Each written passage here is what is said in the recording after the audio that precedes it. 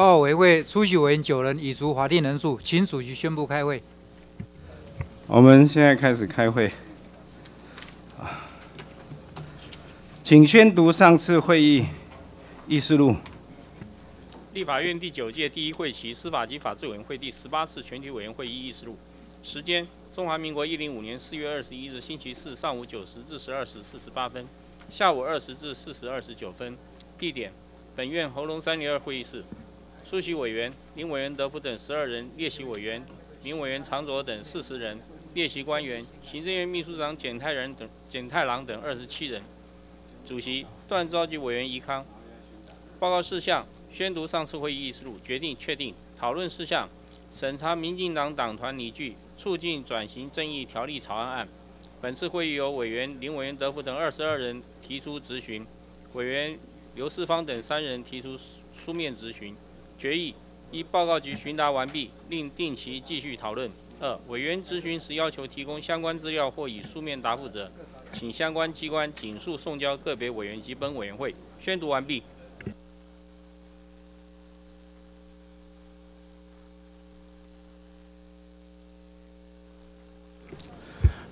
呃，上次会议议事录有无错误或遗漏？如果没有，就议事录确定。我现在，哎，行。现在介绍列席官员及在场委员哈。哎，我们现在在场委员有柯建明委员、蔡依瑜委员、林德福委员也在这里啊。那列席的官员有司法院秘书长林锦芳秘书长，啊，刑事厅厅长蔡彩珍蔡厅长，法务部政务次长陈明堂陈次长，检察司司长林邦良林司长。检察司主任检察官张慧晶张检察官，检察司检察官蔡佩玲蔡检察官，卫生福利部食品药物管理署检任秘书谢碧莲谢检任秘书，国防部法律事务司上校齐成俊，哦，他稍晚会到，财政部关务署副组长黄汉明，财政部。国库署专门委员黄勤文，行政院农委会法规委员会专门委员吴福荣，行行政院环境保护署法规会执行秘书张雅慧，国家发展委员会法制协调服务中心副主任刘美秀。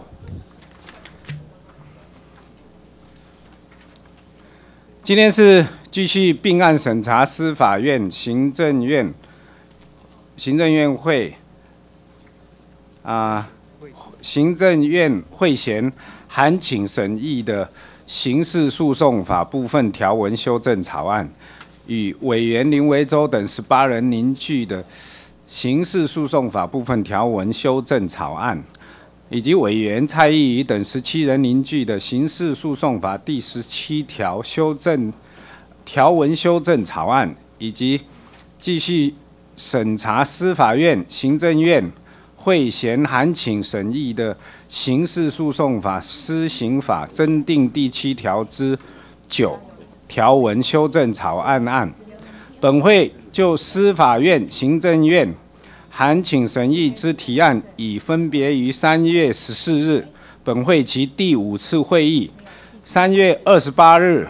本会期第十次会议，四月十四日，本会期第十五次会议进行审查，已通过部分条文。本次将并将委员林维洲等十八人与委员蔡依仪等十七人凝聚之提案并案审查。现在进行提案说明。好，那个。林维洲委员的这一部分先省略哈，那请蔡依瑜委员说明啊，等一下我再说明哈。哦，在在这边说明就可以了，好，好，这个外外部分呢，我那个条文在哪里？嗯，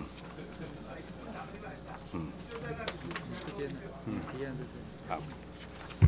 好，跟各位委员说明哈。刑事诉讼诉讼法第一百三十三条第一项得扣押之物了哦，关于这个扣押相关的一些规定哈，那有书面的这些啊内容哈，请啊各位委员再一并参阅。我想我就不用这样子逐字的去啊慢慢念了，大家逐条审查的时候，我想大家都会继续来讨论哈。以上说明。好，蔡依委员，要不要继续呃做提案说明？嗯。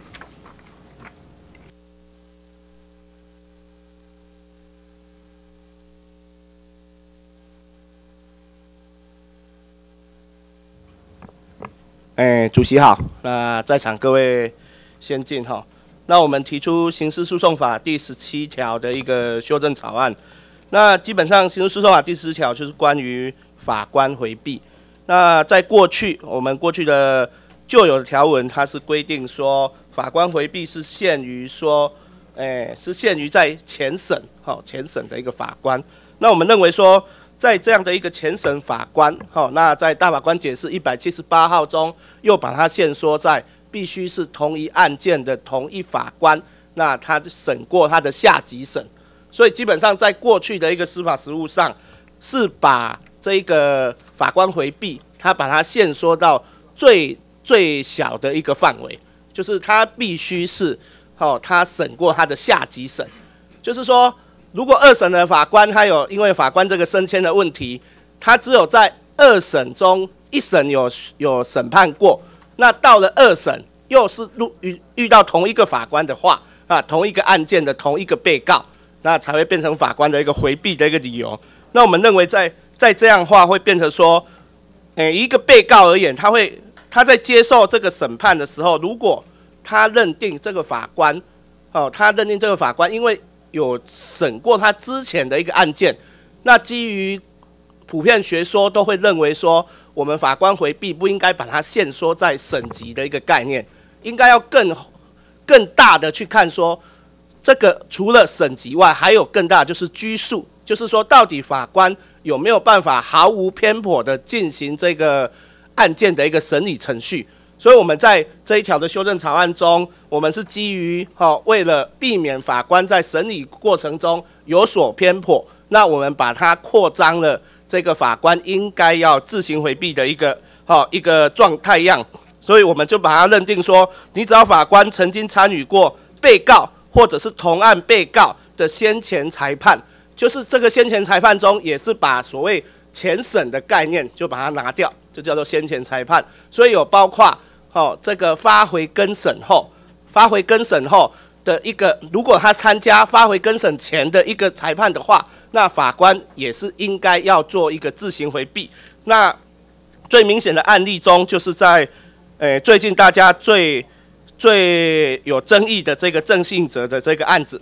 郑信哲他是在台台中的高分高分院那二审，那后来因为他的案件中有有蛮多的一个瑕疵，那这个瑕疵在最高法院被发现后，把它发回更审，那在更一审跟更二审都很巧合的都是抽抽到同一组的法官，所以郑信哲案中在二审以及跟后来发回的更一的二审。那以及发回跟二的二审都遇到同一组，好遇到同一组法官，所以我们认为说，在这样的情况之下，你很难期待同一组法官他在遇到相同的这样类似的这样的案件中，他们还会做出跟他之前完全不不一样的一个判决，你无法去期待这样的状况了。所以我们认为说，这样的话会变成说，在回避的理由上会有不足。那我们提出了这个刑事诉讼法第十七条第八项。这个法官自行回避的一个好一个修正好，那请大家参考，谢谢。谢谢蔡委员。现在进行报告，针对新增的提案，请司法院林秘书长报告。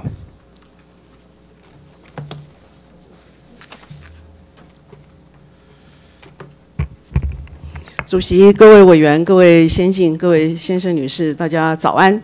那我呃呃呃依照主席的指示啊，就这个新增的提案两个，一个是委员林维洲等十八人拟具的刑事诉讼法部分条文修正草案，跟委员蔡依瑜等十七人拟具的刑事诉讼法第十七条条文的修正草案呢，来做一个呃。呃，简单的报告。啊，我有一个书面，也请各位来参酌。那首先呢，就是呃林维洲等啊所提的刑事诉讼法部分条文修正草案。这个，那提到这个草案呢，我们首先要谈的是法律保留跟正当的法律程序。啊，这个呃刑事诉讼的很大的一个原则，也就是说，刑事的没收啊，那都是国家以公权力来限制或是剥夺人民受宪法保障财产权的干预强制处分。那这个既然是一个个呃这样的一个处分呢，哈，它的实施应该遵循正当法律程序。那正当法律程序的内涵呢，依照司法院呃大法官的六百八十九号解释呢，那有要要审酌的事项有相当要综合一个考量。那这是由立法者制定相应的法定程序，呃，来达到呃这样的一个呃正当法律程序的一个内涵。那为了达到刑事没收制度的目的啊，所实施的扣押的强制处分，因为涉及到呃，受宪法保障的财产权，所以呢，它这个实施当然要制定相应的法定程序啊，来符合法律保留跟正当法律程程序的这样的一个要求。那我们呢，呃，因为我们刑事诉讼法就这一部分哈，就这个呃，非附随于扣收手扣的的那个扣押哈，呃，这一部分呢，呃，并没有很完备的一个规范，所以司法院现在正参酌德国跟日本两国的立法例跟我国的刑事诉讼的学。说来研拟相关的条条文，呃，希望能够建建构这一部分的法制，来符合宪法正当法律程序的要求。那我们研拟中的草案呢？呃，这边我呃向各位报告一个要求，就是相关呃增订保全追缴呃及不动产船舶、航空器债权之特殊扣押方法，并明定扣押的效力哈。那第二个是呃非附随于搜索之扣押，改采令状跟相对法官保留的原则。第三是修正扣押裁定的执行跟提示的规定。第四是修正扣押物是拍卖为变价跟得嘱托执行的规定。第五是增订替代保全扣押程序跟它的效力。那同时，呃，我们也呃呃拟定的，呃，对于呃当事人对于法院或是检察官，呃为扣押财产变价跟担保金的裁定或是处分有不服的话呢，要赋予他救济的机会哈。那这是在抗告篇里面的规定。那另外在执行里面呢，也包括扣押物的，包括保全追征之扣押、没收呃的财产，应该先满足被害人的求偿权以及所有物的返还请求权。所以这些执行的方面也也有一个配。和修正的呃这样一个构思哈。那这个是呃本院现在正在草拟的呃这一部分的呃呃法律的一个规范的概要哈。那我们呃基于这样的一个思维，在看这个呃这今天的这个草案的部分，我们认为是有所呃我欠缺完备的地方，因为它虽然在一百三十三条之一呃有这样一个为保全追征必要时的酌量扣押被告或第三人财产，虽然有符合限制人民财产权应有法律的呃规定的呃这种法律。保留的原则，但是关于配套的正当法律程序的规定啊，例如令状原则、呃申请程序、决定呃主体跟执行机关等程序规范都没有。那显然跟那个呃前面提到的呃限制人民财产权应遵守的正当法律程序的宪法保障的意思哈，没物尽相符。那同时法条里面也有一些未尽周延的地方，这个我在书面资料都有记载，请各位来参阅。啊，那第二部分呢，就是关于呃蔡委员呃蔡依瑜等所拟的刑事诉讼法十七条修正草案的部分，这一部分是两大的修正，一个就是用语的修正，推事改为法官，左列改为下列。那这一部分呢，呃呃我们是赞同的，但是呢。呃，像修呃推事改为法官，如果修只有修改一条的话，因为在刑事诉讼法跟其的其他的条文也有相同的相应相同的应该修正的地方，当然要一体修正，否则的话，一个刑事诉讼法这么多这么几百条的，就修正其中的一条，那感觉上呃看起来是很突兀。那呃这一部分。我们也曾在一百年因应两公约所揭示的人权保障规定规定，呃，提出刑事诉讼法修部分条文修正草案中哈，已经有呃全面的这个呃修正的一个建议。那这个草案还在贵委员会审议当中。那第二个就是呃呃第八款法官应自行回避的事由啊，呃，那刚才蔡委员也说明了，呃，这个把这个这个草案是把第八款现行第八款法官应自行回避的事由啊，呃，本来是推是，也就是法官曾参与前审之裁判，那修改为哈，希望能够修改为法官曾参与被告或共同被告的先前裁判。但是，呃，这个这个这个被告跟他加了一个，也就是说，除了前审之裁判，呃，把它修改为先前裁判以外，也增列了法官曾经参与同案共同被告的先前裁判，作为法官应自行回避的事由。但是呢，刑事审判上的共同被告。呃，这是为了诉讼经济等原因，由检察官或自诉人合并或追加起诉，或是由法并法院来合并审判所形成。那这中间呢，个别的被告跟他的犯罪事实仍然独立的存在。啊，共同被告之间的犯罪时未必相关，比如一人呃数人在同一个时间啊，呃犯各自犯罪，那这个是共这个有时候呃会呃属于同案起诉的话，同案审理的话是同案的共同被告，但是各被告之间是没有相关联的。那这个也要作为一律回避的事由，恐怕就有失之宽泛。那第二个就是呃，刚才蔡委员也特别提到，呃，这个前前呃前次呃前先前裁判的意义，他认为这个呃现在的实务上的见解，所谓这个呃前审之裁判是说，同一法官就同一案件曾经参与下级审的裁判而言，也就是说，目前实务上面所称的前审是以省级制度为前前提，从省级制度来看，那是从上级审来看，就是下级审的意。义那跟前次有别。那蔡委员刚刚说明是说，认为前先前的裁判，包括发回更审前的这个呃下级审的裁裁判都属属啊，不限于下级审呃的那个那那一个，就发回更审前的裁判，所有的都算。那这样的话呢，在实务运作上会有一个困难，也就是说，在那个编制员额比较少的呃这个法院呢，呃会发生没有法官可以执行审判的情形哈，实务运作会有自然。难行，那是不是妥当？也请呃委员呃再行斟酌。以上简单报告。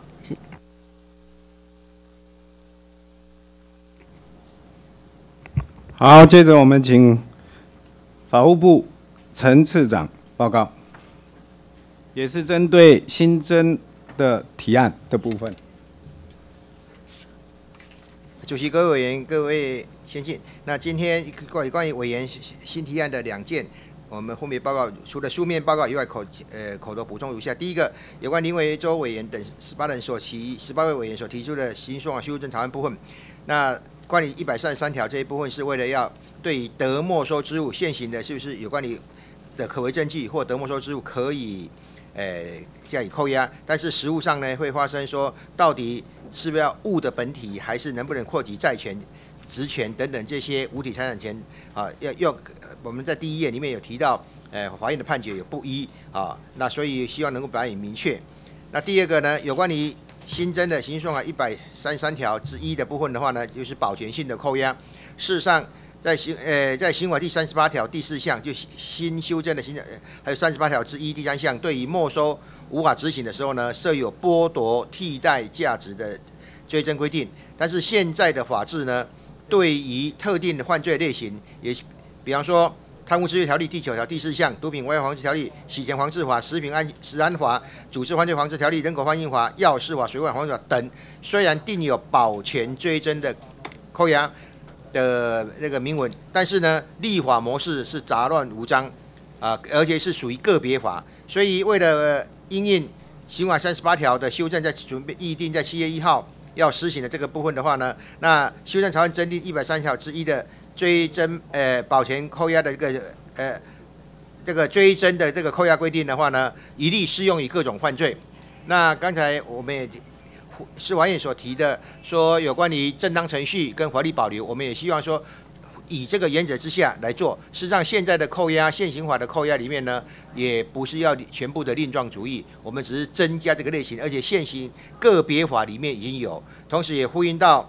我们行呃司法院跟行政院版有关于本法修正条第三条之一，说本法所称的没收包括其替代手段，好，包括替代手段。所以这部分的话，如果能够在扣押的这一方面增加的保全性的扣押，可能呃应该是对于实物面呢比较能够完整，能够完整的处理。那因为刑事诉法是司法主政，需要全盘的修正呢，恐怕要耗费很多的时间。啊，也不是短期内可以完提起提出的，所以我们建议呢是希望能够在这一次先针对保全扣押人呢要加以增列啊，过去的法制并没有被法院或是大法官宣告为违宪或违法，所以希望各位各位能够加以支持。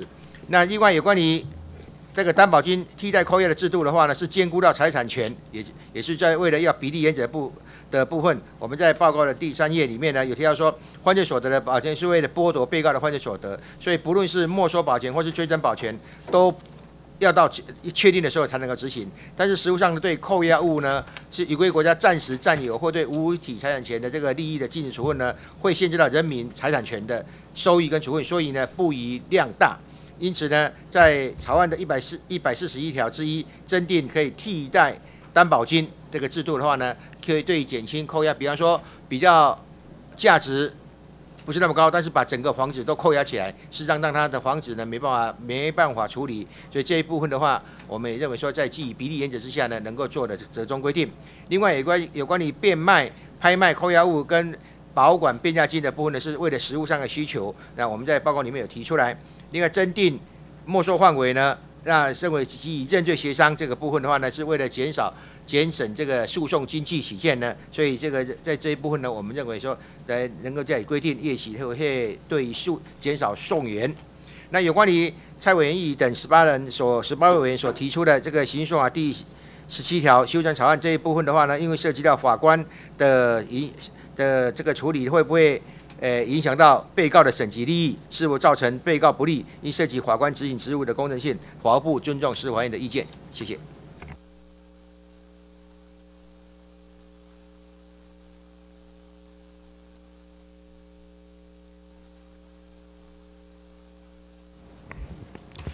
好，已经报告完毕，现在进行询答。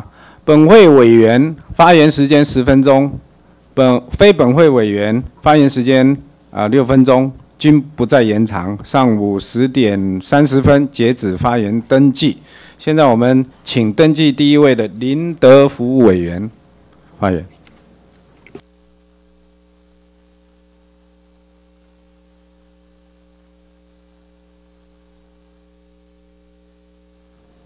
啊，主席啊，各位同仁啊，这个林秘书长还有陈次长，哦，是不是请那个林秘书长？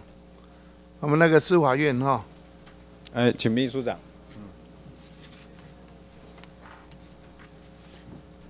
林委员早。哎，那个林秘书长早。那个林林秘书长，哎是。我请教你哦，嗯，你像那个最近那个八仙乐园呐，晨报的这个案件。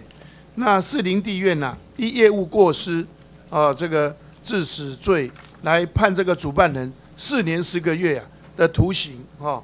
那请问从伤亡哈，然后的状况来看，你认为面对这么多呃这个受害者的家属，哦，那这样的判决，你认为大家能够接受吗？呃，从报纸上的报道来看，被害人认为是不能接受。但是我们在法研法，从法律的角度、法律的规范来看的话，这个实在上，这个量刑本身，因为这个业务过失致死，他是首先看他的犯罪行为，一个过失行为导致数人的死亡跟伤呃呃伤亡的情形。犯罪行为是一个过失行为，所以他只能一罪啊。这个罪呢，在在我们刑法上面，业务过失致死，他的最重有期徒刑就是五年。所以如果说判到四年十个月的话，在法官在论刑，在在量刑上，可以说哈，这个也有有很多的呃评论在讲，实在是已经亮到呃相当高的一个程度。秘书长，因为如果受害者家属，你认为他心里会怎么想？他当然会有一些不服啦，哈，这个一般会讲，一般就是就这个就是法，呃，就是说，呃，一般的民众并不了解法律的规范，他会认为说，哎呀，你怎么，呃，导致这么多人的伤亡，你这个是罪大恶极，怎么才判这样？人命关天呐，怎么可以才判四年十个月？但是我们。必须回过头来教育民众，就是我们法律的规范就是这样，就是他不得已，你不可能因为一个业务过失致死的一个罪，你把他判到逾越法法定刑的最高刑度，你们判到什么？有人说甚至要无期徒刑，这是不太可能的。如果现行法无法从严，呃，这个引这个重判，那请问有修法的空间吗？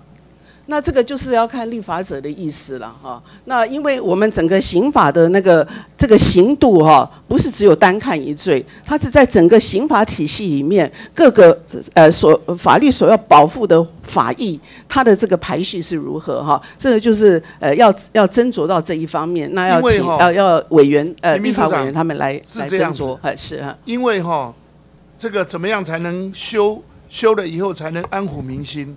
因为其实社会大众认为说，这样判四年四个月哈，讲实在话，不但是被害家属不能接受，一般社会大众大家也不能接受，因为哈，这个这个主办者他是真的非常的可恶啊，哦，那个死者家属说，一条命只有值三四个月吗？对不对？因为十几个走了啊，对不对？那甚至于悲叹。人命啊，不如狗，对不对？人命不如狗。相较受害者的一方，主办人这个吕中吉啊，不但是没有诚意和解，甚至于还，哎，还想要缓刑呢，对不对？那请问，到底是法官认识用法和国民的呃这个感情，是不是有极大的落差，才会造成这种状况？不是，这是因为我们现行的法律规范。只能这样判。那如果说刚刚委员提到要修法的话，那刑法的这一部分修法，主政机关是法务部哈，那可以由法务部来呃跟委员之间啊来做一个呃看怎么样一个适度的。那个陈次长，你也是不是请上来好不好？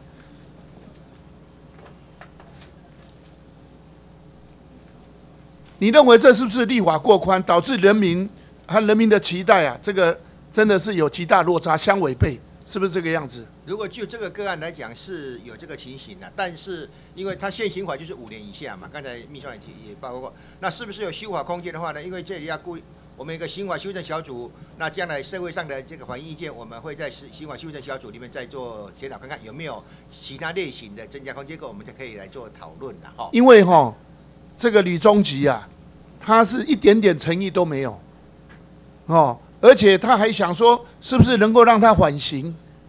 哎，这么严重的问题，哦，这个判刑以后，讲实在话，几乎啊，这个社会一片哗然。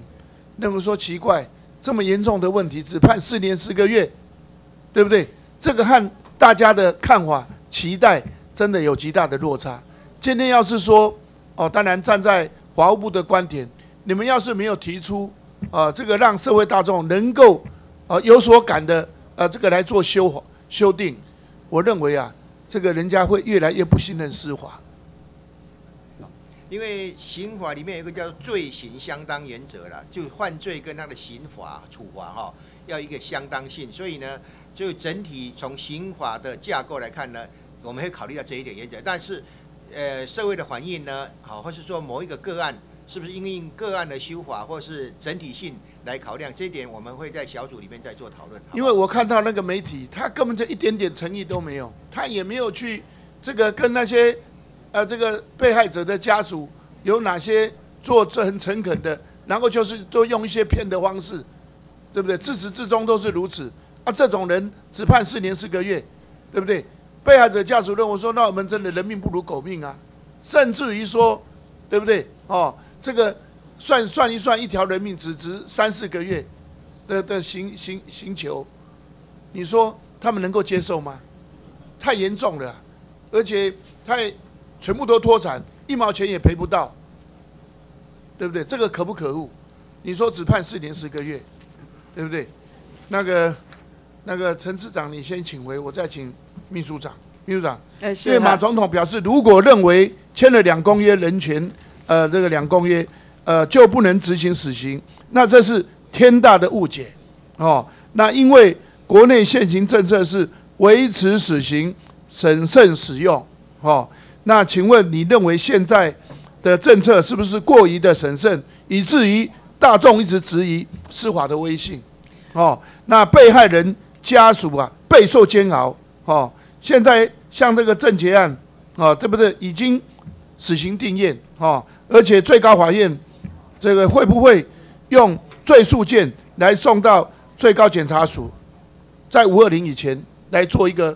一个执行的一个结果会不会？那个这个证件案，最高法院已经是把这个整个卷送给那个检方的哈。那执行问题是由呃法务部这边来主导，所以委员的问题可能还是要请呃那个法务这边来回答。那个那个陈市长，这个事情我再请教，因为大家哈社会大众也都在关心关关注这个事。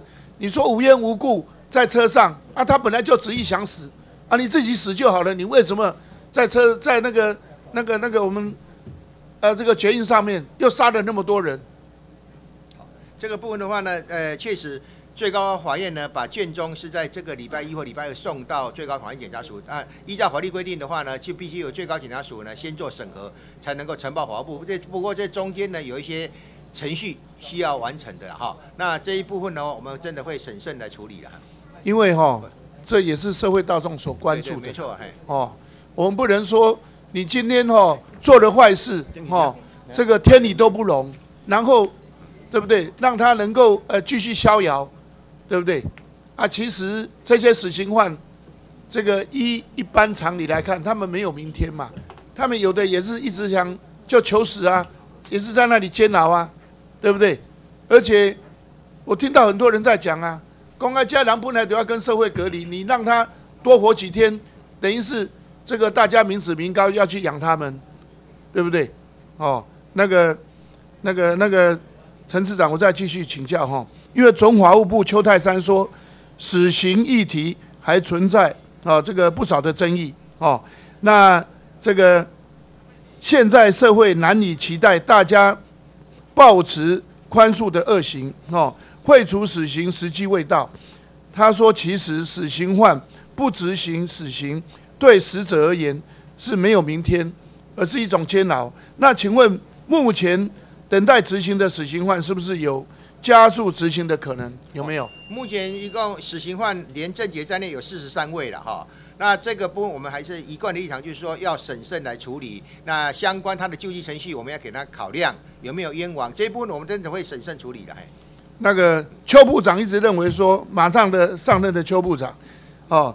认为说会死的时机未到，那是不是代表下任部长会重启死刑执行的这个程序？你的看法呢？呃，这个部分的话，因为邱部长还没有上任，我没办法替他答复。不过这个他有讲过的话，我们都会审慎处考量。那个台湾高检署今天邀请台北等七个地检署、警调单位、经管会还有通传会召开跨部会的跨境追账的平台。那会议研商解决，请问？成立这个跨部会平台的业务是由哪个呃这个部会在主导？华务部。追章，华务部是。华务部那它一个执行是台高检。台高检是。对。那这个要结合哈检警还有各机关了哈，要能够查得到、查得深、哦扣得多。那你认为是哪个部会和中国协商完成两岸间平台的这个追账机制？追账机制的话，根据两岸共同打击犯罪与司法互助协议的话，窗口是法务部跟大陆公安部。因为哈。我最后一个问题哈，这个因为电信诈欺案哈，两岸共同打击犯罪，在陆方认为说大陆每年呐上百亿人民币人民币这个电信诈骗案的赃款啊，这个来台哦，但是我方到今天为止追赃只有追一千多万了，一千六百七十五万了给陆方，那请问是什么原因造成诈欺呃这个赃款数和追呃追还的这个新台币？有这么大的落差，为什么？哦，这个是因为技术面的哈，因为这个赃款转如果转到台湾的户头，甚至海外户头的话，他马上就提出去。现在什么国大陆什么银联卡、金联卡等等那些卡太多，所以这方面今天就是说要结合各机关啊，来大家再研商一下技术面怎么样来防止啊。所以这个也跟我们现在的保全性扣押也有点关系了哈。这个因为会不会是因为这个赃款金额认定的落差，造成这个整个侦办追赃的这个困扰？会不会这样子？认定上不是截然的，但是扣得到这一点呢，是我们需要能够先扣得到，再来做认定。哎，我是认为说，包还被害人嘛，哎，这个不管是我们这个在华务部方面哈，这方面，我认为说这些诈骗犯哈，我们一定啊，这个不能让他们等于是说为所欲为啊。对，没错，没错。那一定哈，我们要呃这个要配合看怎么样严格的去呃这个把他们啊绳之于法，我认为这很重要。是，哦，谢谢。好，谢谢警卫。呃，接着我们请柯建明委员发言。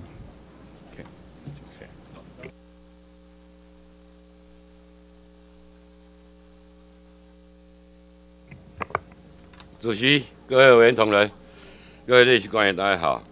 嗯，今天审查刑诉应该是第四次了哈。那本案是事实上有它时间压力性，也有它非常重要性啊。我在这里先做一个程序性的，大大家这这个案子应该，嗯，委员会应该怎么来审哦？应该审了四次哈。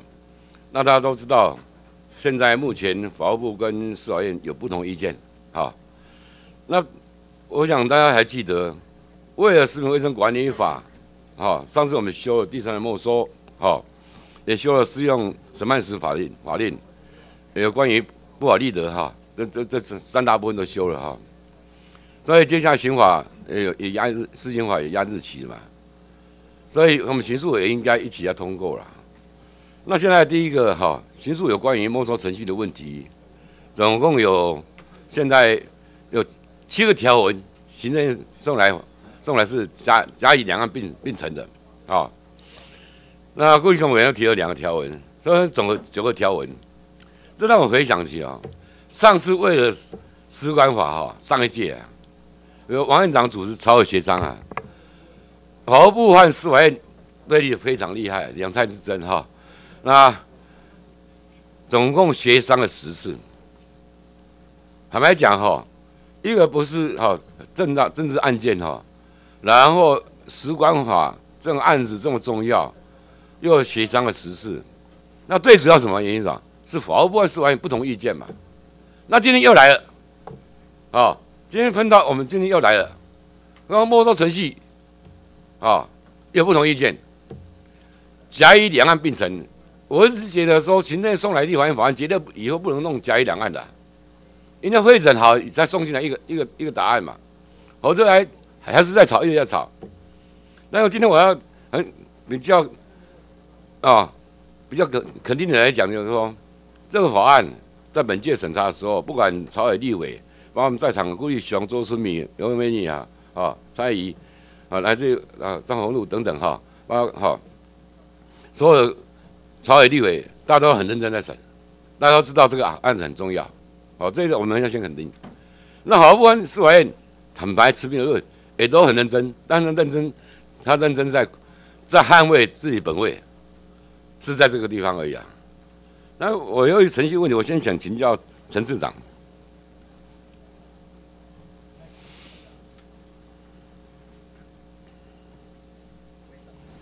那这个案子到底是你负责，还是林林市长负责？刑事还是林市长？那么，那那么一下子你来，一下他来，哦，然后我们的那个检察司司长第一次出现，啊，林市长你马上第一次出现，啊，这很奇怪啊，到底你们法部里面就有问题了？不会的，一直来沟通就是市长，呃，副市长嘛，那副市长当然哈，我我在办公室也跟他谈过，也就领金嘞，该过档过就好了，但是要好好 要十万元的，一名的大概开完结了，哈，所以说你这个头都抓不定，一个。市长，市长不介入啊？有了，市长市长有介入了，不是没有介入。我们这协商多少次？包包有了，包括市委秘书长都在协商啊。有了，包括啊，蔡厅长都在协协商。只有你们法务部人不来，这顶多派一个副市长来。有了，这个人，这个这样的怎么处理嘛？这个我们哎，我们感谢招委哈，一下总市长一下是你呃帮忙了，我们感谢总召帮忙。那我们会。这个真的，我们今天很在眼前来处理的。嗯，现在今天现在以前，你当然现在你会做委员提了哈，这个保险扣押几条，高点十条哈。我看起来司法有很大意见，那看起来就是说保全扣押一定要处理，因为这个我们现在为了顶新的案子吧，那在二审了，那七要事情已经压好了，上线已经压好。我认为哦，大家都还有一个疑虑的。包括邱南未来的部长，他一直告诉我说：“哎，这两个保全扣押给他没收程序，这一点要同同时出去。但是以现在目前今天开始审理审理的部分哈，报告你会周文等提的这部分哈，司法意见这么大，啊，这个东西我们今天要开始思考，这有它的重要性哦，各位不要忘记哦，七月一到押好了，嗯，而且我们这个在拖，顶薪的案子没有办法去保全扣押，谁担当得起啊？对，这就董家的代志啊，嗯。他按二审啊，我们要适用审判时法令，好不容易修回来，修到这个，虽然司法不大不大同意啊。那今天我们要大家有共同共识，哦，我们面对现在毫不来调件，司法应该来挑战挑挑战，你知道他挑战什么地方吗？对于林文洲委员所提的这个案子，这案子基本上是令下令应应该是令下提来提来吧，所以你只是对于。毫不在部分，你把这个顾好，这司法院那部分当然你都没有处理嘛，当然司法院会有意见，所以本席的意见的看法就是说，应该怎么样？应该哦，今天的程序上，只要我们先先处理没收部分了，没收上个礼拜五在我们办公室协商，两个部分都来嘛，高条就要起两条啊，这两条赶快今天看有没有办法有共识，没有共识也要出委员会，然后这个也要压。压日期，要我们一定要，我告诉司法院那个秘书长，来，来来来，呃，你上请上，啊，秘书长上来上来，还，各位委员好，你们一直处理的论点就是说，哈，这个，呃，没收先处理好，然后你们再提案再处以保全扣押，但是这个哈拖来拖去，我跟我我跟接也以前已经来不及。我们今天共同承诺一个事情了，好不好？好。假如说郑茂说今天只剩两条，还没有谈定的话，出委员会没有关系，我们进行进行稍微协商。相对的，你的刑事诉讼啊，你要修的部分，这是你主管的，你要赶快送来。当然在五二零以前，哦，你可能有有这行政上尴尬，啊，你要没有关系，你就拿给国民党立委去提也没关系。不过以后，你要拿给民党立委的提都没关系。但是我相信你们绝对有副案，有没有副案？呃，我能够写出构思来，大概就是副案差不多了。我看你今天谈的谈的不错啊，真的法律程序啊，法官保留原则这些都有啊，你就把这些弄，你就你的副案已经出来了嘛？对啊，啊，所以把把你的法条弄出来，哦，然后马上来协商，私下大家来先来谈看看，好不好？因为大家不要忘记。这个绝对有时间的压力的问题，好不好？好。所以今天一部乱抓，即便招委，即便今天我们上次已经上礼拜有谈了，大概只剩下两条了。两条今天能够谈完的话，我先这个这个没收先处理。谈完的话，之后赶快出委员会，谈不好出委员会没有关系，你朝香那个协商期一个月的问题啊，和大大以后要被卡死啊，好不好？然后所有的这两个案子，包括保全扣押。都要七月一号，我希望朝野要有共同的看法。这个没有政治案件的，这个是使管法后续的必须要修法的，第三的没收，好不好？这个这个大原则先大概先确定了，确定料到法到最来急，就我们是这样说，让这个大原则。然后那个陈市长，你对于司法院所提出的对你的挑战，有关于正当法律程序的问题。以及法官保全原则，以及抗告救济等等，这些你的看法是怎么样？本来就应该要正当法律程序啊，没有错啊。但是我们提出来认为，针对委员的提案，我们的意见是说，这个好像里面有违背。版本里面没有嘛？不是啊，那因为这个是原来就有扣押嘛，过去过去个别法也有扣押。他写的很很完整的。对，嗯，啊，那内涵就写很很完整的。你看他把把手册基本权利的种类嘛。限制强制及范围啊，所以追求是公共利益、检察机关功能适应性等等，他写的很完整的。对啊，他还是认为你们的、你们现在在刑诉上更不完整嘛，所以把这两个，他现在这这两个条件是是个很严肃哦。这样法律程序没有没有办法去处理，没有说处理，将来会有问题啊。包括法官保留原则啊，对，恢复谁扣押的问题啊，嗯，你要也也是要另状嘛。是不是这样？这个是不是一样另状？当然有见仁见智的看法。不过吃完也有意，如果有但对岸，人民财产权好当然不所以有相很乐很乐意的啊，很乐意。如果有对案，我们提出来再做讨论，可以很乐意啊。还有康告的问题也是一样要处理啊。嗯，所以我是希望就是说，你司法院法务部两个，第一个，我没有我没有否认你们大家在这个法案上很认真，啊，包括那个法律师也很认真来来一直跟我在沟通哈。那当然已经要放弃本位了，对立心态，嗯，否则没有办法处理啊。这案子现在过不了，这过不了谁要担得起啊？是不是啊？那个法务部可以的，可以的。如果司法院的对案来讲，我们会很细心、很认真的来考量的。啊啊，这样讲啊，这样讲啊哈。哎，好了，那暗暗中逃冲，不会了，不会了，不会啦。啊，这种你金金正国龙永远的一边一国啊。不会啦。来，那我就请问司法院好不好？你对法务的这些现在的提案，你有什么看法？我我书面上写的很清楚啊，因为就是啊呃配套没有完没有出来嘛，很简单讲啊，他啊，讲讲讲了，也有说的配套的正当法律协商等等范围等等哈。啊，你认为他这个是不是？我私下听起来啊，两边都说，都都说都都都乱写，这个这个不要这样好不好？因为两两个啊，不然这个 NG 要合作了。我认为你先讲说法务部叫我我北下不了，麦克我北下，我不是就是有有一些应该有的规定没有啦，啊。举例好吧？哎啊，就是我我刚刚讲的令状嘛，好哈刚才那些哎好简单讲的令状原则啊那，司法院对法务部对司法院的看法怎么样？不是，司法院如果认为说一定要令状，如果有条文，我们再来考量是不是一定要我想令状，这个可以考因为。时间有限，我针对对这个程序的问题啊，以及哈、现在已经都打龙很白了嘛，嗯然后大家都都把这新政也都很清楚，你的法律观都很清楚。我希望第一个，司法院赶快把这个你的法院会要写出来，好不好？他已经写出来了嘛，再对，虽然是你们主管，因为是你们主管的嘛。另外有关于蔡宜委员这个提案哦，我那您请坐好吧，我请问司法院一下。好杰哈，第一个第七款这个到文字上应该修正了，好、那法官应该只你看第六款推是成为告诉人嘛，那第七款推是哈、成哈、应该加一个伟才对吧？法官成为执行检察官后司法司法检察官的职务，应该少一个伟嘛，是不是？没呃成呃他是执行呃对，当然要加也是可以了哈，啊，哎但是呢，我看法务部和司法院的意见是保守的哈。我现在提一个问题就好了，因为他他本席比较关心，我比较关切啊。哈，因为这个前审，因为前审的法官哈啊，你说哦前这审级的问题，本来是为审级来回避嘛。嗯。一审多少间法官，二审个多少间话下来了哈，他信任也一定嘛。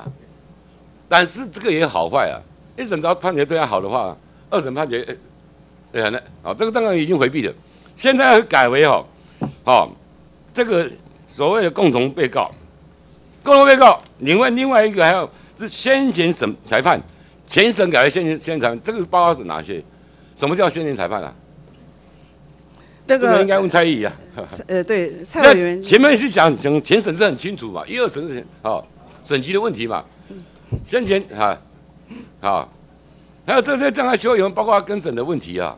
当然法官人数是个问题，我要讲为什么我关切这个案子呢？我接我好像视频案子马马马总统五个人下台了，我我现在已经在准备程序了，检察官也要起诉了。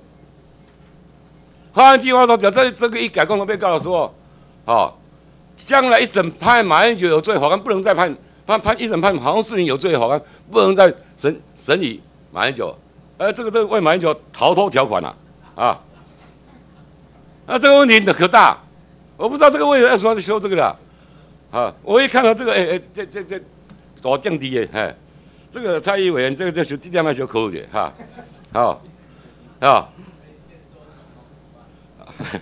然后坦白讲啊，实务上啊，一共就算怕警察的，好酒店打警察了，好，那人数这么多，诈骗人数这么多，你全部要一个，全部要一个，好，全部要回避，有的是，你说你说诈骗案，诈骗案打警察，有的先跑掉了，啊，那然后然后再抓到，然后再来审查审判嘛，按说不行，你这判前面原来有罪，现在在我再不能你不能再判我。这共，所以这个这个是实务上很大的问题啊。哇，可能有诈骗人这么多啊，我通缉逃照个第二等来，那共同共同共同被告啊，那为什么我我还不能审？是吧？所以我是觉得这个法要变更的话，我比较关心马英九的案子，还有这些马英九逃脱条款，哎，好不好？那既然你们大家反对，我想大家这个案子大家好好深思一下，我本席非常关切，好不好？好，谢谢。接着请张宏禄委员。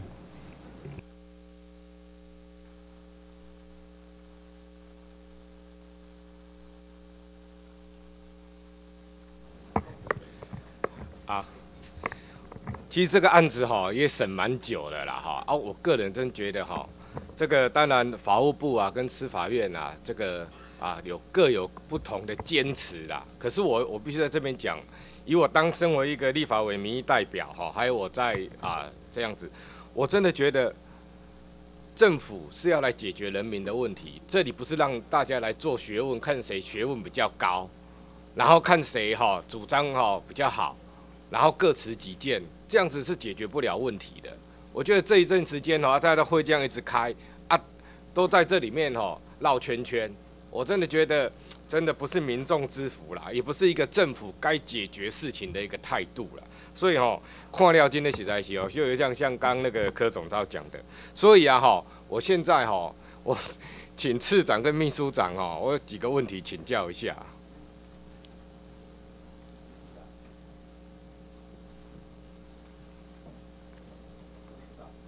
好，张委员好。好，我刚已经讲了，我真的觉得这个是，所以哈，我今天也不再跟你们哈啊讲什么程序哈什么的问题了哈。我们法律有有实体法跟程序哈。我我今天举几个例子哈啊，如果这样说，我想就教一下我们一一个例例子来。今天呐，我们的啊犯罪行为人，我们当然知道，包括有自然人、法人哈团体，这都算。我我今天想要请教一下。如果这个法哈，我今天一间公司，那我很多分公司，那我分公司的一个店长，以我公司的名义，哈，去进假货来卖，那他进了假货呢，他跟他订了一万份的假货，好，我们举个包包好了，一万份的包包，但是呢，他实际上呢，又拿来啊，我们这个分公司卖的呢，可能只占。了十分之一一千个，那在我们公司里面有真货也有假货的情况之下，他这样去卖。那另外九千个包包，他自己偷偷去卖给他的人，说我从店里拿出来的。那这样的情况之下，我公司，好，我的总公司我的负责人，算不算犯罪行为人？好，那个部长你先，呃，次长你先。我我们这这个要个案来看的哈，因为有的法律写的规定是处罚负责人，那就变成董监事了。那如果是我现在讲的就是个案，当然是啊，应该不可能应该不会的，应该不会到那个负责人。如果是个别这样认定的，我我就单纯哦，我现在讲的是单纯证据上这样的显示的话。那你你以现行的呃，如果我们现在的话，我们现在你还没有查清楚，你要不要好？我们要为了要追讨他的犯罪所得，要不要先扣押？然后，然后公司的公司的户头要不要先冻结？哎，所以扣要不要冻结的话呢，要看什么状况。比方说，只有十个包包，那冻结的话，可就不应该到十个嘛，因为这里面有有没有流到公司去不知道。啊，比方说某个案子流到公司嘛，如果说有相当有一个证据说认为可以流到公司去，我我我举的证据就是。对你，你如果是仿冒品的，做仿冒品的，绝对不会开发票。可是你的，以我这个，以我这个例子来讲，那一万个包包，就是有出货的证明，证明流到分工分店来，是假，那要假货才行啊，假货的。对啊，我刚讲的是，他分店的店长啊，订了一万个包包啊，在卖啊。嗯嗯。啊，这个我现在讲的，都证据都有啦，嗯嗯，对不对？但是实际上不是这样。对呀。你懂我的意思吗？按你这样的话，我们要要扣押多少？最最多只到这十个包包的价值。但是呢，我们后面那个后面有程序规定嘛，就是说，如果说认为不需要留存的，就要花还了；不需留存的就必须花还。不，你第一时间的话，嗯，好。第一时间在先扣了，一定要先扣嘛先扣了。我讲的是第一时间要先扣嘛他出货一万个，你是不是要先扣一万个的金额，对不对？没错，对不对？嗯，没错。那个秘书长这样对不对？对，因为你这个是追查犯罪嘛，那犯罪是贩售假货，你指的假货是是那一万个嘛？那当然是扣了，这这个是犯罪的东西嘛。他假货一万个，他他拿到哎分公司来卖只有一千个啊，另外的九千个是那个店长自己去卖的啊。对，一样啊。你就是说你犯罪，你的犯罪的，所以第一个是认定他的犯罪事实，啊犯罪行为人他犯的是什么？你如果说贩售仿卖物品的话，那当然就是他行。行我现在前提是，我现在前提是总公司的负责人他不了解哦，他根本不知道哦。所以这个两，这一通常检察官呢，在第一时间会扣了，但是扣了以后，应该马上去哈，尽用最快的方法去先了解说到底是流进来一千个还是一百个，哦，那超过的部分要花还啦，不对的但第一时间就扣了嘛。第。一次第一时间，但是第一时间有时候呢，就扣了嘛。第在那个现场有时候很难，因为这个是执法上有有对难度，哎，啊，你这个时间有可能拖很久嘛，厘清的过程嘛。离清过程，所以有我们这个才要求说啊，查扣以后要尽快的处理嘛，不，我当然知道尽快了哈，但是有时候这个东西要来查证很难嘛，对了，哦，要很长的时间嘛，对不对？那你这样子扣的话，我们以这个实力来讲，这样扣的话，我这家公司我的户头什么都被你们哦扣了，公司如果不够大的话，半年就倒了、欸。啊对，所以有有有有有的跟那个哎哦哎。三个月就倒了，而且以我们现行的法律，嗯你根本没有一个期限呐、对，你没收或怎样这样，你根本没有一个期限说啊，要求法院或要求检察官你要多久的时间之内把它厘清，也没有也没有明定，也没有什么啊，有可能这家公司有有可能这家公司被一拖哎，公司小的三个月就倒了，嗯有没有这个可能发生？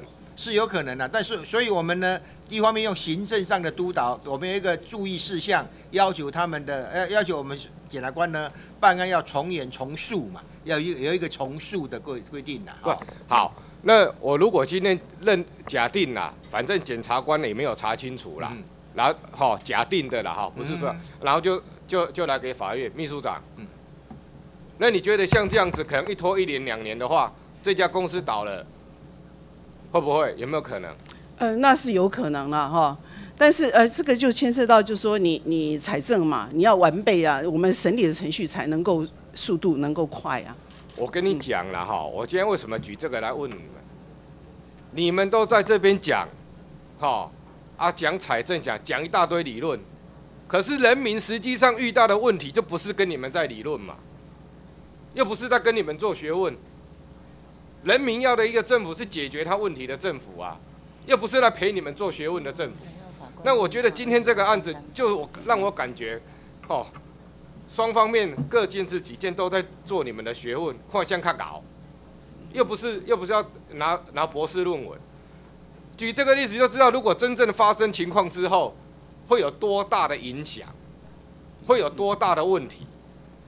应该是要替人民解决问题啊！你不当的犯罪的人，我们我也支持你要重罚。可是如果照你们这样子的话，哦，还在卡在这边，然后不不以真正的解决问题的角度，以做学问的角度来来来修这个法令，我真的觉得哦，会会很糟糕。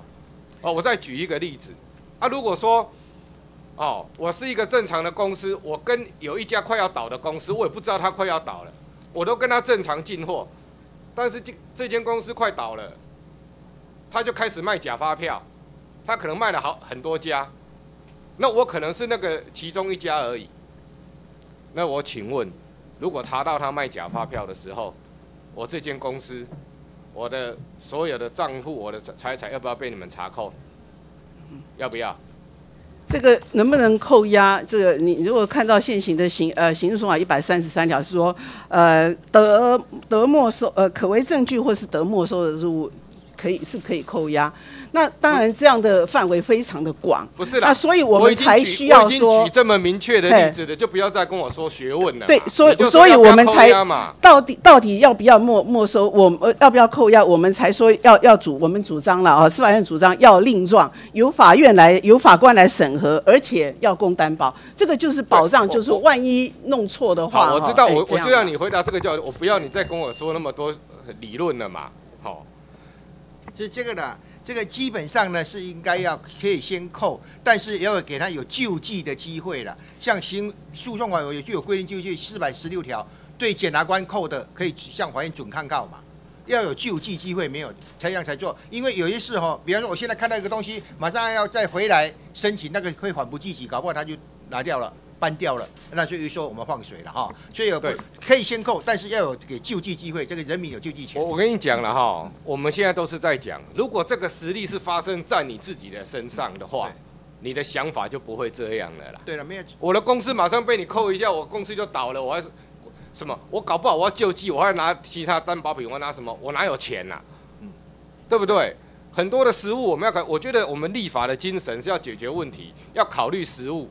我在讲这就是说不要再做学，哎，你如果说我举这个卖假发票的这个，我我我的公司我也不知道啊，可是可能接连算一一连串的查账什么的，公司就倒了。对，我觉得这个法案你要通过要什么啊？其实有一个期限的部分，我觉得我们要考虑一下，你不能哦哦，因为这个扣第三的财产或什么，这个是很严重的事情，哦，这个人民的财产自由，而且会牵扯到很多公司的运作。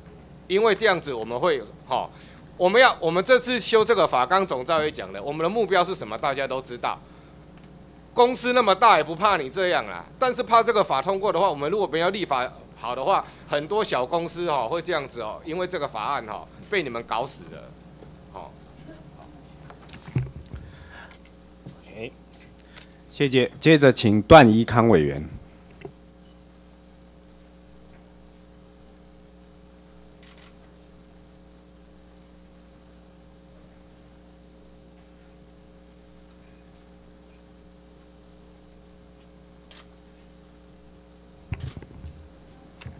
主席，各位同仁，请陈明堂次长，请陈次长。长，市长，上个星期啊，我们跟法务部、外交部、陆委会、法务部调查局各个机关要了这个呃，今年的这个菲律宾遣返这个冯姓我国人民的这件案子的始末。我不晓得您对这个案子有没有了解啊？我知道今天也没有这个国两司的代表在现场。不过呢，我坦白说，我看了这个案子之后啊，然后做了一些了解，我我的感觉啊，是疑点非常的多了哈。怎么讲呢？第一个，这个冯某被发布国际刑警组织啊，这个中国公安部。透过国际刑警组织发布红色通报，是在什么时候？您知道吗？这我不知道。你不知道？他其实啊，这个冯某的案件，我后来去了解之后，我发现是这样。我我怎么去了解的呢？因为我们台北地方法院检察署啊，有一个不起诉书啊，是针对这位冯某的，是民国一百年的不起诉书。这个不起诉书呢，上面怎么讲呢？他说这个冯某啊，在民国九十八年，那么从菲律宾到香港，再到天津啊，然后呢，这个天津的有一家金属矿产发展有限公司，在天津呢，对这位冯某提起诈欺告诉。那么，但是诈欺是什么内容啊？根据你们的报告说，好像是。这个对于这个叫做呃签约金啊一千万人民币的诈欺，好，这是民国一百年，所以从民国呃对不起，民国九十八年的年初啊，他就被天津市公安局限制出境。民国九十八年的年初，那后来呢，在民国一百年的七月，啊，这个冯某呢，就从厦门搭渔船到了金门，在从金门坐国内航班回到我们台湾本岛，这个是起不起诉书里面讲。那为什么不起诉呢？是因为他去自首了。好，那我要讲的重点是是是，请你记得这个时间，民国九十八年，他就被限制出境，被天津公安局说他因为这个诈骗啊，这个呃叫做签约金，商业的这个行为买卖行为的这个签约金呢。那到现在，他有没有被起诉？您知道吗？天津是啊，对的，这个我们要你也不知道，我也不知道。哎，因为根据啊法务部给我们的这个报告，给我们委员会的报告，说到底啊，他们在这个冯某在菲律宾的时候，也就是今年的一月十四要被遣返，一月十四的晚上，呃六点五十分的班机，那么。法务这个调查局说啊，接到你们国两司代夫代副司长的这个指示啊，要发出情资交换通报书给大陆公安部港澳台办公室是龚艳平处长，说冯某到底现在啊遭通缉的涉案情形跟侦办进度为何？到底现在是在天津公安局侦办中，或者移送检察部门起诉？调查局说到现在，公安部都没有给我们资料。对，据我所知是这样，对不对？没对，嗯。所以呢，我们到现在都不知道这个冯某他到底的案情是什么。但是这个不是我今天要问的重点，我要问的重点是说，好了，从民国九十八年到了民国一百年这两年多的时间，这个冯某偷渡回到台湾，也去自首了。他到底有没有被中国起诉？我们不知道，到现在不知道。那这个冯某呢，在马尼拉，这个要离境的时候被扣押。他被扣押是在什么时候？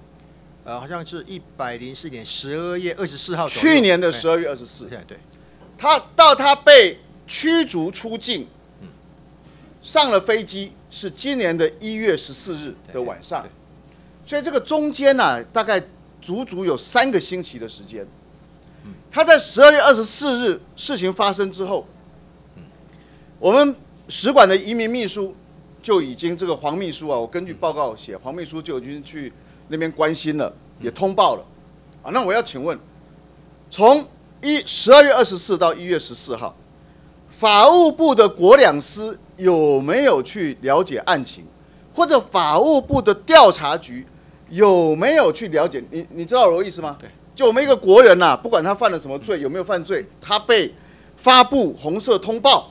他被菲律宾扣押了，好，那么我们去现场关心，因为当时马上就知道了，说他打电话来求救嘛。那我们有没有了解他到底是什么案情，被发布红色通报？这三个礼拜的时间有没有了解？就我们国两市的说明了哈，对我们的说明是说到一月十二号以前，国两师并没有接获这位冯某被。这个这时间可能有差一两天了哈，一月十号左右，他没有并不知道是十二号那个因为要遣返的问题，所以外交部才通知他们，还有这个刑事局要国两师呢去开会，怎么样送回来？我不了解啊，这个我们外管的法务秘书，嗯，就是调查局派的，是我们法务部调查局派的，所以在告诉我们说在肯亚案的时候，也没有接到我们。法务部也没有接到法务秘书的通报，然后在菲律宾案的时候，我们法务部也没有接到法务秘书的通报。啊，你们是两个，你们是两国是不是？你们不是国两司，你们是两国司啊。所以你们法务部都，你们法务秘书都不用通报回来给我们我们的国人，因为中国的公安这个要求，所以。国际刑警组织发布了红色通报，然后呢，中国公安合理说也会要求说，那你这个人应该送到中国大陆，对不对？然后我们也去关切，我们要求说，哎，这个人要送回台湾。在这个过程里面，要告诉我们说，法务秘书、法调查局通通没有通报法务部，法务部好，就算法务部到十二号才知道。那个之前十二号之后就已经知道说十四号，这个这个要送回来，好，但是呢，我们所知道是根据报告说十三号他们提早开会了，对，菲律宾的这个移民署提早开会了，提早开会之后十四号送回来，但是我们即便照原定的时程是他们十四号要开会，嗯，对不对？对，所以你国两司既然知道了，就算十二号知道，你难道不应该马上去了解案情吗？是要等到十四、十三号他们开会决定要把他驱逐，要遣返台湾哦。这十三号他们开会的结论我们知道了嘛，对不对？十三号知道了开会的结论，然后十四号才急急忙忙的说：“哎，赶快去问他是什么样的案情。”嗯，你觉得这合理吗？因为国两司他们好像是在十二三号左右呢，是有请刑事局查过国内是没有案的，冯某国内没有案。对，因为他那个不起诉书。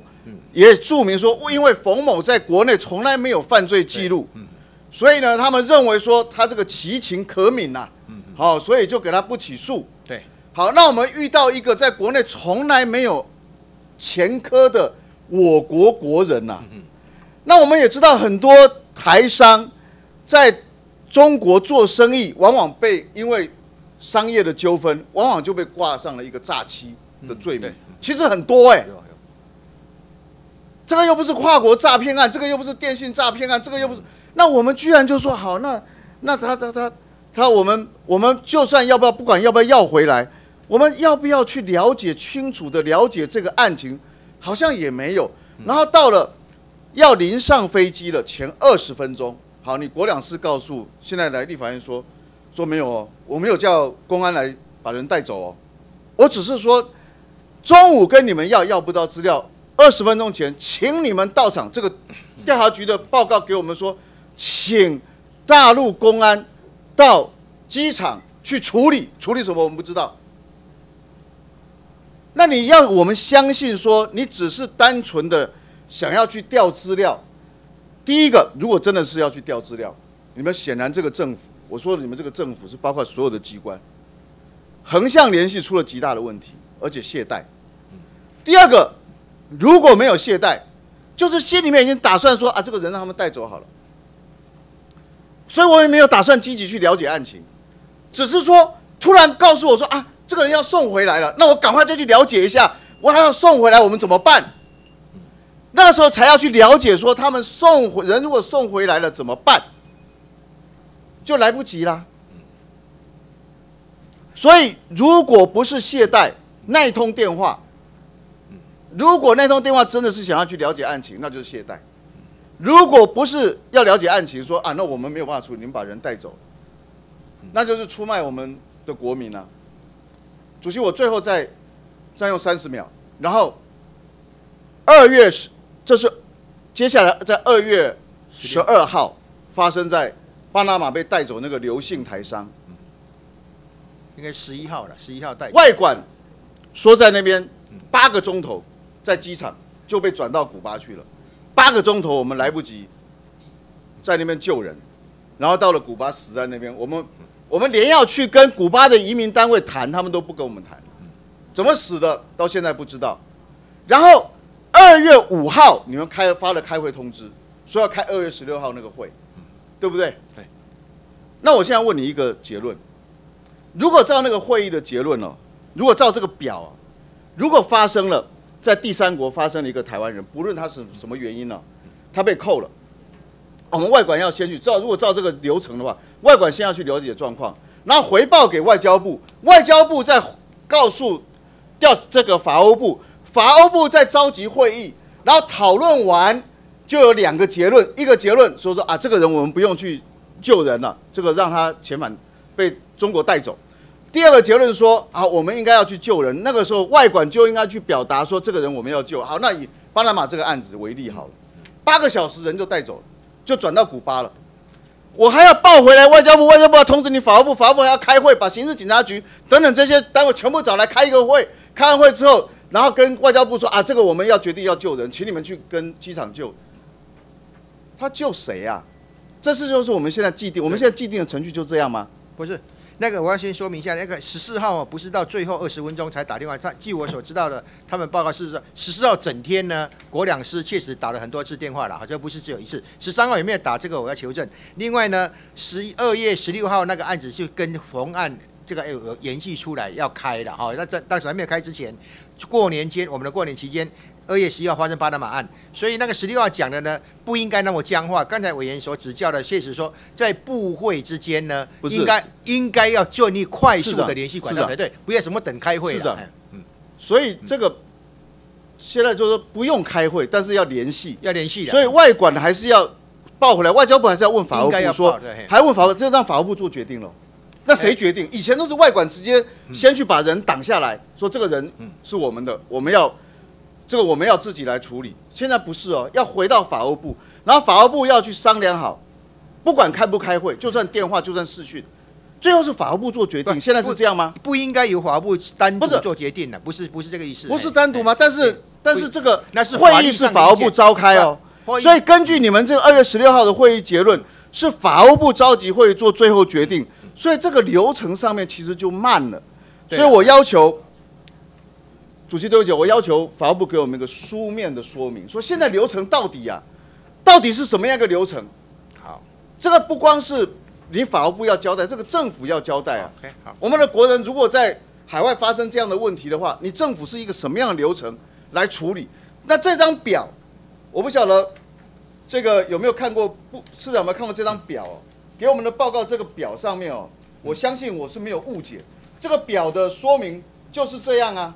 这个表啊，嗯，就是就是我刚刚讲那个意思啊，怎么不是？你自己把这个表这个回去，我们再我再用书面报告好了。好，谢谢。接下来我们请周春米委员。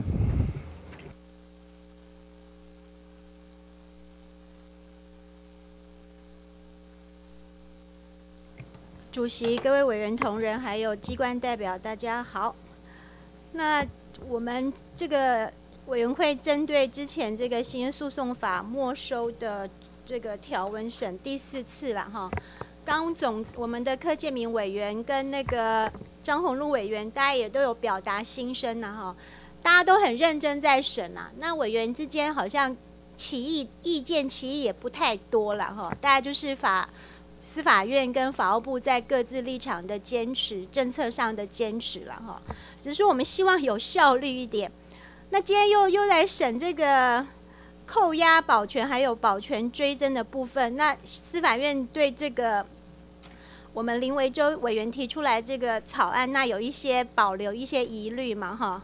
那待我们再来探讨。然后又要再审这个那个回避的部分哦，有点有点，虽然我们是一定要认真来审啊，只是有点跳来跳去的这个范围，还有我们现在可以讨论的。具体的内容也不是很明确了哈，因为司法院现在的草案也还没提出来嘛哈，所以我们是希望，当然我们一定是要来认真参与审查，只是说在安排的这个这个程序上面或者审查的效率上面，大家可以再来往前推嘛。毕竟这个法案这个没收七月一号就要开始实施嘛哈。好，那还是请这个司法院秘书长，请秘书长。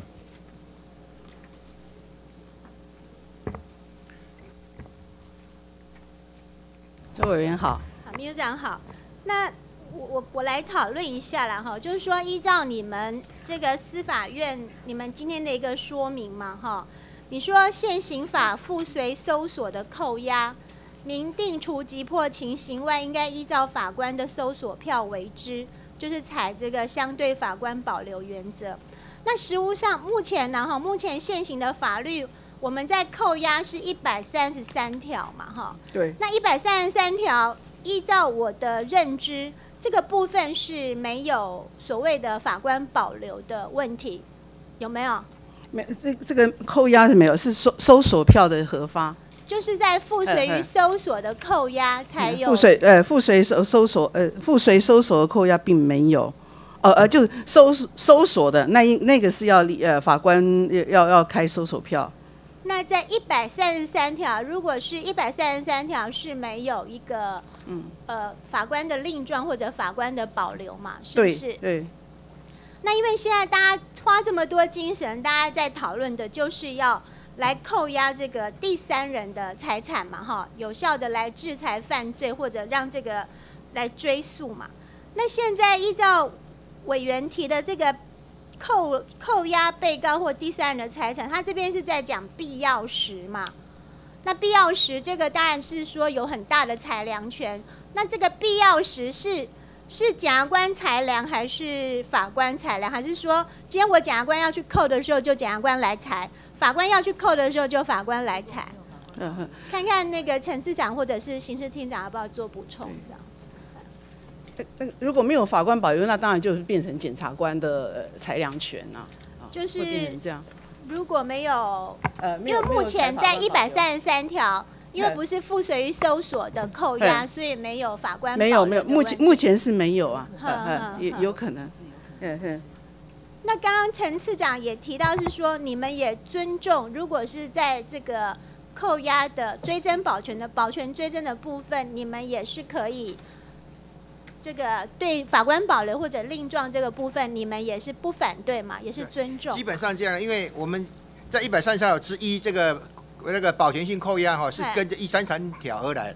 那现行的做法，扣押本就单纯就扣押本身没有法官保留嘛，所以我们认为说一三三之一有需要要考那个法官保留吗？那如果司法院有提出对案来看看哈，那我们也也许呢，我们审审酌要认为需要再说嘛哈。这个部分哦，本席的想法跟意见是认为说，应该是要全面来检讨了哈。因为除了这个，本来他不知道，他没有认知说他自己是被告或者他是被调查的对象，他可就是一个第三人。那他可能面临到其他人犯罪的时候，他的财产可能有被扣押或者是没收危险的时候，这当然需要一些再多一个审查。只是我们在往前推。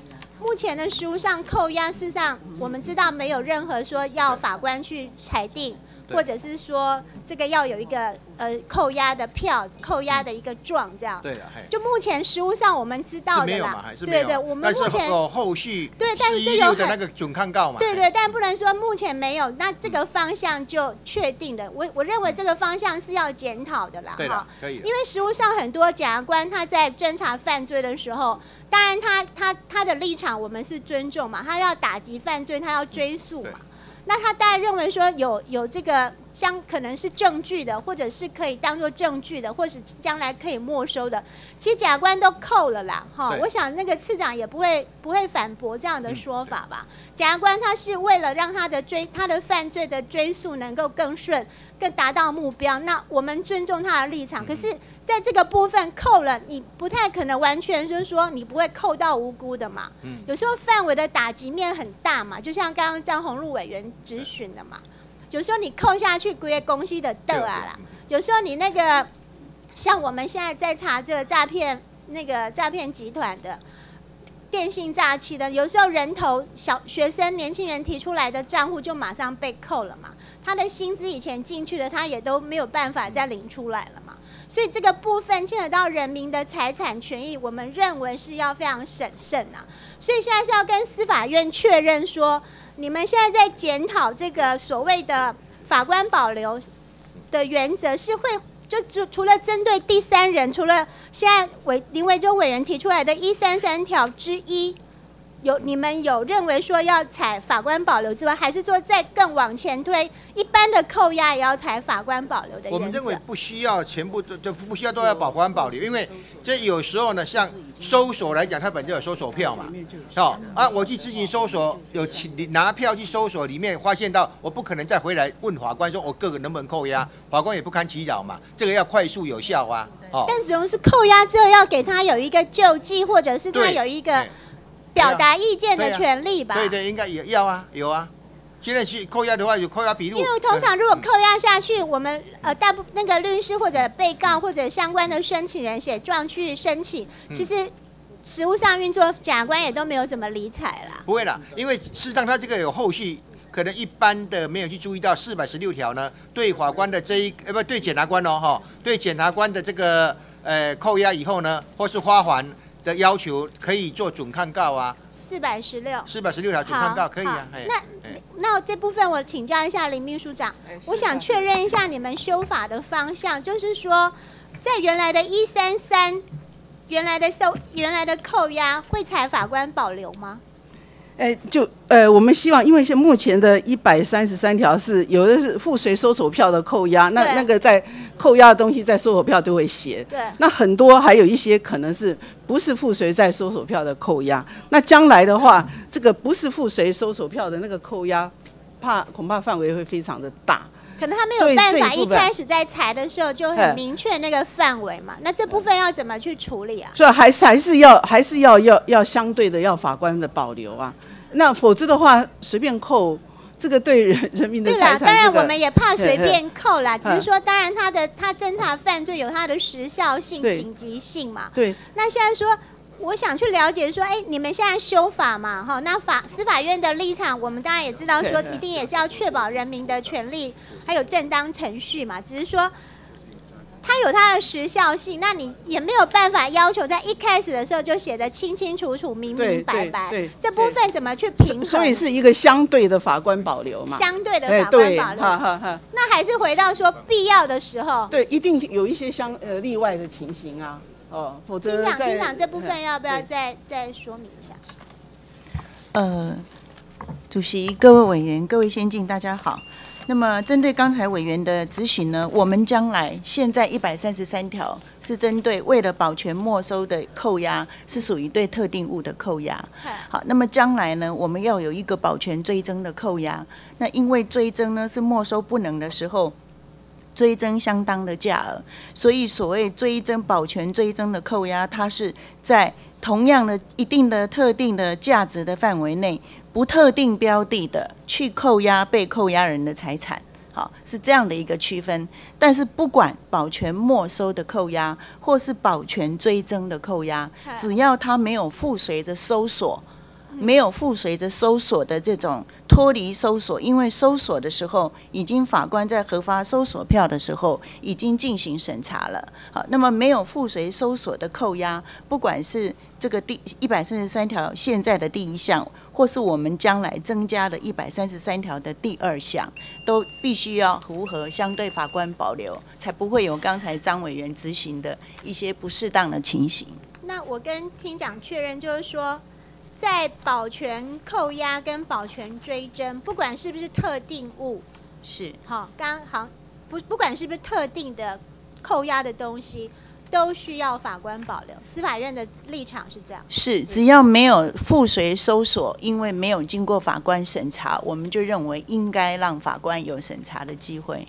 那陈市长的意见，我们是认为让法官事后审查才能够以无实际。比方说，我现在查的是贪污，搜索票是贪污。结果去到里面，发现说里面有子弹、有手枪、有爆炸、有爆裂物，甚至有毒品，我要不要扣？难道我还回来再去问法官，我能不能扣吗？对不对？这是一个。另外一个的话呢，假如在检察官在开庭，哦，或是在执行相验的时候，现场啊，那里面呢发现它里面有笔笔电，那笔电里面可能跟犯罪案情有关，里面可能照片，我要不要扣？难道我要回来再问吗？所以这个不是绝对的啦，哈，不应该绝对说要采取法官保留。所以我们是说让他有事后审查。是以一百三十三条之一，有必要时酌量，事实上也是有这个比例原则的放在里面啦。当然不能够胡乱啊。但至于说司法院如果针对这个法庭扣押，需要再加一些。如果绝对通通要全部都要法院保留，事实上很多地方做不到。那应该怎么样来处理？那我们提出来说，有四百十六条可以事后来审查，也是对人民的保障哦。来，谢谢，谢谢次长，应该应该是蛮复杂的啦，但是应该也不是只有一百三十三条之一这样的一个条文就可以把这些问题解决了哈。主席是不是再给我一分钟的时间，我讲一下这个回避哈？那那那个陈次长，请回座哈。那个。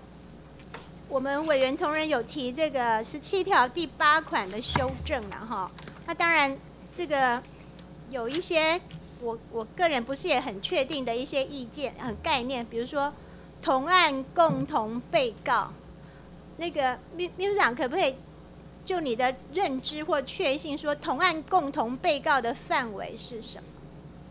同案共同被告，有的是根本呃，有的是属于共同正法，有的是完全没有相关的，各自独立，只是呃利用这个呃诉讼程序呃一起起诉、一起审判，有可能是这个情形，完全没有关联性的。同案被告，同案被告就是共同哎对，同案被告是刑诉的。在诉讼上的讲法嘛。那共同被告是共同被告指的就是在这个诉讼程序里面一起审判的。好，那不管他有没有关联性呢？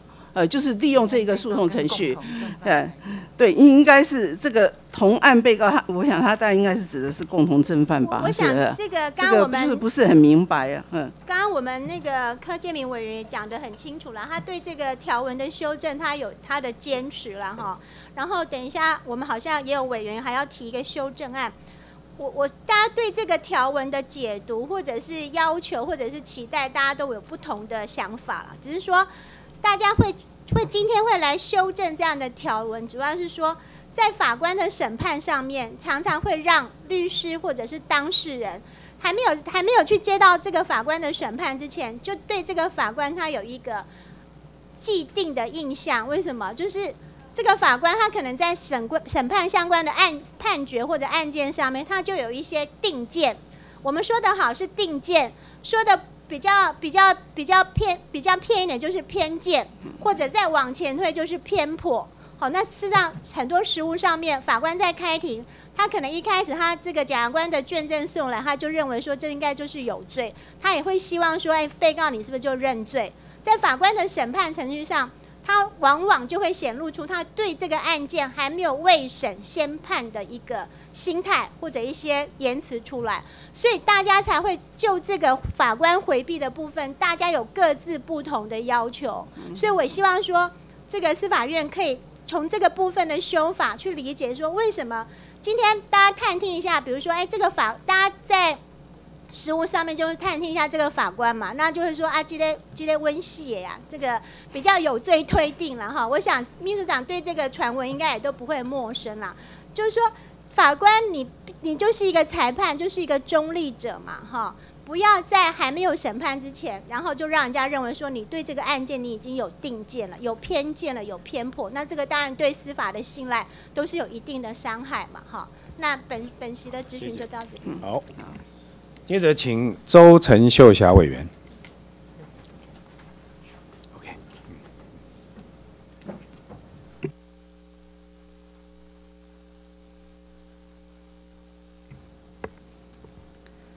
主席，各位同仁，呃，有请呃秘书长跟次次长。哎，请呃林秘书长跟陈次长。两位好，委员长。首先，我想我们要谈今天的行讼法修正之前啊，我先来请问一下哈，去年的这个八仙城报哈案件。知道士林士林法院现在已经是判了没？判了，判了。判了。他他怎么判呢？呃，就是判一一个业业务过失行为哈，致致多多数的伤亡了，一个业务过失致，呃，有期徒刑是四年十个月哈。就林中吉的部分嘛。哎，对吕吕吕先生的部分。那那觉你觉得这个在情理法各方面都是符合的吗？呃，因为法律人就是法官嘛，就是依法判决嘛，哦，从法律的层面来讲，哈，呃，就是他他就是在法律的这个业务过失罪的这个法定刑的范围之内量处哈，呃，相当高的刑度。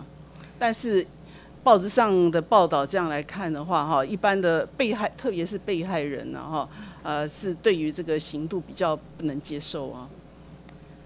如果是以目前的刑法第两百七十六条哈，第二项，嗯，业务业务过失致死罪哈来看，他最高是五年嘛。啊，对。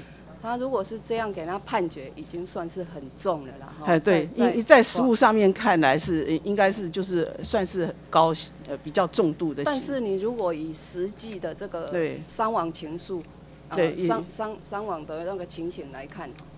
是觉得对一般人就是看在那个伤亡导致哈，这个虽然是一个过失，但导致的伤亡这么惨重哈，呃没有办法接受是在这里哈。你你还请问你还记得八仙城堡？呃我我记得，因为那印象很深刻哈。死伤多少人吗？还记得吗？呃死伤好像是十五个，我记得是十五十五位十五位呃十五位呃呃死亡嘛，四百八十几个人哈伤亡呃受伤，嗯，受伤的有呃受伤的四百八十几个，四百九十九个，哦四百九哦，后来又有争议，对对对，其中有三百三十一个人是重伤，呃重呃对，那目前还有三个人在住院呢，知道吗？哦，目前还在住院的有三个人。哦，我们将心比心呐，哈，你看看这样的死伤情形啊，那家属情何以堪呐？哦，你看看看那些现在在复健的那些叫什么？叫呃果冻人呐。哦，你我们外人看了都非常心痛了，何况他的家属哈？这这一种心理的创伤哈，这是他他受伤的跟他的家人，这是一辈子心里的痛啊，哈。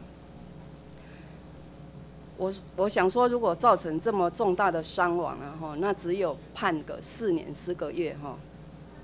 这个虽然是合法了哈，但是在情跟理啦哈，我觉得这个让受害者的家属哈，我觉得是有一点不公平，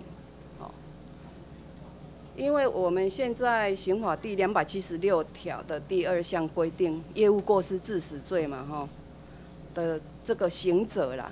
我是想说，是不是把他的刑责哈提高，延移一下，把这个刑期来提高？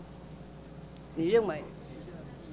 这个像像这样的一个一个案件呢，哈，我们学理上面称为想象竞合犯，也就是说，一个行为导致这个呃这好好几个那个呃死伤的一个结果。那你除非就是说，你你除非说理论上面没有这样的一个想象竞合犯的一个哈。呃，一一个适用的话，那那也许有一个解套的方法去去，但是目前这个有这个想象竞合犯的呃一个适用存在的话，大概就这样。不过这一部分哈，就牵涉到呃刑法的一个修正了哈，那可能就是法务部主管的法规了哈。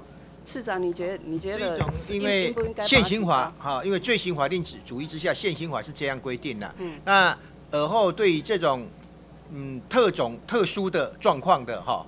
的这种过失是有没有必要加重？是不是每一个都要加重？我们会把大家意见呢，我们会带给我们一个叫刑法研究修正小组，有专家学者啊，还有实务界，我们来研究看看好不好？刚刚我们那个呃林德虎委员也也谈过了嘛，哈，大家都认为这个判刑真的是过轻啊，哈。我觉得因为这个是现行的制度杀人的刑法嘛，哈，所以刑刑责不重，还可以。缓缓刑啊，有时候还可以缓刑，所以以至于造成哈企业啦哈，台湾的企业对这个公共安全的部分哈警觉心呢，我觉得是没有那么的重哦，所以所以我认为这个是有严厉再来修一下了哈。那这个八仙城报哈，这个死死伤了哈，比杀一个人哈，你看他比杀死一个人还要严重。那杀死一个人，他的刑者都十年以上，甚至还到死刑，还是无体无期徒刑哈。但是这个业务过失，我真的，我还是我我想了东想西想哈，我还是觉得不合理了，就只有五年嘛哈。呃，我我还有另外一个，就是再提一下我们的诈骗案件哈，诈骗案案件这个部分，是不是？也来比照一下银行法跟证交法，依据他的的犯罪的情形哈，来裁定他的这个刑责。好，这个现行法已经有改了了哈，一一般的诈欺是五年以下，算是轻罪了哈。那在一百零三年已经把修正为说特种诈欺，这比比方说利用电信诈骗的，嗯，好，还有假借政府机关诈骗的，三人以上的。集团集团性诈骗，这个是采一年以上七年以下，而且一罪一罚。哦，有现在有改一年以上，最低一年，最少七年，哎，最最长七年。修好了这个修修好了，这个修好了。哎，那法务部，我们法务部是刑法的主管机关嘛？哈，刚刚我们那个呃周周委员也提过了哈，这个除了要合法、合理、合情以外了哈。我我在这里做一个特别的请求了哈，就是请我们法务部，哦，在一个月以内，针对这个诈骗跟业业务过失致死的哈，把它区分不同的情形哈，做一个演绎报告，哦，把它区分出来这个行者的部分，好不好？那个是不是可以给两个月了？因为我们开刑法修正小组哈来研究，好不好？啊，那可能两两个月左右，好不好？好好好。那那赔偿这个八仙晨报赔偿的部分哈，两百，他有提出四百二十九名哈被害，他对这个李宗吉提出这个刑事附带民事的损害赔偿有两百零九亿嘛哈，那现在已经移到民事庭在审理了哈，但是李宗吉他没有钱呐，哦，他他好像户头里面一毛钱都没有哈，所以哈，我看哈这。球场的问题哈，我看是在海底梦江嘛。啊啊，我请问一下哈，我们要怎么样来协助这些被被害人哈？请请两位都回答一下好不好？要如何来协助他们？对被害人协助，我们现在那个法律辅助基金会哈，他们也成立一个专案。嗯。好，法律我们的法律辅助金源是由司法院捐助成立的一个哈呃呃法人哦。那他们我知道他们有成立一个专案，专门在协助这个八仙城报的这个被害人的哈。那有一些呃呃事项，大家可以透过这个哈这这这个呃基金会来帮忙哈。嗯。不过哈，就是民事执行，民事判决贵在执行了哈。其实所有的判决都贵在执行。你一个判决呃，纵然判你哈要赔偿几千亿、几百亿的哈，你没有办法执行的话，是一个。空的，空的一张白废纸一样，所以这个还是真的是看这个被告哈，那是他的良心哈，还有他有没有资产。如果一个没有资产的话，你再剥他几层皮，还是就是没有资产。这个是我们是考虑到现实的困难啊这一部分。不过呃，能够尽量的能够得到球场，那法律辅助基金会我想会全力帮忙协助哈。我们这边有犯罪被人保护了，不然犯罪被人保护那个补偿那个给他的为那个慰抚金重伤的部分哈，死亡死亡跟重伤，但是那个数额并不大，只有几十万，就象征性。那这关于判决的执行，确实呢会执行不到，这个也是说我们说保全性扣押有必要存在的原因之一呀。哦，因为假如他有其他财产怎么样被能够保全扣押，避免他脱产。这个是我们另外一个呢，政府行政院呢有一个统筹的，应该是卫福部在处理，就是有关于针对八仙乐园案子，今天有卫福部吧？是不是有？将来我记我知道行政院有一个专业案由卫福部来统筹的。所以我们各个层面呢，哈，因为各个层面来说，哈，这个法律的制定，哦，要怎么来保护这一些被被害人，哦，是我们要共同努力的一件事情，然后，哦，希望我们大家一起加油。那另外对我们这个主席哦林维洲委员哈，呃表示这个，呃司法院这这这边对委员的呃版本呐哈表示尚欠完备哈，但是法法务部是肯定的哈，对，我们委员的版本两两个意见是不同的，那我要请问一下，我们政府对这个没没收的配套哈前几。前几次开会的时候，呃，法务部跟呃我们这个行政院就意见分歧了。那现在还是重蹈覆辙，那是发生什么问题？这一部分没收的配套哈，呃，我们也已经在呃眼里中之中了啊哈。那因为毕竟呃司法院作为刑事诉讼法的主政机关哈，我们有这个责任哈，是把它配套能够完备。那也希望就是说呃没收的部分哈，没收这个程序的部分能够先通过，我们集中火力全力哈，把这个配套的这个扣押保全的部分哈可以完。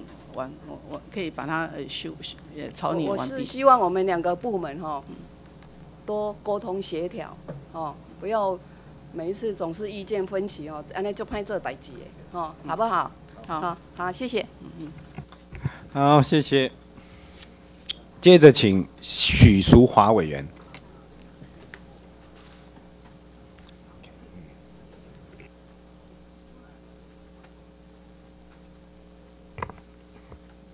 谢谢，请主席邀请林秘书长以及陈次长。请秘书长跟次长。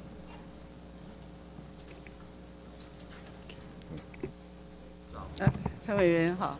呃，谢谢啊，啊，徐委前员哈，哈 前些日子呢，因为我们那个黑心食品的一个呃案件非常的多哈，所以呃，我们为了防止这些业者，所以我们特别也行政院也通过了刑法部分的一个修正的草案哈。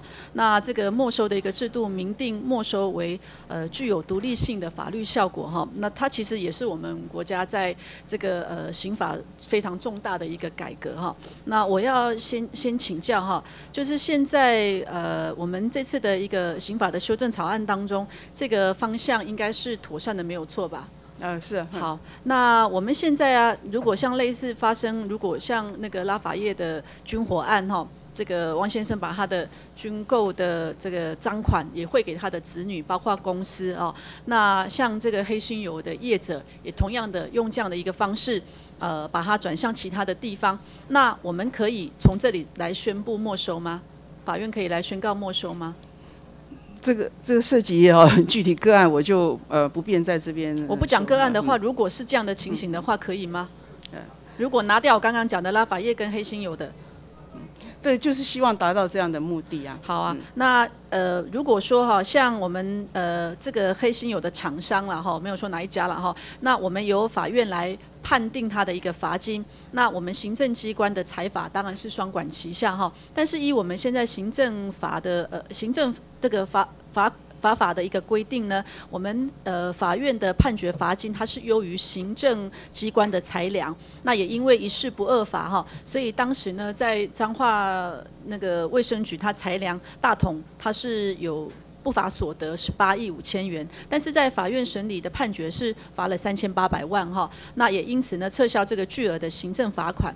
那我要请教，就是现在我们这个修法虽然已经有改成哈，但是让司法机关可以单独的没收不法的获利，防止脱产哈。但是如果像法院的判决罚还的金额呢，跟我们的法呃跟这个行政机关裁罚的金额还要低的话，那是不是呃我们现在这个应该到底是要缓罚他的这个没收的金额吗？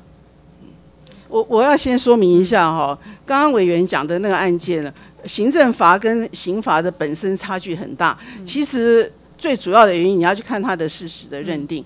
刑呃，法院那个刑有关行为刑罚的那个认定，那个犯罪时间可以处罚的时间，跟那个行政法那个是不一样的。所以它的金额是比较是整个是呃缩下来哈，这个是很很大的其中的一个原因哈，呃。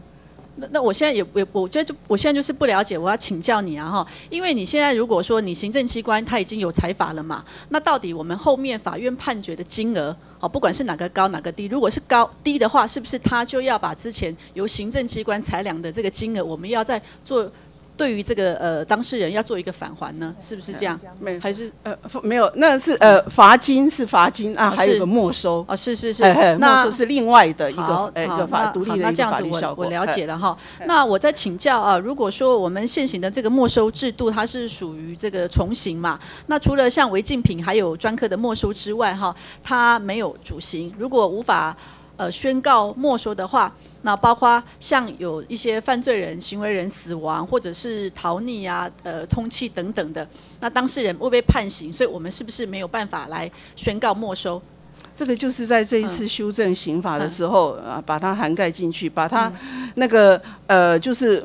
没收本身它不是一个刑，嗯所以它不必附随在一个一个主刑啊，不必有那个罪责的观念。那另外一个独立的法律效果，委员指教的那个东西，依照新修正的呃刑法是可以处理的没，收。谢谢哈。好的，那我再来，我要请教那个法务部啊。呃，因为我们现在呢，国内有发生很多的这些的贪渎的一个案件哈，包括呃诈欺啦等等的。那呃，从整个呃侦查的程序当中呢，我们将呃犯罪所得呢呃做一个这个移转，那呃让我们呢在确定后呢是可以呃。呃呃，等于是说，我们希望可以借由这次我们修正的这个没收的这个刑法里面呢，可以让呃这个被告人呢哈，跟很多他借由这个不法所得的家人哈，受到这些的这个呃很多的金额的享用哈，能够得到一个公平的机制。那所以呢，我们呃为了彻底要呃来杜绝这件事情呢？我要请教法务部，现在呢，在整个相关的查扣的呃犯罪所得的，现在我们所有政策性的目标跟我们所做的工作，现在到底落实了多少哈？那在整个查扣呃这些犯罪所得的机制到底有哪些？包括很多的横向联系，现在大概呃有做了哪些的工作？现在我们要加强的就是要查得到了，好查的查得深，查得到。那所以像以今天来讲，电信诈骗。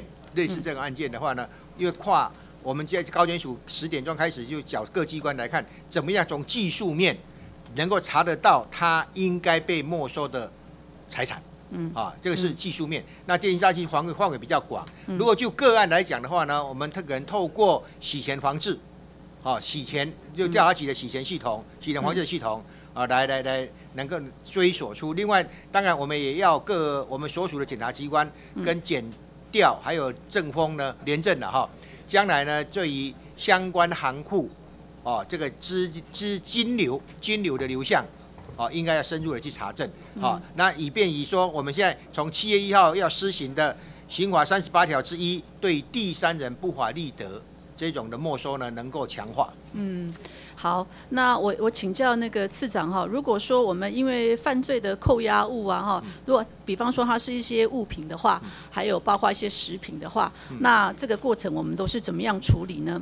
如果这个过程当中我们也造成了扣押物它呃有一些它的这个价值的减低等等的，我们是现在现阶段是怎么处理？现在有变价，也有可以有的要处理，那我们也要检察机关办理刑事案件侦查中扣押物变价应行注意事项。也要说需要变价的变，比方比方说有的车子扣的，嗯，但是这个扣扣他可能判决确定以后，那可能要两年三年，它要价值会减损呐，是，也许先把它变卖，保管价金。所以在林维洲委员的这个案子里面呢，这个里面也有提到我们有关于变价的部分嘛。嗯，是啊，这个将来应该从强化这一部分来，免得说等到确定以后呢，变做怕横体啊，变做变做拍档拍档股下。所以食品的部分也是用这样的部分处理。如果说可以卖的，还可以换卖的，我们先拍卖提存价金，那个现在叫变价提存价金的，保存价金。好，谢谢哈，那谢谢谢谢两位好，那我这样子了解了，谢谢哈，谢谢主席。嗯。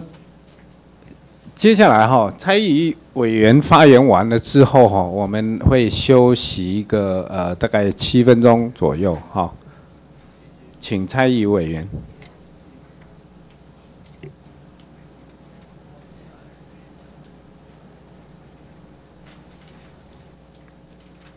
哎，我们请司法院秘书长，请秘书长。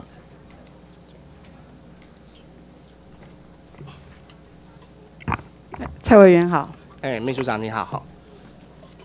呃，秘书长，我想请问一下哈，究竟我们现在刑事诉讼法的一个法官的一个回避的一个制度，嗯，那在秘书长以及过去我们司法的实务，到底去怎么去认定这个法官他在遇到什么状况的情况之下需要回避？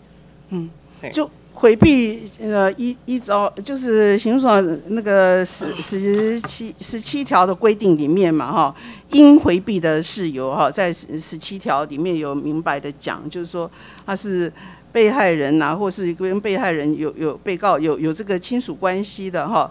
呃，婚约关系的，或是法定代理人的，或曾经是代理人、辅佐人，这这个就是非常明确的告诉人这个。呃，最后一项，呃，呃，这个是曾经参与哈，被告呃那个共同先那个那个裁前呃曾经参与前审之裁判了哈。这个是应回避。那当然，另外当然还有呃得回避的一个事由了哈。有偏颇之余的话，就是申请回避哈。对，所以所以基本上在这个架构之下，他就是要要告知目前刑事诉讼法的被告，给他们一个概念，就是说，呃，如果这个法官他在审判的时候，他可能会先入为主，好，因为他在一到七款的时候就规定说，如果他是有有亲属关系，有一个特定关系，有特定关系的存在的话，那这个法官在审判的时候，因为先入为主，所以被告很难期待。法官会公正客观，那就我们一直要求的一个公平法院的一个原则，对被告而言他是无法期待的。那基于被告对于这一个审判未来的一个信赖，所以我们赋予了一个法官回避的一个制度。那我想这部分是没有问题吧？啊，对，对。那如果基于这样的一个制度之之下，目前现行法 第十七条的第八款，第第八款他又把它限缩回去，限缩回去就是变成省级利益。那很明显的话，第八款它的它的现行条文的一个设计，又和前七款又不一样了。好，他又跑跑回到了一个省级利益。如，哎，秘书长，我这样讲应该没有错吧？对了，嘿，嘿，他那个着眼点在不，着眼点不一样，不一样，嘿。对，可是对被告而言，他重点不是在于说我的省级利益啊，省级利益的话，他等于是把它限缩，限缩说，哦，我只能我在一审，哦，我一审遇到这个 A 法官，就我的案件二审又打了好久，一审也是打了好久，到了二审也是争执好久，结果后来二审中我又遇到了 A 法官，他又升到了。高院了，好，我又遇到 A 法官，所以我已经没办法期待说这个 A 法官在一审中已经给我了一个怎样的一个判决，那我要去期待说他他在接下来的审判会跟他一审有一个不一样的，好，这个是省级利益，所以所以我们刚我刚就去讲的是说，如果是再审，好，我我在二审我已经被判决了。那后来，不管是检察官申请在，呃，申请上诉最高法院，还是被告申请最上诉最高法院，最高法院把它发回后，那我又遇到了同样的一个法官，哦，跟我之前是同样的一个法官，但是我却无法主张说，因为基于公平法院原则，我认为法官他可能在我的案件中会有先入为主的一个想法，那我去申请法官回避。那这样的话，不是会跟所谓第十七条这个回避的精神会有所汉格吗？嗯，十七条主要是从哈在整个诉讼结构上面来看呢，哈，因因有有这个特定的关系，或是有有这个呃前审裁参与前审裁判的关系，说整个诉讼结构来看，这个不可能哈会达到公平审判的这样，所以所以他的那个我我觉得虽然说他。出出发点有点不太一样，但是整个来看哦，还是还是呃是有它的一个脉络可循对，可是这个出发点不一样。对啊，对。对，这个出发点就是十七条，它又相对就是在又把它限缩限缩起来，限缩再说哦，我只是我只能处理到我之前的哦下级审哦，只有下级省这个概念。所以这样一个限缩的一个一个情况之下，会变得说我被告我从头到尾无法期待。哦，我接受我受到法官的审判是一个值得信任的，那也就会变得引申着说，不管这个法官他的判决中再怎样的一个谨慎，但是被告自始至终已经无法信任这样一个一个法院的一个程序。那我我今天提的这样的一个修正案，就是希望说，至少打破现状，哦，被告对于法院的不信任。那我这样讲，秘书长可以可以同可以接受吗？呃，如如果有这种情形，可以用那个十八条来申请回避吗？哦，那也是一个一个方法。对，可是对是十八条，十八条申请回避必须要法官的一个同意，这个是这个那个那个就是裁量的问题。对，在裁量上是比较困难的，所以我认为说，如果十七条我们可以把它纳入了说打破省级利益，我们应该要说。一被告他们对于这个法官是否可以可以公正，哦，法官是否不会受到之前哈的一个其他新政的一个污染，哦，如果可以这样的话，是不是对于被告他们对于法院哈判决的一个信任度是可以相对是可以提高的？这秘书长。这个就是呃，因为其实回避制度设计就是像委员所讲的哈，呃这样哈，呃但但是哦，就是呃像像以下委员像提出来这个东西的话，第一个就是有关于哦共共同被告这样的哈，那个那个范围相当的哦广广泛呐，呃。共同被告是对。包括教唆。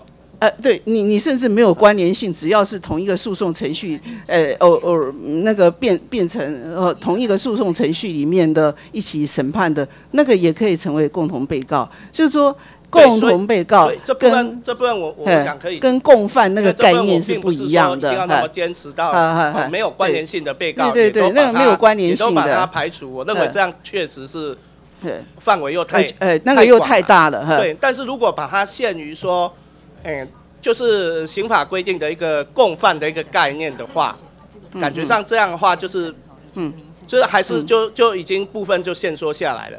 哦，因为如果叫做同案被告，他可能。把毫无没有关联性的被告全部拉进来，这样想象上确实它的范围是是很大哈，太大了。对，哦，所以应该是应该把它在限缩，所谓刑法的共犯就是教唆，就是帮助，那就是共同正犯，是是这样，是这三个呃，这个就是看看立法 看委员的意思了哈。对，看要怎么修是比较比较理想的。认为说。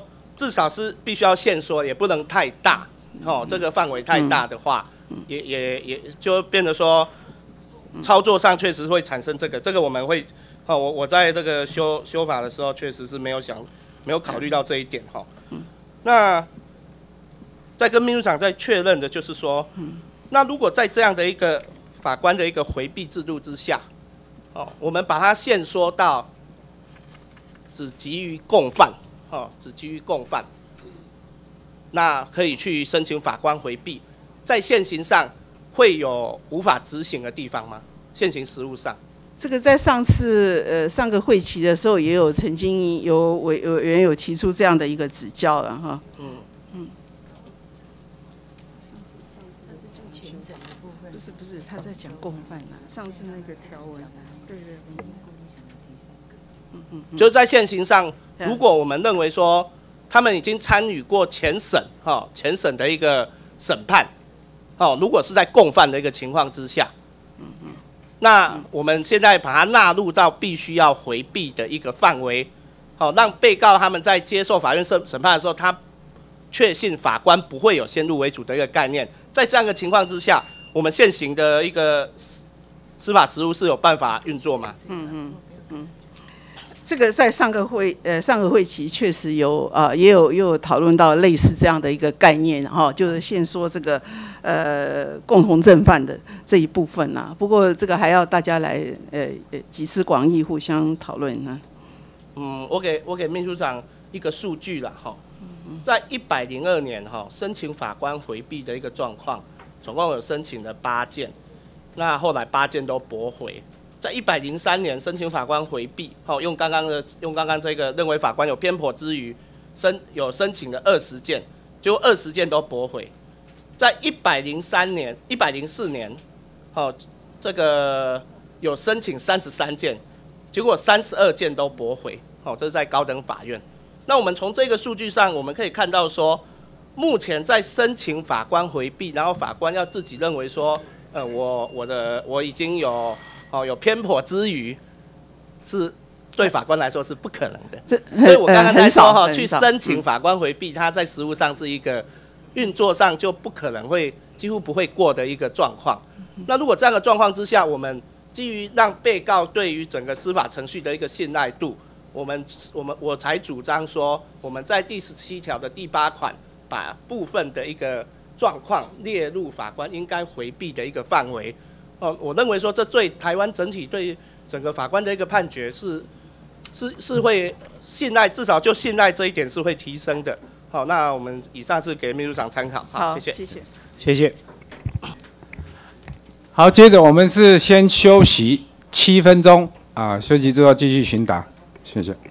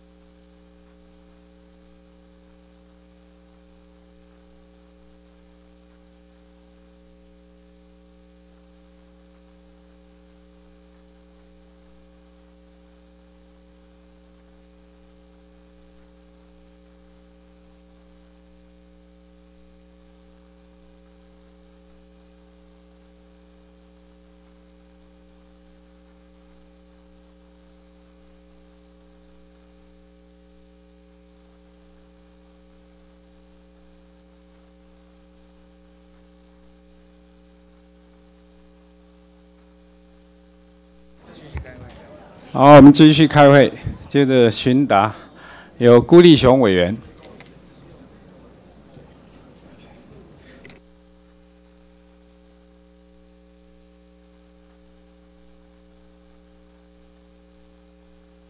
呃，主席在进入询答时间之前哦，我要做一个那个程序发言啊，就因为呃，有关今天的提案是写作要并案审查刑诉法的呃原来没收的这个条文嘛，然后再加上这一个呃主席提出来的那一个有关呃其他的这些相关的条文，好，然后还有蔡议委员提出来的这个刑诉法十七条。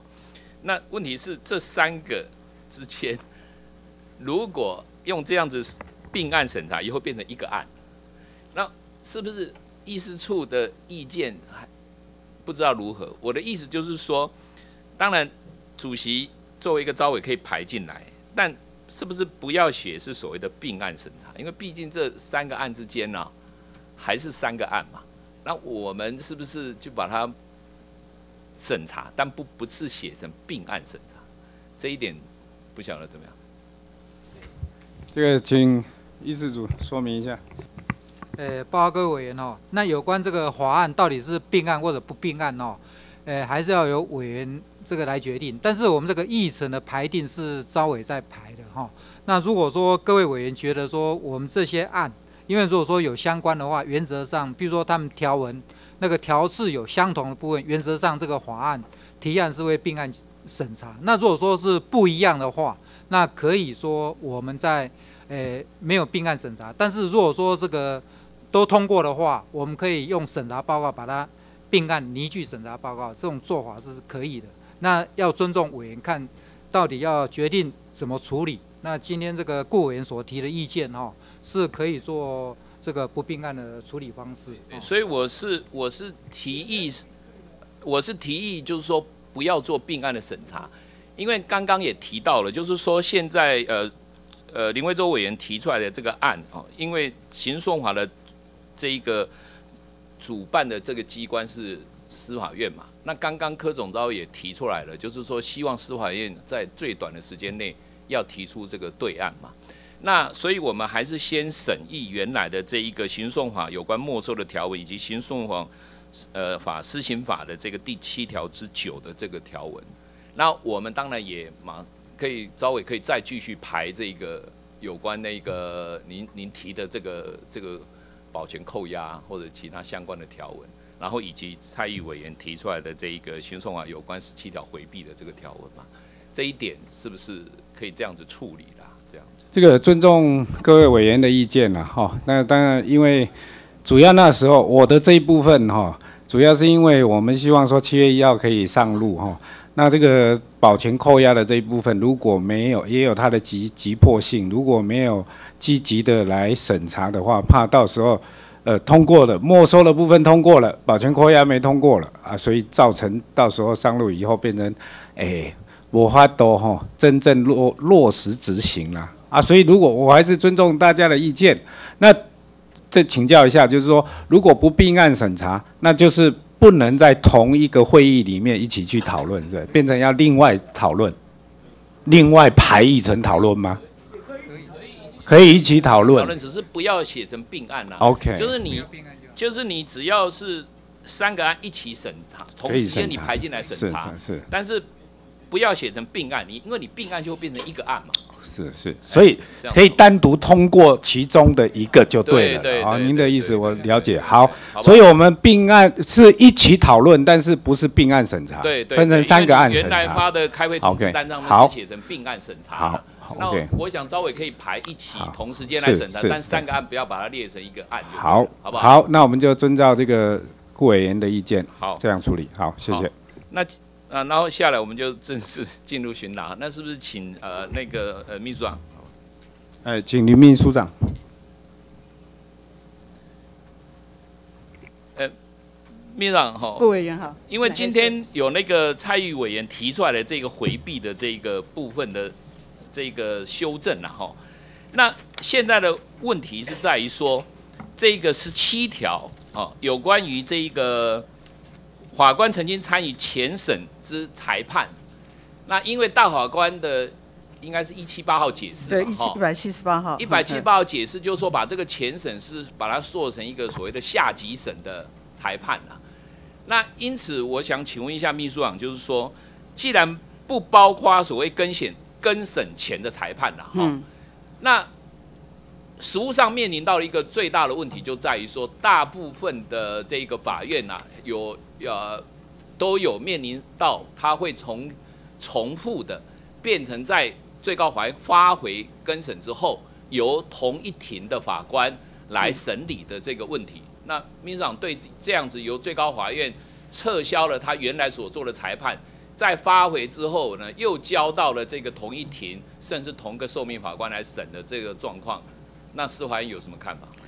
这个其实，在最高法院也曾经在一个哈，他是用羁押的裁定里面啊，撤销羁押，羁押裁定又要再再再重新再审酌，结果又是同一庭啊，同一庭在审酌。最高法院曾经对这一个部分认为是哈有违。公平审判的那个那个法院的形象最好是避免。那同时，最呃台台台湾高等法院在他们分案实施要点里面，也就这一部分有特别规范，就原则上是回避啦，原则上是都回避。那我问一下秘书那那除非就是说没有没有人可以办了，然后剩剩下最后剩下两庭，那那个时候才不用回避了。现在因为哈司法院常常以没有人可以办为为理由了哈，那我就必须讲到一个人民。受到了痛苦了哈，就我们就以花莲高分院为例了，哦，花莲高分就两个刑事庭就两个庭，那么呢，这个判了二审判了以后上诉到最高法院，最高法院就做一个有利的发挥了，那结果呢，他最多就是两个庭再选一个庭，那所以就回到了这个另外一个庭，然后再上去最高法院又再做有利发挥，那这个时候剩两个庭啦，那。秘书长或者是司法院所有承办的这一个主管厅都会说，那他他就两个庭，所以没有办法。那我想请问的是，刑诉法第十条，他说呢，有左列情形之一者，由直接上级法院将这个以裁定将案件管辖到这一个管辖呃区域内，移转到跟这一个管辖区域内跟这个原法院同级的这个他法院。那它这有两款的状况第一款的状况就是说，有管辖权之法院，因为法律或事实不能行使审判权利，好，不能行使审判权者。那如果我们法律通过了，哦，就说让回避的事由扩大，像这样状况，它不能够再交给这一个花莲高分院来审，那我们就把它移移到其他的法院呢？嗯。这个除非就是呃，你这个回避的事由扩大哈，就是我我我我扩大的话，那可能是会有不能够呃行使审判权的情形啊。那个还有秘书长哈，像哈现在事实上花莲哈已经有到台东做巡，哎巡回法院的法院对，好，那日本也有很多这一个偏远的地方哈，也都用巡回法院的设计。那我的意思哈，花莲高分院就被人家诟病了哈。就审来审去都是碰到那个那几个法官呐，反正哈只要落在他们手上哈，也没有什么第二个可能性了。那花莲高院的法官呢，大家都安于其位，也都没有想要调动。哦，那有的呢，甚至就从一审呢，直接就请升调到这个二审去了。到了二审，他就他就待在那里了。哦，他也不想往外再升调了。这种状况哈。这种状况，哦，你你如果说没有没有这种发回的状况，哦，那还好。一旦发回的话，哈，几乎每个到花莲高分院审的人啊，他们都觉得还没有审啊，我大概已经知道结果了。那有没有想到这样子的一种受审判人的痛苦啊？像高等法院。有没有可能可以支援像这样子的一种所谓人家已经先天上在还没有审的情况下就已经认定难其公平了？那类似这样的一个巡回法院的设计，难道说还不能够去想一想吗？是可以来思来思考了哈，这这一部分然后看看如何解决这个困难。不过主要就是说，真的是人力是是有困难的哈。如果如果人力上面可以稍微宽松一些，你分案的设计，你分案的设计，你内部分案的设计，这个你可以去做一个调整嘛。对，我想这个没有问题。嗯，但是我只是希望司法院有一个明确的承诺，说哦，类似像这样子的一种状况哦，那在花莲会有会有可能。那现在一呃，可能在应该是连江，嗯，连江，连江亭，连江是民行街办，只有一个亭，对不对？那你上去再发回，那那有什么搞头？对，就永远是碰到同一个法官啊。他他的新政，哦，在一开始就已经形成了，对不对？你再几次的发回，对他来讲，他都没有办法得到一个有效的救济，完全丧失了省级救济利益的一个本质嘛。嗯嗯，那。司法院长期以来对这个视若无睹，我我觉得就是没有把人民的感受放在前面呐。好，那如果说只是因为你们法院哈的这一个编制，就说啊，你哪个地方设设设，为了要设一个法院哦，为了要设一个法院，那你就就摆一个庭在那里而已，因为案件量就只有这么多，但是招致的这种所谓省级。利益就是说，上诉以后再得到一个有利发挥之后，没有难期得到一个公平的审判这一件事情，如果司法院不能够马上做一个有效的改善的话，我认为人民对司法的信赖不会有任何的提升啊。他的感觉就是非常直接，我嘟来嘟去，反正我的嘟了就得发光，那我有什么？我有我有我有什么可能性？我有什么可能性？对不对？那最高法院。你你判完他再上去，上去以后呢，最高法院最多再发回一次，他可能最高法院自己也累啦，他也觉得反正再怎么发回，也都是如此嘛。那连江它还有个好处，连江的法官的调动啊，它比较高，就是说因为大部分大家都那边去过水一下，都还是想往本岛哦来来来了，大部分到到金门马祖，大家是待在那里是暂时。但是花莲高婚姻的状况是非常非常严重。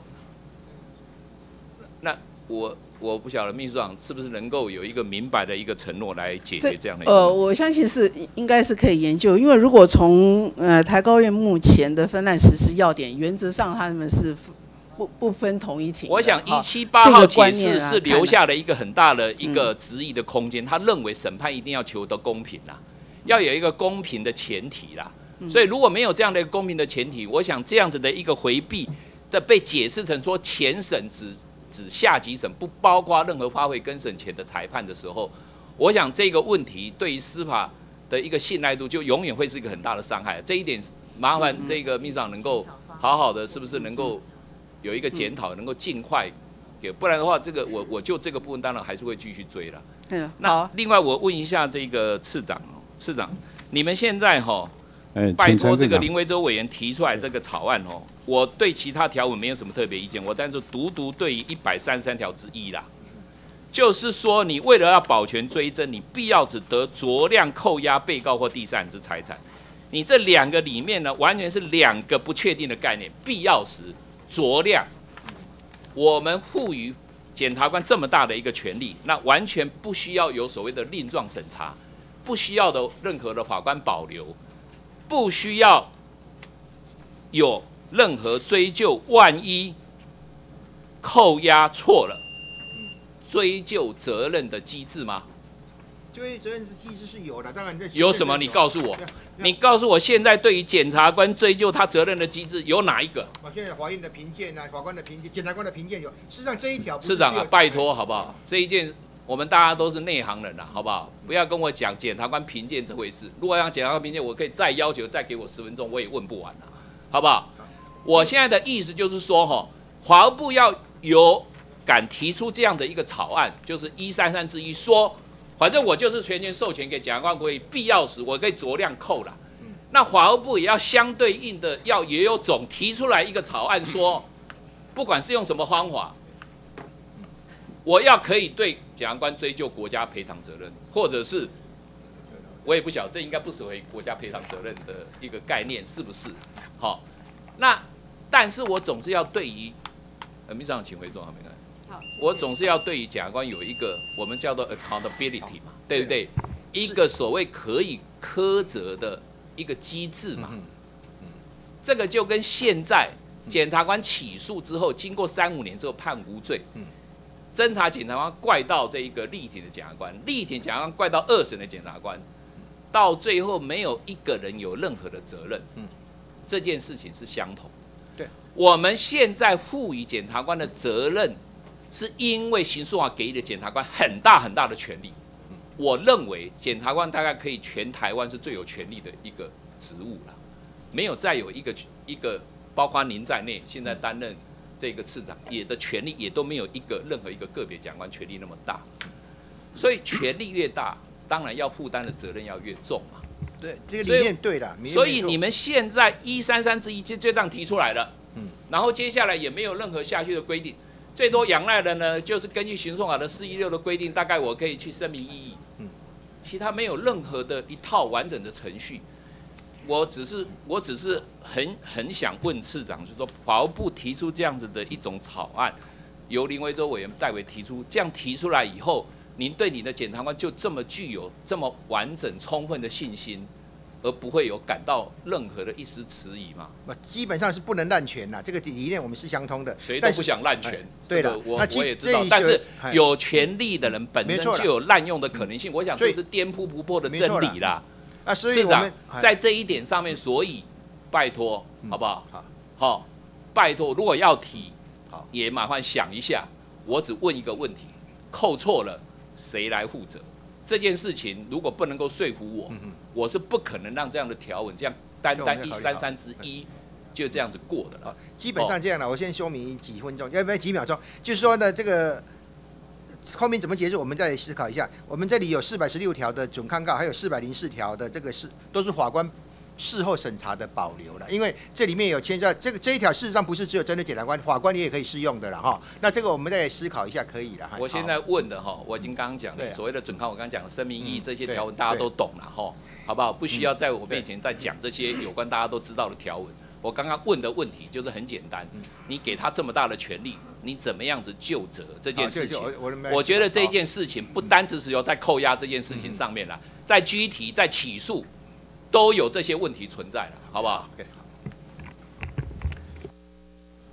好，接着我们请陈怡明委员。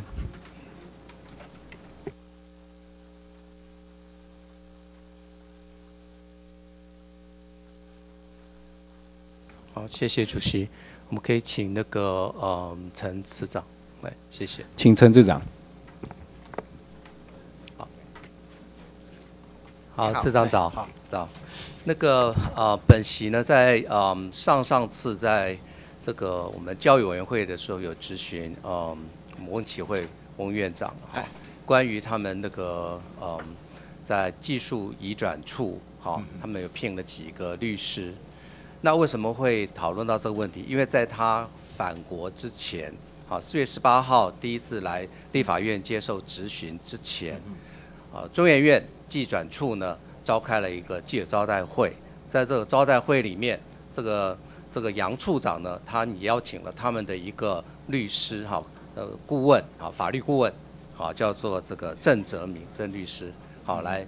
啊，一起开记者招待会，在这招待会里面呢，这位郑泽明顾啊顾问呢，他力挺翁院长，说他并没有违反中研院的技转的内规。好，那那可是呢，本席发现说，其实郑律师他并不具有台湾的律师的资格。好，那在十八号的这个我们的这个咨询里面呢，其实梁启明。好，特聘研究员也是中研院之前的，好在在两年前他还担任公共事务处的时候，技转处的主任，他也有说明说没有错，他他们啊，他不知道说他不具有台湾律师资格，但是他有美国的律师资格。好，那在昨天本席在质询好翁院长的时候呢，我提出另外一个市政，就是中研院呢，其实之前在民国九十九年跟一百年分别都有。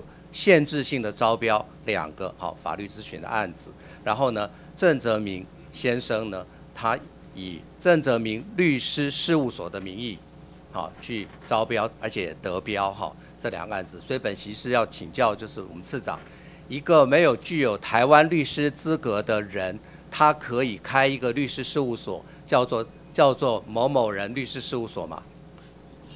基本上不能用律师名，因为律师法有规范呐。是。非律师不能，就就非本国的律师哈。非本国的律师。不能以律师的名义这两个字哈。对。来的对外哈，对外来执行业务。对。这个部分我们可以再也，我们可以再再来了解一下，好不好？好，嗯，好。那因为他在整个的招标案，他其实就是，而且他有登记地址哦。好。他登记地址是台北市信义区松德路一百七十八号九楼，但是呢，昨天其实有记者去找，就发现他已经搬走，而且本席也发现说，其实。他在台北市律律师工会，他并没有登记，因为不是律师不能登录啊。然后在法务部的整个的律师的这个登记里面也没有他的名字，甚至在全国的所有的法律的案件的这个 database 里面也没有他哦呃的的名字的存在。所以是不是本席可以把这个资料哈交给您？好，我们来呃可以呃法务部可以在五二零之前。可以处理，然后给本席一个答复吗？可以的。好，我们先了解一下事实状况，以后过程再跟报跟我们报告。好，谢谢。好，谢谢。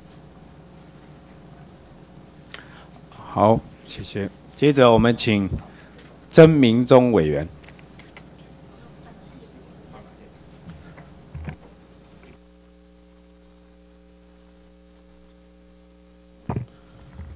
啊，主席啊，各位委员，麻烦请秘书长。请林秘书长。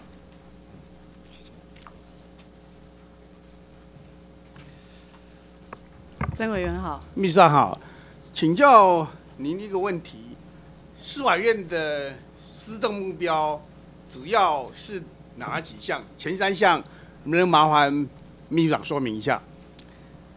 施政的目标当然以哈，嗯，就是最终是呃获得人民的提高司法对司法的一个信赖度哈，这个是我们的的终极的目标，所以必须呃为达到这个，我们去研究呃这个司法制度的一个改善哈，提升裁判的一个品质，呃人员素质的一个训练。是我非常赞成，包括今天啊的议程要啊修正刑事诉讼法，我手上的。这么一个新闻稿是司法院在二月二十六号啊发布的一个新闻稿，它里面呢主要是要驳斥中正大学对于调查民众对法官的不信任度跟不公正程度高达百分之八十四点六，所以司法院是司法院严正声明如下，所以。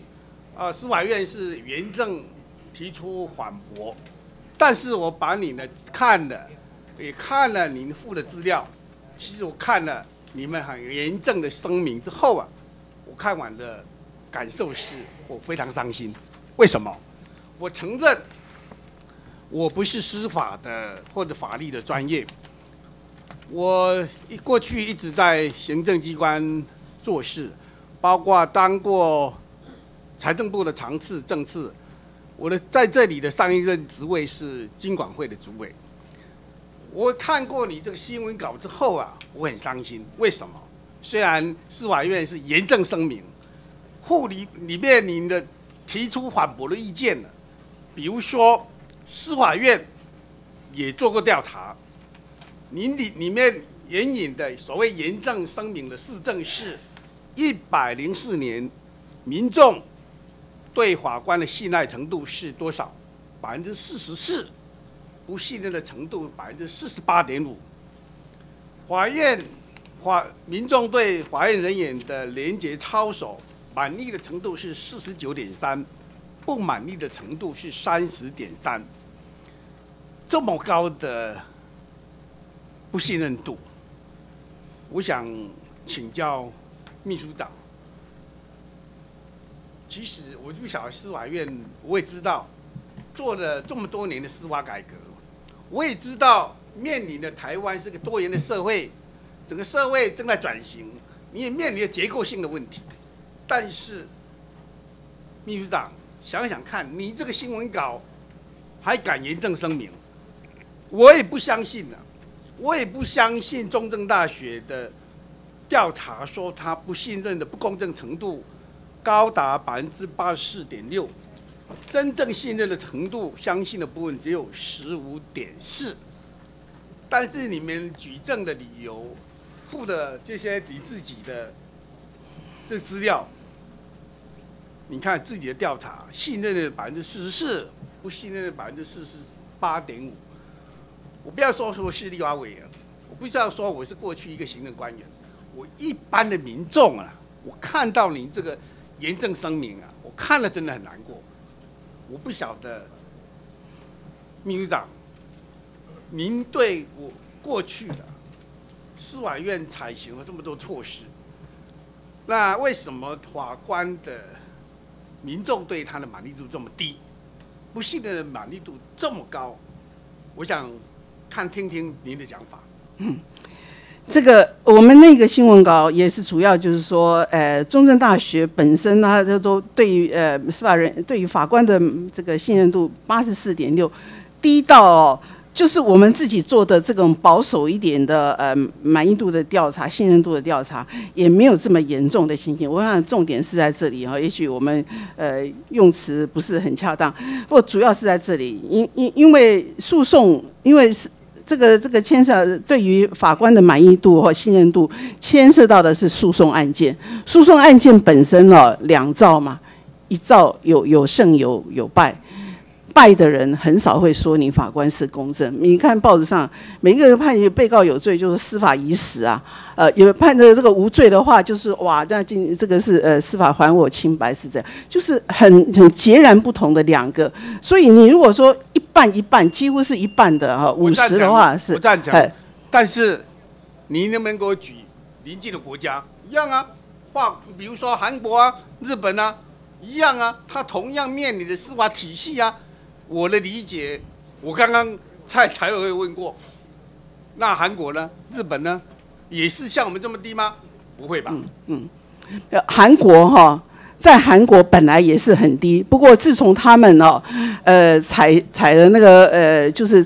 那个这类似类似我们现在现在就是人民参与审判的制度，让老百姓进入这个诉讼的程序，了解到诉讼本身基于证据裁判主义有它的限制的范围之后，他们对于整个司法制度是完全改观。所以这个是牵涉到就是说，一般的老百姓他是不了解法院为什么这样判。哦，他不了解这个法院的判决，不是像古代的包青天可以这样呃呃上天下海的这样，不受任何证据裁判的这个严格的一个限制。现在的诉讼制度本身是有它的局限，哦，那这个老百姓不了解这样，所以对于他这个信赖度不一样。那韩国一个最明显的例子就是说，韩国本来跟我们差不多哦。满意度很，信赖度很低。但是自从他们采了这个人民参与审判制度，让老百姓走入诉讼程序，参与裁判这个程序，了解诉讼本身的决定的呃这个产生的过程以后，这个满意度完全改观哈。所以我觉得就是说，呃人呃民众是需要教育的哈。那让他了解这个诉讼程序是非常重要一环。是，我也赞成秘书长的讲法。但是我们真的希望司法院能够提出创新的、突破性的做法，因为不能长此以往。你这样只有信任度这么低，你们自己调查都只有百分之四十四，啊，你不不讲信任度，到廉洁操守也这么低，所以我真的是利用个机会建议司法院要采行突破性的或者更创新的。因为啊，司法是国家最后的一道防线。你假设民众都不信都不信任，你怎么样来保障民众的权益？你你也你也提到啊，你说韩国现在也改变，所以意思说司法院呢要提出突破性的创新的方法，因为不能长此以往，这个信赖度这么低啊，我也不相信，我也赞成你的讲法，我不相信中正大学的调查。不满意度不相信高达百分之八十四点六，我也不相信。但是好，我们就用你的资料，不相不信任度有四十八点五，其实真的有很大的改善空间。谢谢。是好，谢谢。好，谢谢。接着我们请郑天才委员。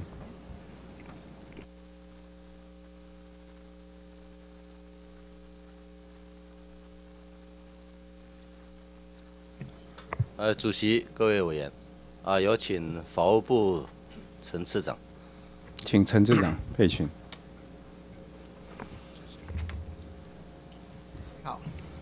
呃，最近因为在处理一个 花莲县的寿丰乡岩寮部落，一个部落原住民的一个传统的部落，它是靠近这个台十一线啊，就在台十一线边的哈，靠海岸。那因为被依土地法第十四条啊，啊第一项，海岸一定限度内的土地哈，不得私有，嗯哼，它就正好被公告为这个海岸一定限度内。事实上它是靠山边了，啊靠山边，而不是靠海岸。台十一线靠山边的，但是很多靠台十一线靠海边的，确实有很多的民宿，嗯啊也都是过去国有土地，然后卖。哈，卖给这个啊这些业者啊，嗯，变成盖了民宿，就是它可以私有，反而靠山边的我们的部落啊，被公告为这个不得私有，就海岸一定限度内，就是土地法十四条。这个土地法十四条啊，他没有在限，在另外再定义一定限度是多宽，嗯，啊，就变任由啊，在海在土地法施行法的第五条。它只有规定，这个所谓的一定限度呢，是由直辖市、县市啊主管机关来公告啊划定之，由他来划定，所以它也不是一个定义，看起来只是一个程序。这个划定是由地方政府来划定，所以自从这个《当土地法》这条条文很早就有了，那行政程序法。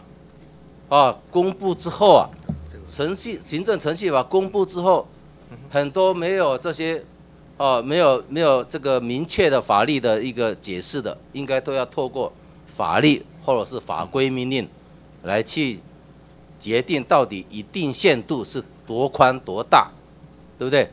那现在内政部啊，他都是用这个处理原则了，啊。来来决定，他当然说，我那我只是给地方政府参考。事实上，地方政府都依这个内政部定的处理原则来去决定一定限度是多宽多大。嗯，好，所以在这样的一个情形之下，所以我就极力主张，啊，要回归到行政程序法。所以你没有你没有这个，你用因为行政那个处理原则只不过是行政规则。你只能去规范这个你的下级机关或者属官嘛，是不是这样？对，没错。啊，所以这个一定限度，你接着以这以这个我刚刚讲的案例啊，加上现在的法律，土地法跟土地法施行法第五条，啊，土地法十四条，以这样的规定，有没有需要修法？因为这土地法主管机关不是法务部的，我知道。我现在讲的是说，如果从法的架构来看呢，哈，行政程序法第四条的依法行政原则里面的这个 这个法律依为原则，哈，就是一个金字塔三角形嘛，宪法、法律、命令嘛。那行政规则它是在比较位阶比较低的，对，基本上呢不能用宪行政规则来逾越。母法，但是呢，母法有授权主管机关定，基本上呢，他没有授权呢。我我知道，他只有说，我说施行法由主管机关来定，对不对？哈，直辖市先主管机关来定，定你要符合行政程序法里面一个叫比例原则，第七条有比例原则嘛？不，那个这个，所以这个情形到底这个原则啊，不能用原则啦，基本上不能用所谓原则来来规范。也不能说，因为我认为施行法土地法施行法第五条，它只是在规定谁来划定了。对的。那如何划定？你还是要回归到，因为你是限制的，会限制了人民的权利义务嘛？没错。所以你还是要回归到要行政程序法里面，要用法律来定，或是法律在授权法规命令来定的。所以这个因为土地法是比较早的法律了，所以我们法务部应该要去要求内政部，哈，要按照行政程序法这些规范规定来去。啊，对于限制人民权利义务的，你要该修法就要修法，我认为是这样。这个，因为你法务部曾经有一个解释，我认为这个解释要检讨，因为大大的影响了人民权利。九十三年了，九十三年你们做了一个解释，等于是配合为了应应当时，我不知道哈。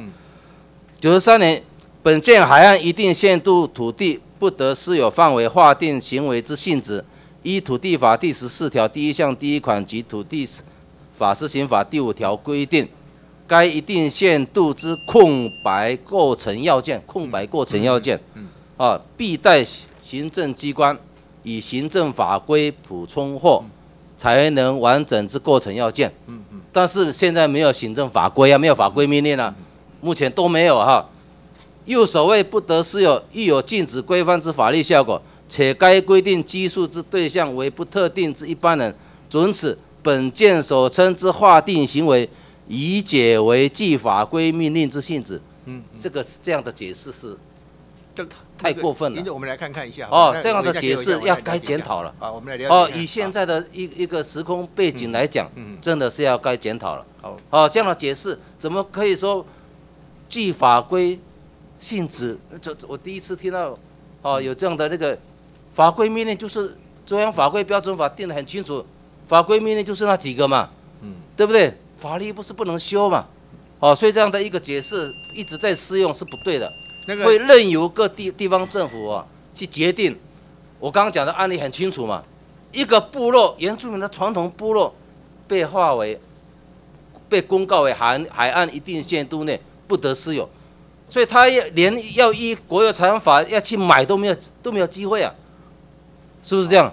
国产法本来也可以买啊，哦，你符合一些一定条件的是可以买，他根本就不能买，哦，所以这这样的一个情形，所以这样的解释要废弃，呃，要请法务部呃那个内政部啊赶快去修吧，因为这解释是你们解释的，现在内政部把它当宝啊，啊，把它当宝，哦，这个部分是就请哦次长啊，我带回去了解一下，好吧？谢谢。那跟委员会报告，我们今天上午会议的进行的这个这我们的议程哈，就是上午的议程就到询答结束为止哈。接着我们请卢秀燕委员，卢秀燕委员，卢秀燕委员不在，李彦秀委员，李彦秀委员，李彦秀委员不在，江启成委员，江启成委员，江启成委员不在。孔文吉委员，孔文吉委员，孔文吉委员不在；黄伟哲委员，黄伟哲委员，黄伟哲委员不在，请尤美女委员。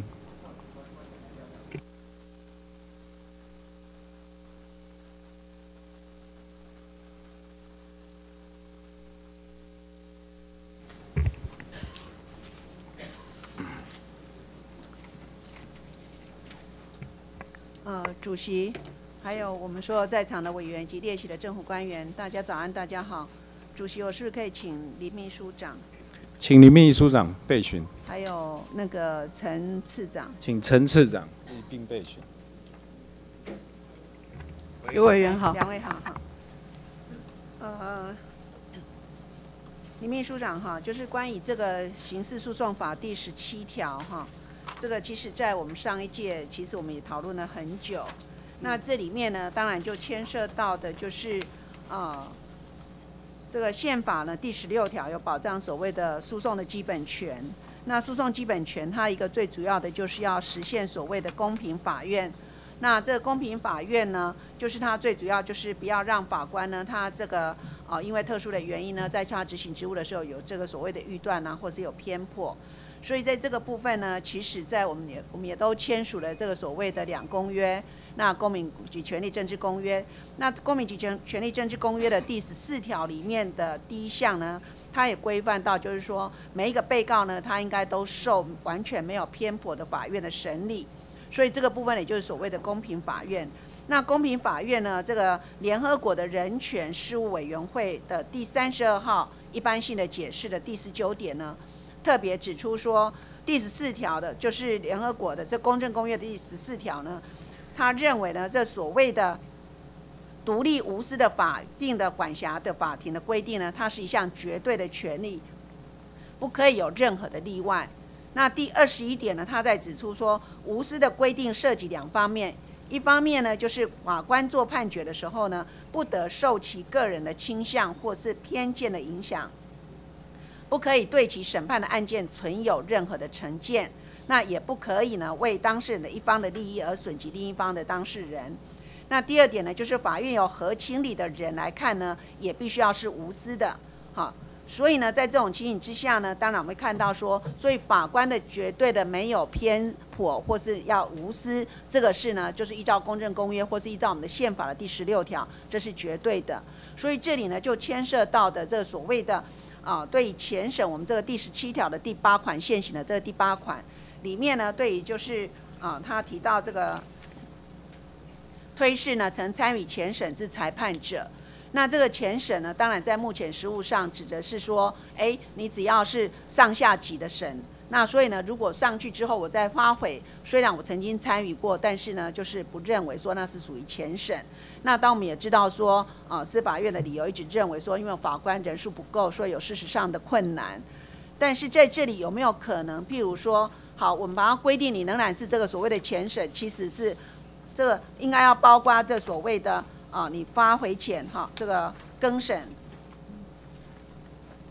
就是说你的前审、那更审前或是再审前的这些，都应该要包括在里面。那如果说哈，你事实上有困难，我们把它排除掉，能不能用这样的一个方式，而不是说啊，因为事实上有困难，所以我们现在前审就只有上下层级的这个部分，所以对于这个所谓的更审前啊，或者再审前，仍然是同一个法官，我们认为说全部都不用回避，您看法呢？这个，我是嗯，目前台湾高等法院的做法了哈，他们的分案就是，呃呃，更审的哈，全部都是就是回避，全部回避。那除非就是事实上不太可能，就是剩下最后两庭，那没办法的哈，只好再加进来哈，大家一起分，一起轮流抽签，大概就有一点像呃委员所提的这个概念。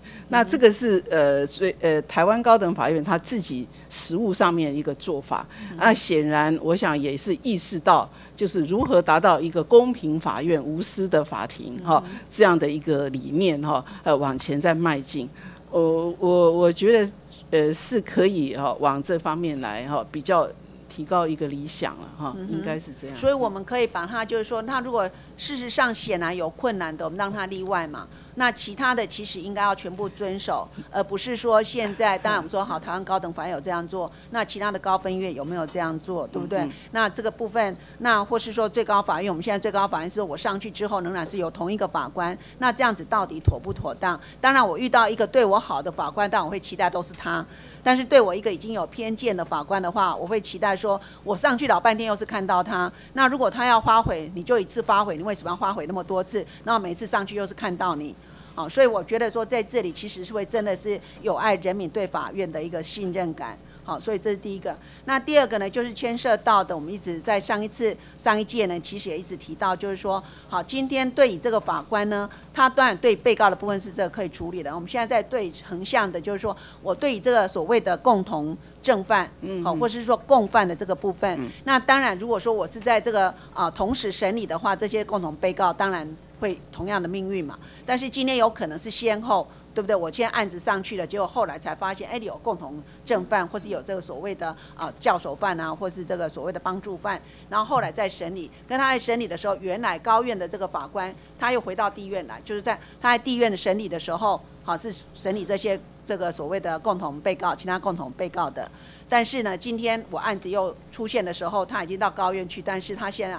又来审理，就我上去的时候审理我的案件，所以在这种情形之下，我们是不是可以就说啊，把它改成就是啊，法官曾经参与啊，这个被告或是关于判断其是否共共犯或是共同正犯。那如果用共犯，您觉得会太广吗？那是啊，是共犯概念是比较哈，上次有讨论到是认为是应该比较以以共同正犯哈这样比较妥当。可是现在我在想说，嗯。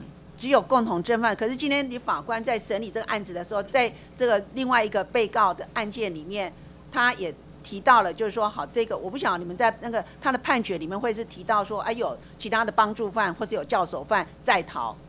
那如果有这样子的时候，我今天在这个案在另外一个案子被起诉在审理的时候，是由这个法官过来，那这样妥不妥当？嗯。是可以再再审审究啊，再这个部分可能还要再审酌。当然，我们在上一季我们是讨论到说用现与共同正犯，但是今天我刚刚在思索的是说，哎，对于共同正犯你可以把它避开，但是今天是帮助犯，然后是教唆犯，而且已经在另外一个案子他已经把它也认定就就认定了。那今天在一个案子过来的时候又是他，那我是不是失掉了这样一个公平审判的机会啊？所以这个部分是不是我们可以再去讨论哈？好，那另外一个呢，就是我们今天在讨论的这个所谓的啊搜索扣押啊这个所谓的保全的这个部分，那当然这里就牵涉到我们的这个法务部的条文哈。那这个部分，嗯，这个李秘书长是不是先请回哈？那我们的这个谢谢次，这陈次长哈，哎是当然我们也知道说，大家一直对于这个保全觉得很重要嘛，哈，否则的话我们可能忙了老半天，然后结果他又脱产掉。那在这里就牵涉到就是所谓的搜索扣押的问题。那当然我们知道说，搜索目前其实是法官保留。但是扣押没有嘛，有对不对？那因为扣押没有，是因为我们通常去搜扣搜搜索，通常是附随着扣押。我去搜索的时候，哎，结果发现我就顺便扣押，所以就变成说我没有另外把它独立出来。可是事实上，搜索跟扣押其实是两个不同的概念，没错，对不对？我们搜索其实是一次性的干扰，对不对？对你的这个这个呃这个隐私权啊，还有加载权对你的一次的干扰。可是扣押的是我把你的财产权把你扣住了，嗯然后它是一个持续性的，好，所以实际上是一个持续性的对你的财产权的一个干预的这样的一个行为。那它目的只是要保全将来的执行嘛，对不对？所以呢，这种就是说，一个是一次性的，我去对你的这个所谓的隐私权或是这个呃这个家宅权的一个侵犯，那另外一个是我持续性的对你的财产权的一个干预。所以其实这两个就法益的侵犯来讲，其实它也不分轻重吧？你没有错，觉得呢？没有错了。基本上是两个都是对于人民权利的干涉跟侵犯是没有错，那只是说那个程度上一是不是？因为搜索现在采令状主义嘛，对哦，已经改为令状主义，这个我们都都都已经行之多年了嘛，哈。但是扣押是有些时候呢是有急迫性、有急速性、立即性的。对，哦，比方说我搜索又看到毒品，哦，那另外一啊、有啦，所以搜不搜索有的，所以在搜索要严谨嘛。那扣押有些是有点事实上突发的状况啦，比方说附搜索来附带，呃搜索来附带扣押，哦，查到本案的扣押，本案扣押，另案扣押，哦，还有附带的。另外还有一个呢，就是说根本没有搜索，比方说开庭的时候发现的资料，那我可以扣押嘛？对，类似这个，所以有不同的太阳啦。对，那我们是不是也可以区分？因为我们也知道说，好，即使我今天要搜索，但是紧急必要的话，我还是有例外嘛。对呀、没错啊，对不对？哎，对。那那同样的，我们扣押也可以是说，我仍然要有令状，但是呢，你例外的情况，你可以事后，好，就是说再来，就是说一样，就是事后的再一个救济嘛。对我们目前是认为说事后救济如果如果不足，是一定要另状，我们再再再做思考。所以司法院如果也可以指教一下，我们再看看，因为因为我们现在考虑的是说四百十六条有准抗告嘛，四百零四条也有抗告程序嘛，这个是有事后法官有事后审查的机制的，不是说。检察官为所欲为，同时呢，一百三十三条，呃，不就是说那个四百十六条跟四百零四条的话呢，同样这一三三跟一三一三之一都是适用于法官，不是只有检察官独享的啦，这是法官也可以适用得到。比方说审判中也有可能用得到啦，哦，所以这个是可以可以审可以综合来考虑一下，好不好？对，那所以这里面就牵涉到说，好，那你今天扣押了，嗯。我们今天这里面所有的配套嘛，哈，嗯。今天扣押了之后，那你这个被害人自己，我们里面也没有规定到所谓被害人发还的优先原则嘛，对不对？那将来你这些的扣押物，如果里面是有被害人的，有。一个花环呢，有一个花环，你那个哪一条线？一百四十几有一条啊，嘿，有一条有有有认为没有必要，应该要花环呐，嘿，所以那个行政法法三十九条就把那个可为证据事务的话，还写说以供检验检查等等等等，写的比较多了，就是比较进步一点的法律了哈，呃比这个还进步了，不是比较进。一百四十二条嘛，扣押物若无留存之必要者，若无留存必要，不待案件终结，应以法院之裁定或检察官命令发还之，啊。其系赃物，如果是赃物，而无第三人主张权利者，应发还被害人是有机制的。那文字上要不要再强化，是也可以考量的哈。那另外呢，就是说，好，我今天今天我们这里是有去扩充到对第三人的扣押嘛，对不对？所以我今天去扣押之后呢，那我今天被你被你扣押了，那我可不可以类似民法的概念，因为我们事实上就说你去对第三人的扣押，其实是立德的扣押嘛，对对不对？是要确保将来的执行，防止他的脱产。对。那这里这概念其实已经有点类似民事诉讼法的，嗯对不对？对对那既既然类似民事诉讼法，那我今天我被扣押的第三人，我可不可以提供担保免假扣押？是一百四十一条之一有啊，这个草案里面有，哦，这个是那个经公担保以后呢，撤销扣扣押有啊，啊，一百四十一条之一。所以他是可以提供担保来撤销。在公担保扣呃撤销扣押，哎嗯，也多了这个机制，哎，那如果说好，这个，那现在就说好，今天你扣押了之后，然后将来呢，就说这这些财产是属于这个，譬如说被害人的，嗯那今天要请求发还，应除了发还那发还是直接向国家去申请就可以，还是说他必须要先去打一个官司，还是怎么样？如果可以确认是不被害人的话，可以花完的，不应该不必打官司啊。对那怎么样混在一起的时候啦，才有需要啦。哎对，那这时候你是要是去对国家打官司，是要是一个行政诉讼，还是说我是要去对这个啊第三人，就是被扣押的这个人的这个过去的话，应该是是针对扣押机关哦，扣押不必对对国家，因为不要花还他。我们曾经过去也曾经有有这个是用准抗告来有法院来做决定的嘛。那对于法院不符的话，有抗告机制嘛。就是直接是对法院。有了这些应该要这个应该采取减审的方法，不要再另打刑诉讼。有一种是可能的分不清，像那个顶拼的车的话呢，到底是你的或我的，那个曾经打过诉讼，有我知道有这个有打过诉讼。OK，所以我想有一些的部分，就是说可能他必须要更细腻的去规范嘛。对是啊还好好，OK，好，谢谢。好，谢谢。庄瑞雄委员，庄瑞雄委员，庄瑞雄委员不在。林维洲委员，哎，麻烦顾立雄委员。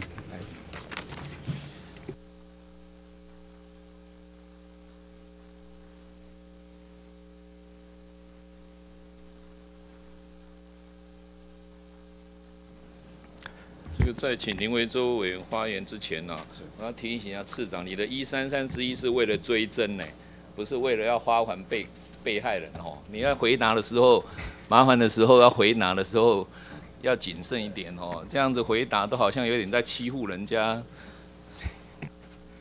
好，请主席，呃，我们邀请呃林秘书长跟陈次长，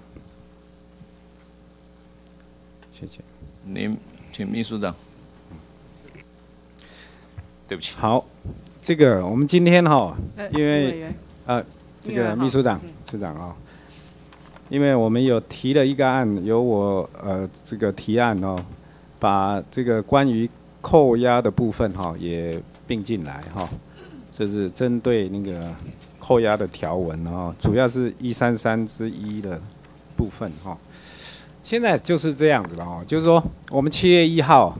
希望可以这个新法哈一一系一系列修下来的这个，包括刑法以及我们现在刑事诉讼法，一一并可以针对犯罪所得，尤其是第三人的这个犯罪所得的没收这一部分哈，能够哈完备，然后可以上路哈，这个大家共同的期待了。我想，诶，司法院、法务部以及我们立法院各位。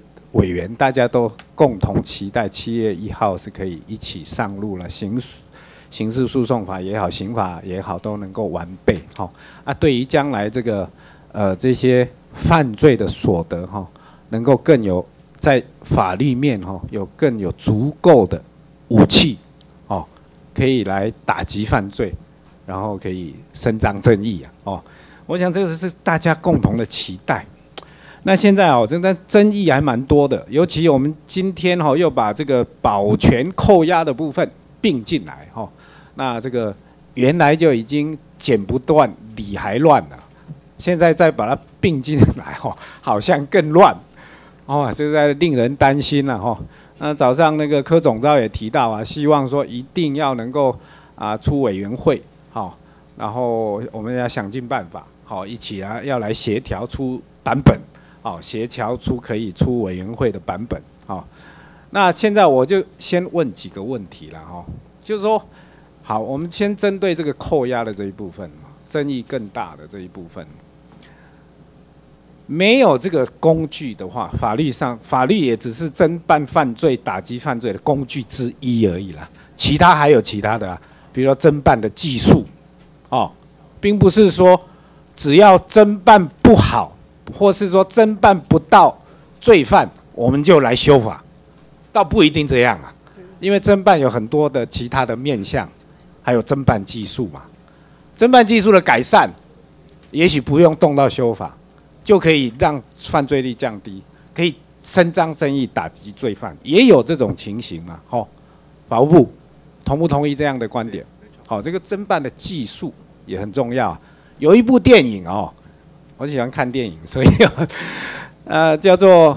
呃，神鬼交锋啊！哦，里奥纳多神呃呃呃，里奥纳多迪卡皮丘 演的哈，神鬼交锋。次长，你有没有看过？有，有看过哦。哦，我感受就是这样，他就是在侦办的技术上面有多达到突破。听说这个是一个实际的哦情呃实际的故事了，就不是故事啊，真人真事。上演的，哦，就是改编成电影，就是他在利用啊，这个美国东岸西岸有时差，然后在他去变造了支票，然后再因为东岸西岸的时差，所以他可以去领得到，他用假的支票可以去领得到钱，哦，大概是这样子了。那后来呢，这个犯罪者呢就被 FBI 纳为。这个他有去关了，但是后来就把他纳为他们的工作人员，然后专门来侦办这样的诈骗集团，后后来得到非常好的成效。其实就那个电影来讲，哈，你看他没有修法，但是他可以打击犯罪，提高这个破案率，因为在侦办技巧上面的改善嘛，哦，所以我首先讲这个的意思哦，就是说。我们不是说每次碰到问题赶快来修法，然后把它修重一点、修严一点，倒不是这样子。所以我们要回归来看这个保全扣押这件事情。好，我举个例子来请教我们司法院跟法务部。以最近看到的诈骗集团的诈骗案来讲，假设好，这个台湾人在国外，然后诈骗了大陆人。他们通常呢，用提款机啊，提款机，他把诈骗的钱呢，从透过网络，然后进到所谓的人头账户，然后用车手在很多的提款机同时去领钱，好，这个模式啦。好，先假设比较简单的例子，假设这些人头账户哈是台湾人在台湾，然后他去 ATM 领钱。以现在的法律，这些无辜的人头账户，他这个都是假的，他不知道怎么去弄来的，他可能去透过偷个资种种，然后就去开了户了，开了户头，申请了提款卡，这些人都是无辜的第三者，对不对？这他都连他自己都不知道被开户、被申请了提款卡，好。这些犯罪从大陆那边骗进来到这些账户以后，然后呢，这些车手拿了这些假的，好，不管他怎么做的，就是这个这个呃当事人不知的情况之下开的户、请的卡去领钱。我请问法务部长，哎，法务部次长，这些无辜的被开户的人，他的账户以我们现在的法律。如果这个罪证都确凿，就是知道他确实是犯罪所得汇到他的户头。请问以现在的法律，能不能去扣？我们知道了，他现在要用这几个账户，假账户，不是假账户，其实是真账户，只是说他是偷开的账户。我们以现在的法律，能不能去先查扣这些账户？回答一下。目不是目前查扣的哈，理论上应该是可以查扣，但是有的法院不能查扣了。有的法院认为说账户不能查扣，但是有的法院认为可以查扣的啦，曾经被撤销过。差差差别在哪里？因为账我们认法务部的认为说这个账户应该可以查扣，账户里面有钱嘛。就是你也知道说那个账户的钱哈，有一笔是从诈骗被害人那边汇进来的，哦，你已经掌握到这个证据了。然后那个这个是一个无辜的第三者，他被伪开的账户，伪开的这个提款卡。伪申请的提款卡，这样你现在法律能不能先查扣他的账户，然后让他提款卡领不到？现在法律行不行？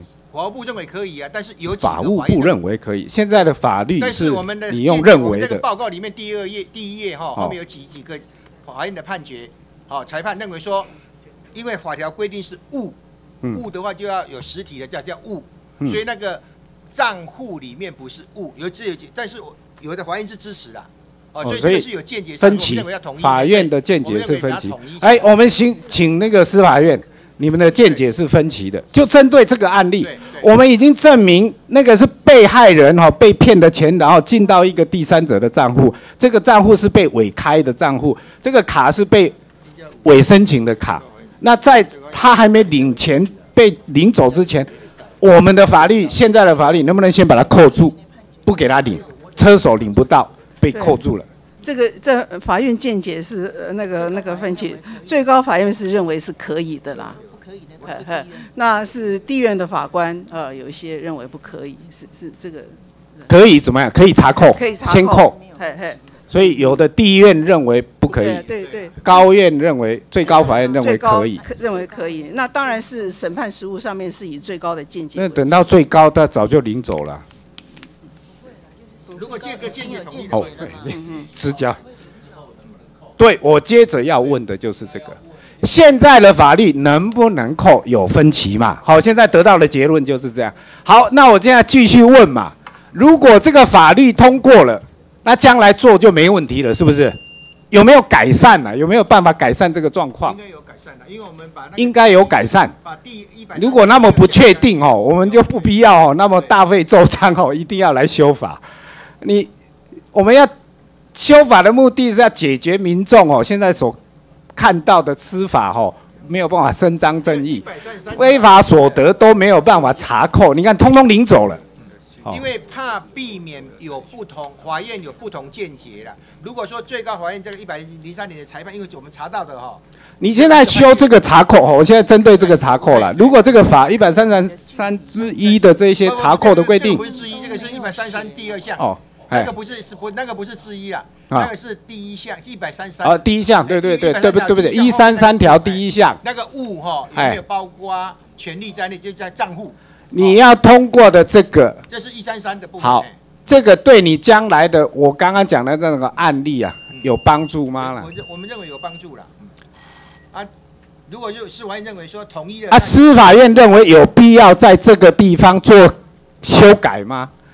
有修改才有办法达到解决那个你说地院跟最高法院的歧义吗？是要透过这个修法才能解决那个问题吗？我我们我们对于一百三十三条其实有比较就是比较完整的一个规划了哈。那包来得及吗？七月一号哎，要用来来得及，因为刚刚我讲了，我们的前提是七月一号我们要上路。对应该是来得及了哈。来得及，你要快一点。哎所以你看，你他们法务部先提出来版本，那你们又没有版本，那这样又要浪费，又要两个礼拜了、欸我们是很心急啊。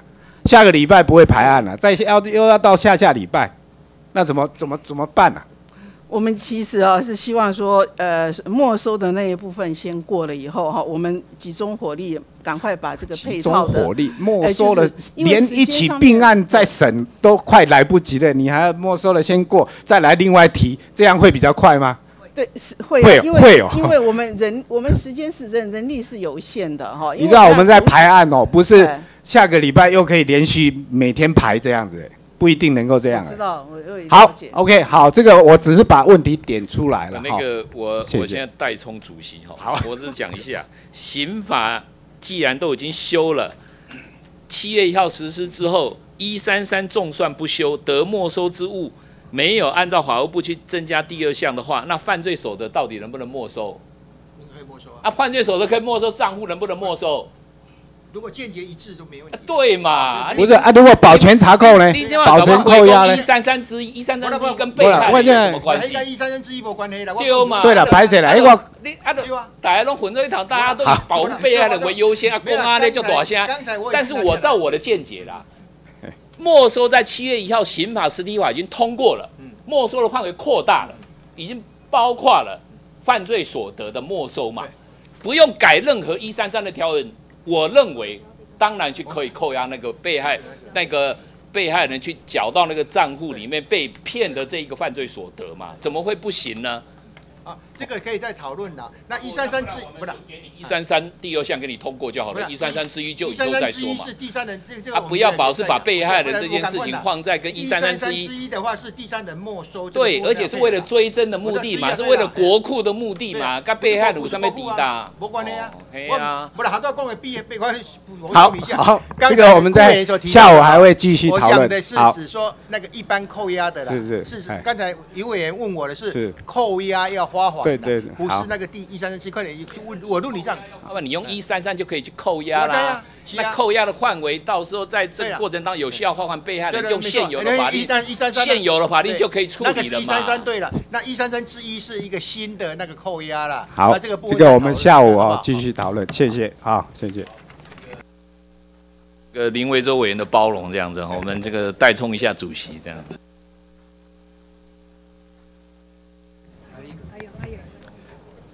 呃，请赖世宝委员，赖世宝委员，赖世宝委员，好，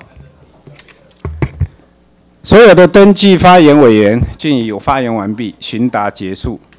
委员询质询时要求提供相关资料或以书面答复者，请相关机关尽速送交个别委员局本会。委委员如有提出书面质询，列入记录，呃，刊登公报，并请相关机关以书面答复。好，那我们上午的议程就到此，下午两点三十分继续开会，现在休息。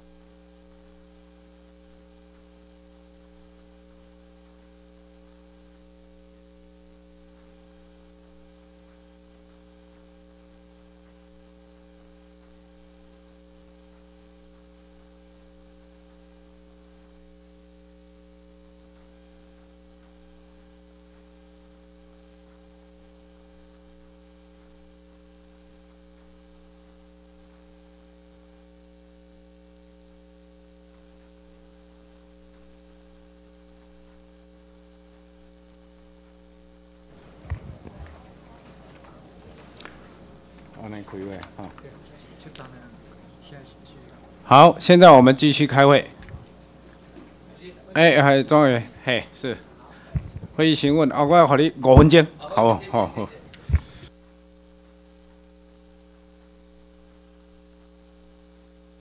主席，我们本呃本会的各位同仁呐，啊，就拜谢，也在你家都在对我电话发言的时候，底下内政啊刚好也在逐条了。那我想请教了哈，就是说。其实针对这一次我们刑事诉讼法第十七十七条的一个规定啊，就本来讲推事的，现在一并把它改成法官。法官在啊针对呢啊该管的案件，有一些情况必须要来自行回避，不得来执行这样一个审判的一个职务啊。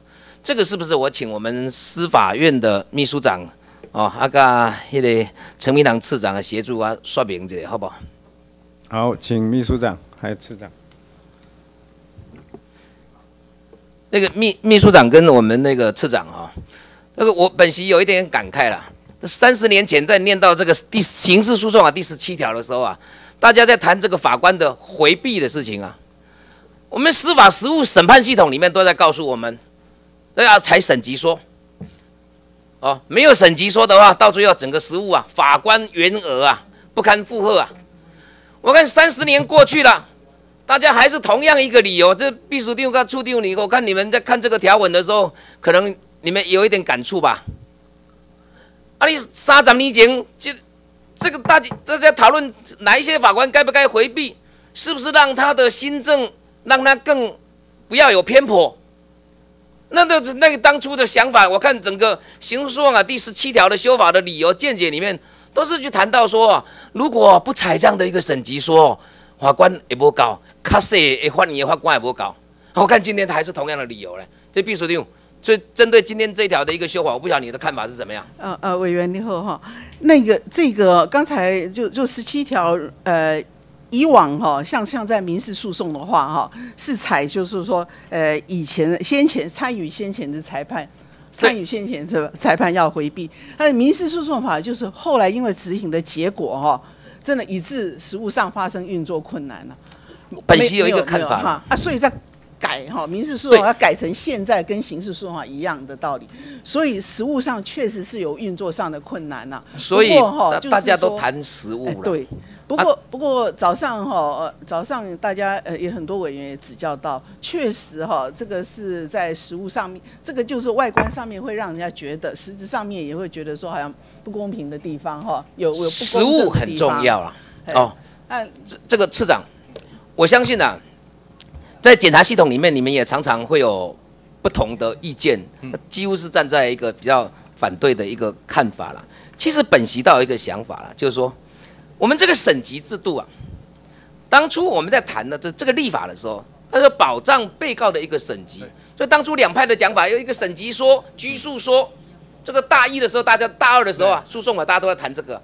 可是我的看法就是说，你如何达到一个对被告来讲，它是一个公平法院，有摸过的，会形成既定的一个新政的，你最好都不要去碰。本本席甚甚甚至认为啊。你现在给他设计十十级十审呐，被告几乎都给你上诉到第十审，所以我审级利益是一个问题，但我倒不觉得真正的重点在审级利益，真正的重点应该是在于同样的法官再重新再来摸到他接触过以前的案件的人再来摸到相相同的案件，这不得了，这等于是把被告你上来以后看到你这个被告，嗯啊你过来啊，给你判过啊，你个唔在死。会有这样的一个问题啊？那是不是啊？这次可以，他大刀阔斧淡薄啊，不要让，搞不好三十年后，大家同样在争议争执这样的一个问题啊。那同样，我们的审判系统提出来就是讲说，不行啊，这个如果过，如果这个条文让你过去的话，我实务在运作的时候，法官员额又不足啊，你规章你规三十一个三十年一个阶段，在三十年一个阶段，我们就在谈法官员额不足。这也不对啊，所以我倒觉得说，你像比如说法官，你曾经去参与被告或同一案件的判决啊，这不行。这因为你已经留下你既定的一个新政了。那你法官曾经去参与关于判决被告是不是共犯的判决，你有你有针对他曾经下过说，哦，你就是共犯的，那这个新政也已成啊，这也没道理嘛。啊，我看毕书定应该没问题嘛，邱定应该也没问题嘛。我们没意见，这个是司法院的，但是刚才委员提到了，要站在公平法院这四个这这种理念下面来。是啊，不是用直直言，就是员工的员额那个。是啊，所以所以我都我本来发言的时间跳过去，特别跟我们的主席赵伟拜托，就是这样。那这个争论太有名的一个问题了，那刚好碰到这一个修法，不来表达一下意见不行。所以我到本席倒认为说，这像这一次的一个修法里面，因为本席跟蔡依委员，我们刚好有共同来提这样的一个案件。不是要造成审判实务上的一个困扰，绝对不是，是因为这个每次的修法，我们司法部门呐、审判部门、实务部门呐，太怠惰，提出来理由都一样，这个本席就有很很感慨的地方，所以我们也希望啊，那这一次的建议的条文呢，能够通过了，谢谢。好，谢谢，感谢。好，各位委员，现在我们啊。就先处理司法院行政院函请审议的刑事诉讼法部分条文修正草案案。啊，之前已经通过的部分条文，那尚有增订，现在还没有审议的，尚有增订第四百五十五条之十三，含委员柯建明等三人所提的修正动议，以及四百五十五条之十五。四百五十五条之十九、四百五十五条之二十三、四百五十五条之二十六、四百五十五条之二十七、四百五十五条之三十五、第四百五十五条之三十七以及第四百五十五条之三十八等九条保留上次保留的条文。好，那那时候决议是另定期继续审查。那我们下午就针对上述的保留条文继续审查。啊。接下来，请请宣读修正动议。请各位翻开呃页数编码 第七页，《刑事诉讼法》第四百五十五条之十五，案件调查证据所需时间、费用与没收之申请显不相当者，经检察官或自诉代理人同意后，法院得免予没收。检察官或自诉代理人得于本案最后事实审言辞辩论终结前。撤回前项之同意，提案人林维洲、尤美女、周春敏、顾立雄。第四百五十五条之二十六，参与人财产之经认定应没收者，应对参与人预知没收该财产之判决；认不应没收者，应预知不予没收之呃不予没收之判决。前项判决应记载其裁判之主文，构成没收之事实与理由。理由内应分别情形记载认定事实所凭之证据及其认定应否没收之理由。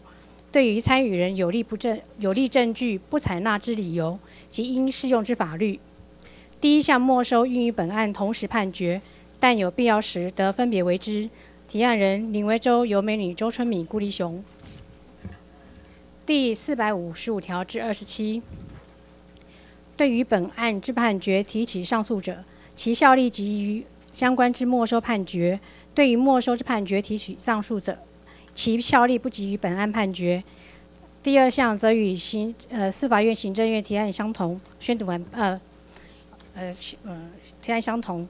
提案人林维洲、尤美女、周春敏、顾立雄，宣读完毕。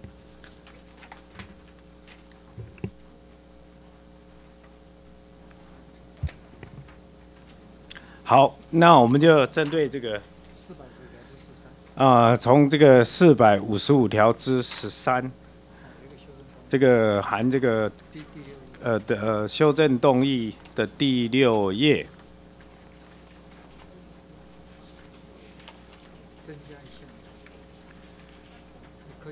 他这个修正动议等于是增加了一项，哈，第三项的部分。十三，各位委员，针对这一部分有没有什么意见？那个主席，那个四四五五之十三呐，嗯，后来那个呃司法院有再提出一个修正，哎，我因为我刚刚没有听清楚，我们呃现在念的那个修正动议是指那个是科建委委员。嗯，不是，不是柯之前柯建明委员提的那个应该不是，是第三项。呃，没有，没有，没有第三项，应该是后来司法院司法院呃有提出来，就是任因没收的那个部分。对对。上次保留现在已经大家协商太多次，已经搞得有点乱，对对对乱了。四月十四号那一次有呃保留的，四月十，对，好，好，针对这个。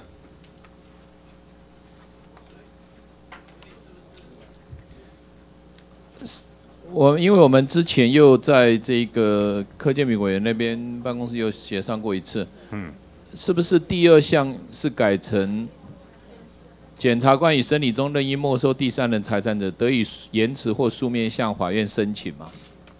对不对？哦，已经有改成这个文字了，对对对。那我现在只是说这个文字必须要有人提出来，对不对？要有人提修正动议。对对，所以我想，呃，我们我我是不是我们现在就提一个修正动议，然后呃看法务部跟司法院是不是有意见，好不好？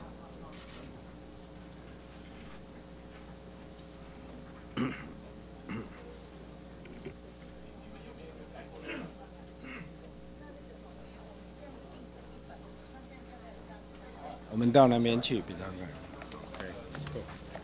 嗯，上那边。啊。啊。给他们进来，我坐这边，没关系啦，他们这。好好啊。对对对对，签完我们好好好好好，OK。他现在要提修正动议啊，好，再再改那个文字嘛。对，签完之后我们去营业，营业完我们再再宣读这样子啊。要签那个先签了，签完再。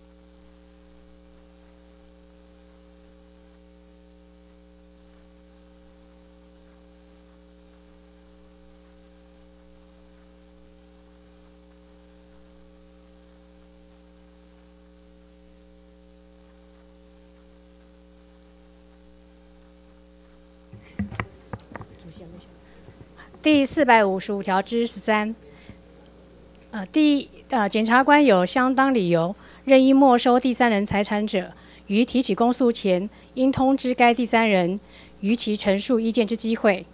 检察官提起公诉时，任意没收第三人财产财产者，应以起诉书记载该记载该意旨，并即通知该第三人下列事项：一、本案案由及其管辖法院；二、被告之姓名、性别、出生年月日、身份证明文件编号或其他足之辨别之特征；三、应没收财产之名称、种类、数量及其他足以特定之事项；四、构成没收理由之事实要旨及其证据；五、得向管辖法院申请参与没收程序之意旨。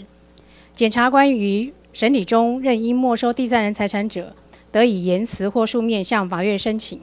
提案人顾立雄、尤美女、周春米、蔡玉瑜宣读完毕。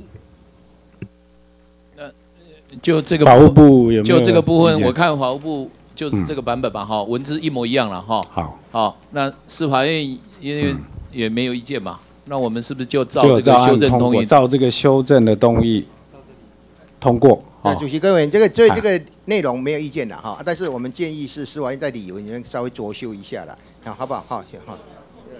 没有了，因为你你们的意见是什么？针对他们后面的立法的理由后，面理由就是我们把事件删掉，因为原来说哈，因为当时说搁置不要什么举证的那个问题嘛，对哦，我们对呀、就这一条啊，我们有了，我们是把对我们能不能这个严格证明这个不是用这个问题？对，有啊，有啊。这现在是那个因为呢，四百五十五至因为我们有十三呢对。了，我们有申请权呐，啊，这里原来是法院的的这个这个理由，这张单张是促请呐，既然是申请，就不是促请呐，这个意思了，好不好啊？文字上没有，当时我们没有。嗯，没有。他啊，既然前面写申请，这里就他不是这现在在争论哎这个说明，对不对？啊，为什啊促为什么要用促请呢？促请是请的，好好你怎样姐，你还个促请呢、因为司法院没有给我们主席台新的修正周日版本，所以拿去印。有了对对对，这这里他现在拿拿去印了，好好不好？等一下好了，吧？啊，好，等一下。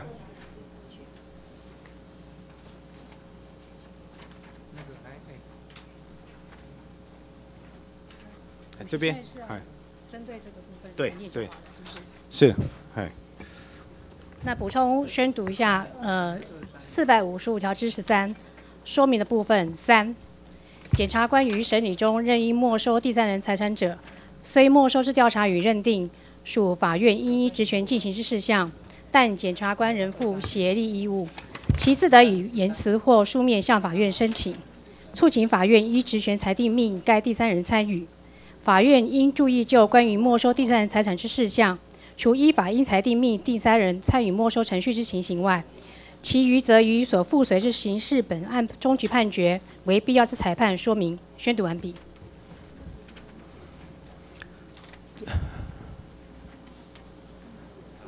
针对这个立法说明，呃，法务部有不同的我不是意见。针对这个释法院的第二页的第二行啦嘿，促请法院依职权裁。既然我们的条文叫做申请法院嘛，就表示是检察官有申请权，就不是促请法院，因为法院依职权是一个权利嘛，依职权，那我们是依申请嘛。哦，所以申请的话呢，就有准驳，它有嗯准驳护理由的问题嗯了。所以我们建议是不是这一行，就是请法院裁定了哈，就是不要再说请法院依职权，因为这样子啦，这样子啦，是不是就促请改成请求嘛？好不好？好，那大家各自解释嘛，好不好？啊，好不好？请求法院依请求法院依职权裁定。好好，那不要依职权，请求法院裁定，好不好？哎，不，说明的第第二页，其自得以言第二行辞或书面向法院申请，请求法院裁定命该第三人参与，好不好？这样摩擦了，好不好？哦，大家各自解读嘛，好不好？可以吧？好，就那个说明的文字，就是第三行，呃，第二行改成请求法院裁定这样子，好不好？那个处拿掉，改成请求，然后依职权三个字拿掉，就请求法院裁定，这样可以吧？好，哦，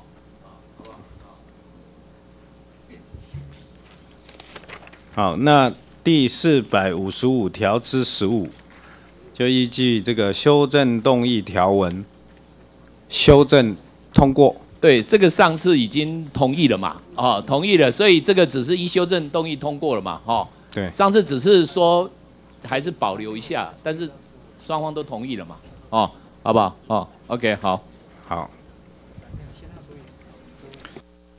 再来是这十九哈，刚刚是十三，十三、十五，是不是还有十五啊？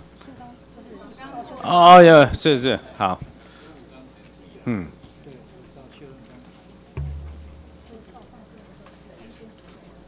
好，现在是十九至十九，十十九呃也提一个修正的动议，我们签完再提上去给主席。签好，对，对，是这样。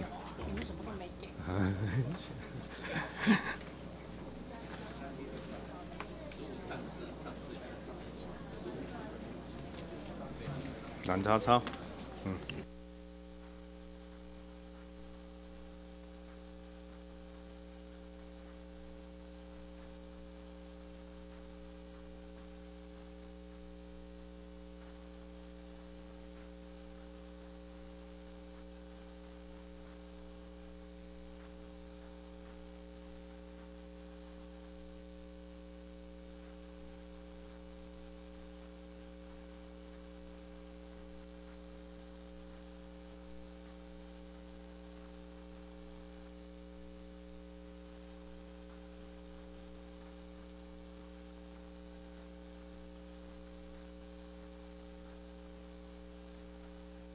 这个，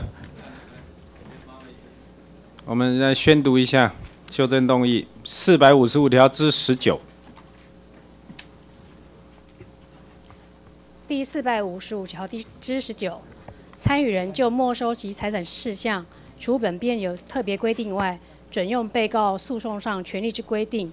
提案人顾立雄、蔡玉宇、尤美女、周春米，修正说明第呃说明二的部分。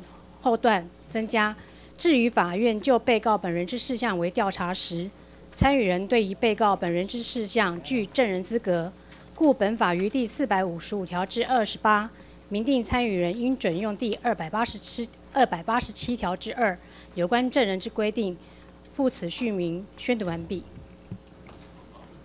上次上次对不起对不起，好没关系。上次就是说第二项要不要加嘛，对不对？哈，那现在就是说要写个立法的说明，那这样看你们能不能接受这样的，可以吗？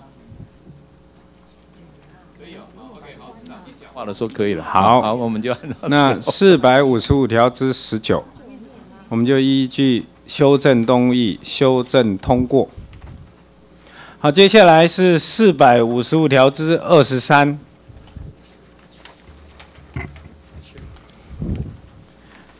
还是要补签名哈，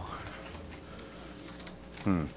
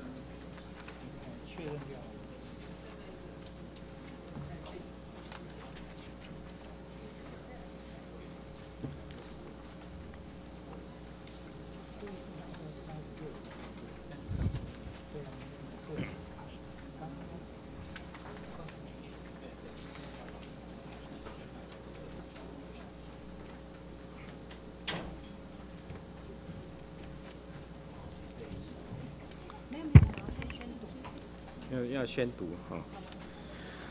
好，我们来宣读修正动议，关于第四百五十五条之二十三。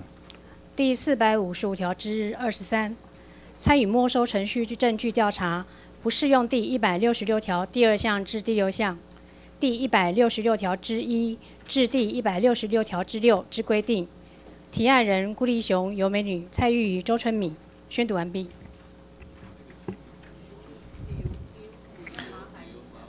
理由也是新增的啊，所以要呃。呃，说明一，本条新增二，刑事被告诘问证人之权利，属宪法第八条第一项所指之正当法律程序，为宪法第十六条所保障之人民诉讼权之一环。司法院释字第五百八十二号解释一旨参照。刑事没刑事没收程序参与人就没收其财产之事项，与被告享有相同之诉讼上权利，自应应有诘问证人之权利。为参与没收仅系复利被告本案本案诉讼之程序，为避免其诉讼过于复杂，致影响被告本案诉讼程序之顺畅进行，参与人依本法第一百六十六条第一项规定，诘问证人、鉴定人或被告，以足以保障参与人诉讼上权益。原因本条明定参与人诘问权之行使，不适用交不适用交互诘问规则。宣读完毕。毫不有没有意见？主席各位，这个部分的话是也也改为第一项哈，就是一百六十六条第一项那个结问权，这个我们同意的哈，可以适用。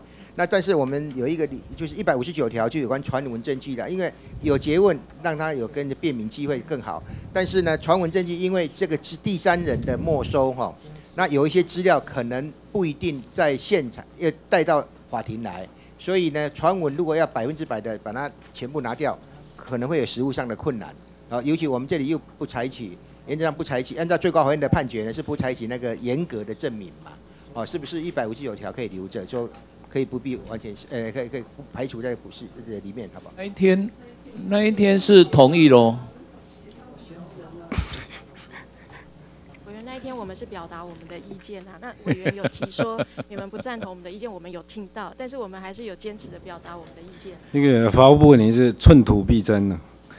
不是，那就是说，按照那一天协商的结论是说，法务部希望把他们的意见表达，然后列入这一个议事会议记录里面。那那次长要不要再表达的清楚一点？对，我们是认为说这个不采严格的证明呐，所以刑状一百五十九条的传闻证据呢，在这里啊，是不是能够不呃名列在里面说不适用那个传闻证这个部分呢？那就是比如说。可以处理，那是不是我们还是尊重委员的意见这一部分哈？法务部的意见是希望是说传闻法则都不适用啦。对啦，那我们那一天也讲了很多了，那所以我们是不是就是还是决定按照现在我们提的这一个呃修正的动议就过了，这样好不好？好，OK。好。那我们就第四百五十五条之二十三，就依据我们的修正动议修正通过。好，现在处理四百五十五条之二十六。好，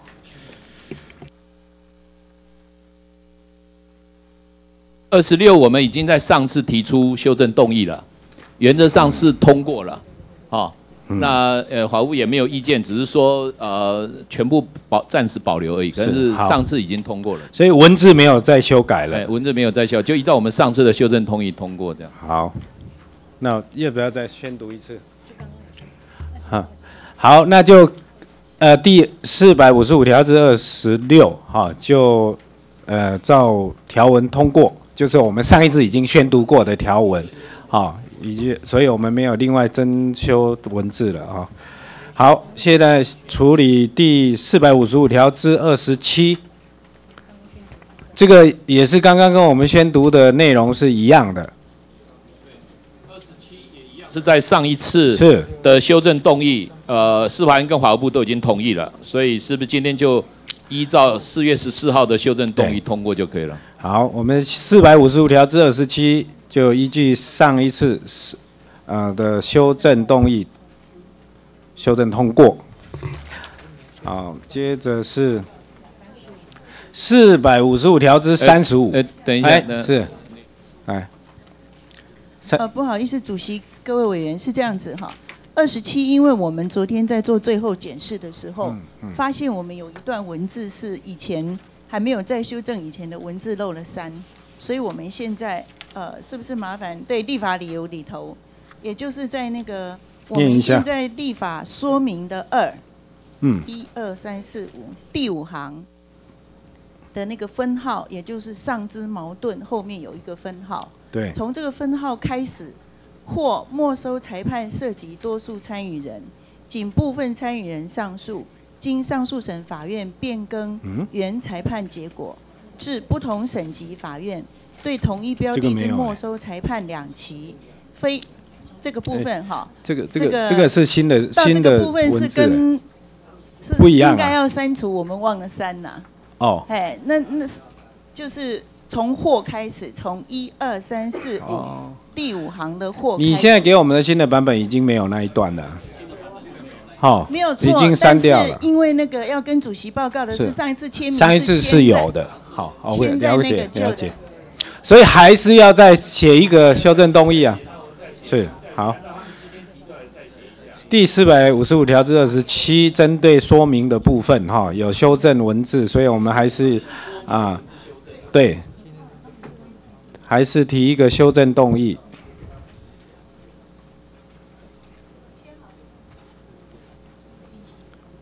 嗯，那等一下还是要念。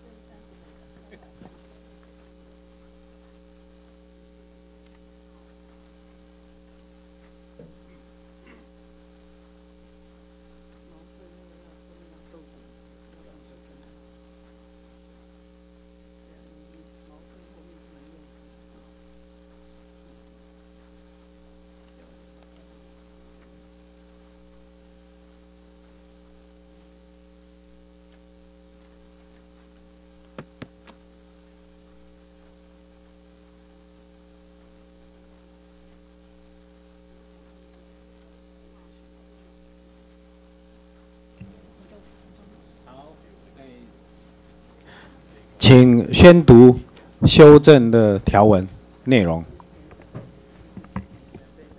第四百五五十五条至二十七，呃，修法的说明。二十七。二十七，哎，对，再再念一遍那个说明的部分。条文部分是刚照刚刚宣读的呃条文，那说明二的部分修正如下：被告被告违法行为存在。为为没收参与人财产前提要件之一，为避免没收裁判确定后，其所依附之前提及关于被告违法行为之判决，于上诉后经上诉审法院变更而动摇该没收裁判之基础，造成裁判上之矛盾，非但有损裁判公信力，且滋生没收裁判之执行上困扰，故对本案关于违法行为或没收之裁判上诉者，其效力应局相关之没收部分。反之，没收系附随于被告违法行为存在之法律效果，而非认定违法行为之前提。若当事人就本案认定结果已无不服，为避免因没收参与程序部分之程序延至所生不利益，仅就参与人财产没收事项之判决提起上诉者，其效力自不及本案之判决部分。原参考日本对应这呃日本应急对策法第八条第一项之立法例，增订本条第一项前段规定。并增订本条第一项后段规定，一度争议。嗯，第第三项有修，第三项有修吗？只只有第二项有效。好，那第三项就不用宣读哈。啊，对不起，补充呃，宣读一下提案人顾立呃，提案人顾立雄、蔡依瑜、尤美女、周春敏，宣读完毕。好，对于第四百五十五条至二十七的修正动议，哎。各位委员有没有其他意见？没有的话，我们就照修正条文通过。我们现在处理第四百五十五条之三十五，这个也是要写提案哦，还是没有变？写了哈，好，好，签要给他们签名，好，签了哈，好。我们先读修正动议的条文。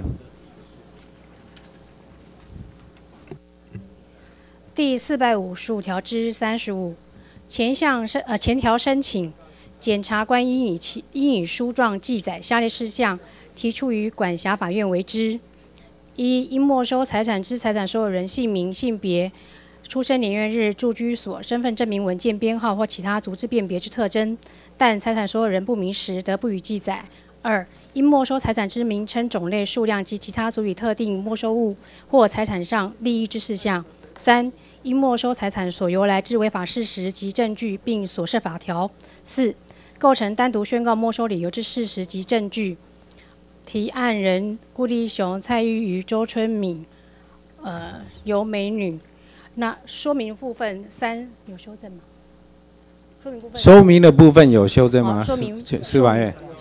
针对针对三，好，说明的第三项。说明三。申请法院没收人民财产，系对宪法所保障人民财产基本权之侵害，性质上为国家对人民之刑事制裁。因而本条第二款至第四款锁定没收之前提要件，应由检察官负举证责任，并适用本法总则编证据章之规定。例如有关刑事违法事实存在，依本法第一百六十一条第一项规定，检察官所提出证据，并应达于使法院产生确信之程度。使足保障人民财产权免受国家违法不当之侵害。宣读完毕。法务部有没有意见？各位，这一部分的话，我们建议是不是把说明三删掉？因为怎样？这里面说明三里面第二段提到说，信实上是对人民的制刑事制裁。现在的刑，现在的没收已经不是制裁了，也不是从刑的刑，是一个独立的这个权利。所以这个。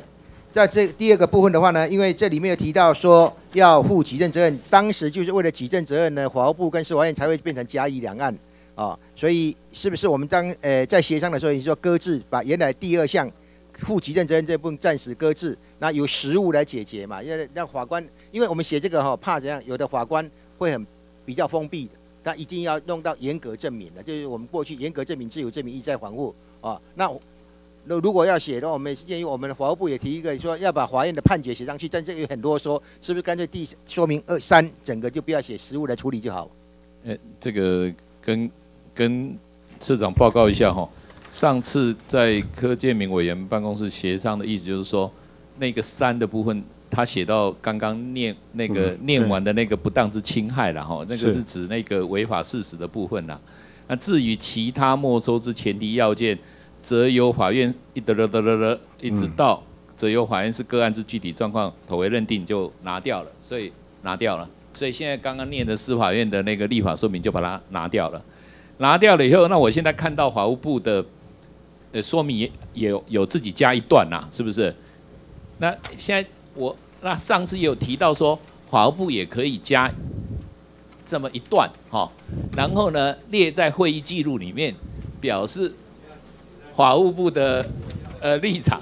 对 我我想，如果是要如果要处理的话，那当然是一并的加在理由里面，这样才适当啊。不然的话，为了避免实物界产生的认知的歧义，法官有不同的见解的话，这不是绝对不会是人民之福嘛。所以第三的部分的话，次长刚刚讲说，第三的部分既然有引起这样的争议，是不是就不要列了嘛？那不要列的话，那这就解决这样的问题。啊，如果要列的话，那对于自由证明跟严格证明的部分，最高法院已经有见解出来，那直接引进来不就好了吗？对不对？就把最高法院的见解把它带进来，把理由带进来。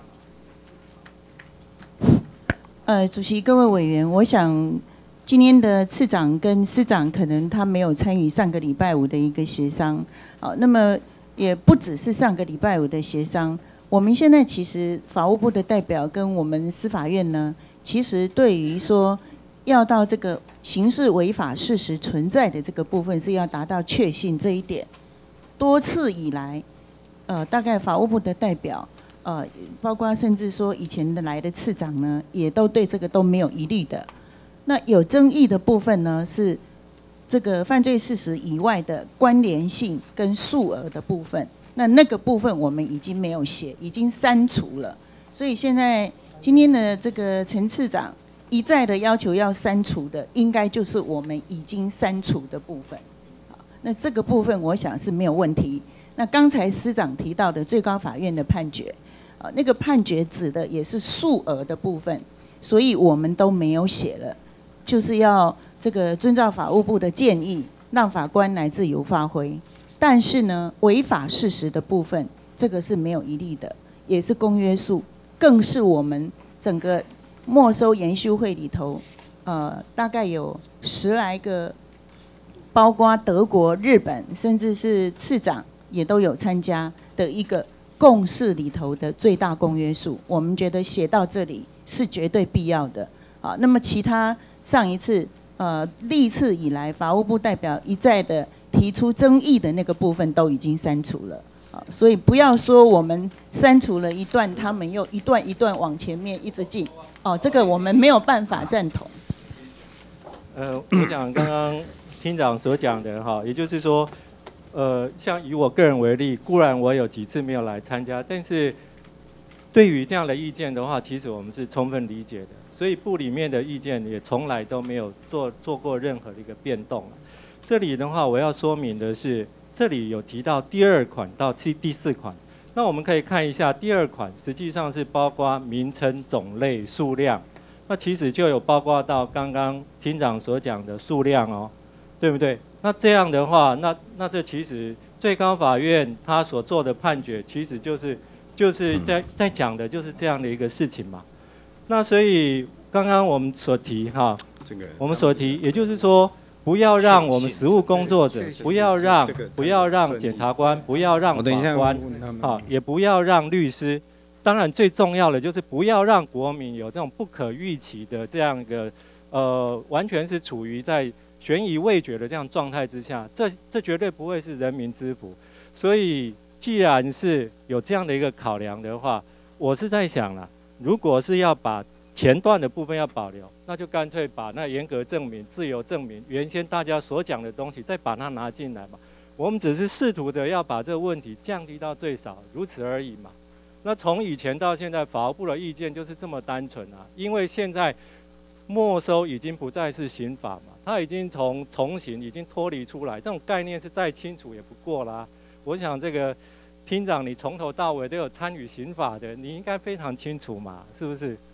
好，哎，这个我表达一点意见哦，我请教一下哈，因为现在主要争议在说明这一部分嘛哈，第三，哦，第说明三的那后面，哦，我请教一下哦，那个确，因为法律用语啊，确信之程度，确信之程度，如果以像现在诈骗案的这种情况哈，传闻证据可以达到确信之程度吗？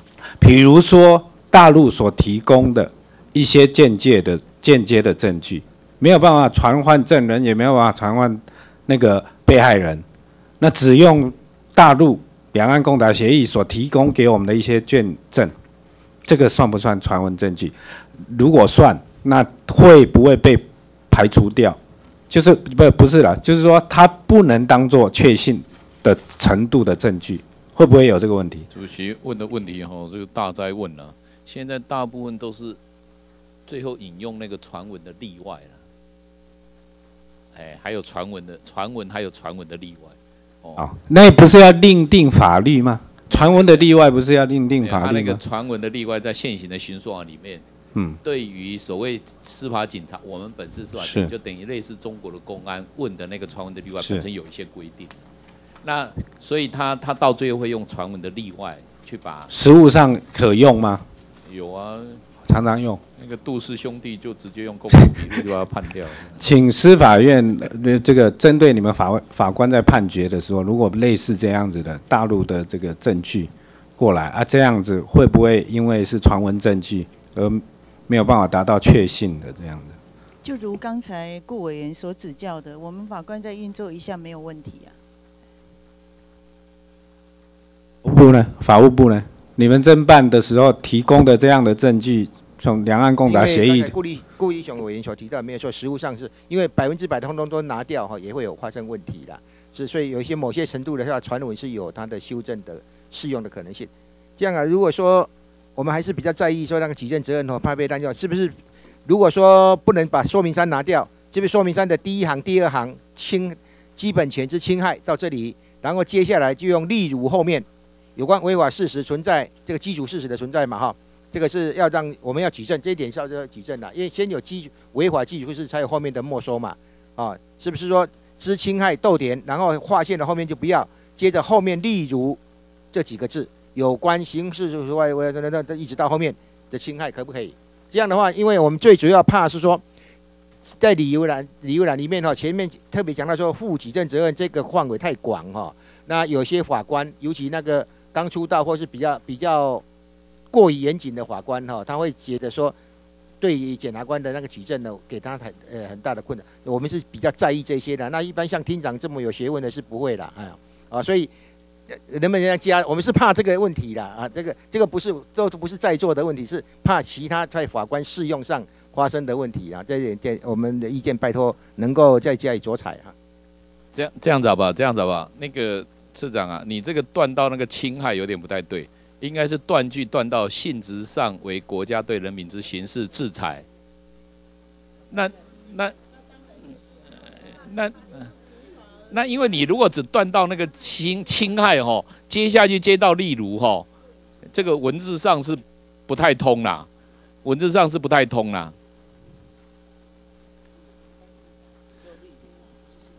不不，这样好不好？这样好不好？这样好不好？这样好不好？这样好不好？我我再说明一下当时协商的一个大致上的一个概念是这样，就是说他前面在讲说那个呃有关有关那个应该适用这一个严格证明的是指那一个前提要件嘛，对不对？对，基础是这你们大家都同意嘛，所以当时大家的意思是说，一直拉到十足保障人民财产权免受国家违法不当之侵害，把它据点了，对不对？下面的那一段拿拿掉了之后呢？当时的意思就是说，既然他没有写说在基础事实以外的部分哦，也要用到确信程度的话，他的言下之意哈，就代表着有可能应该是不需要采严格证明的法则啦。那所以，所以现在司法已经把那个侵害据点后面的那个字语怎么怎么怎么样，把它拿掉了嘛？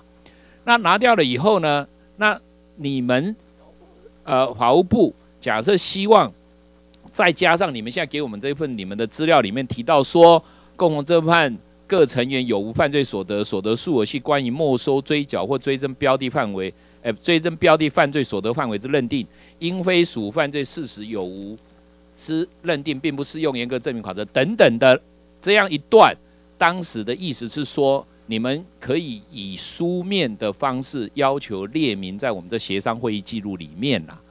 那那这样的话，这两方都有让步。一方面说他们没有坚持那个至于要放在立法理由里面了嘛。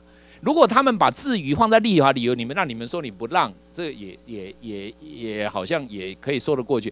但他现在已经把那个至于两以下那个部分让掉了，已经不写了。那不写了以后呢，你们的书面记录再加上你们这一段，这样是不是大家可以接受啦？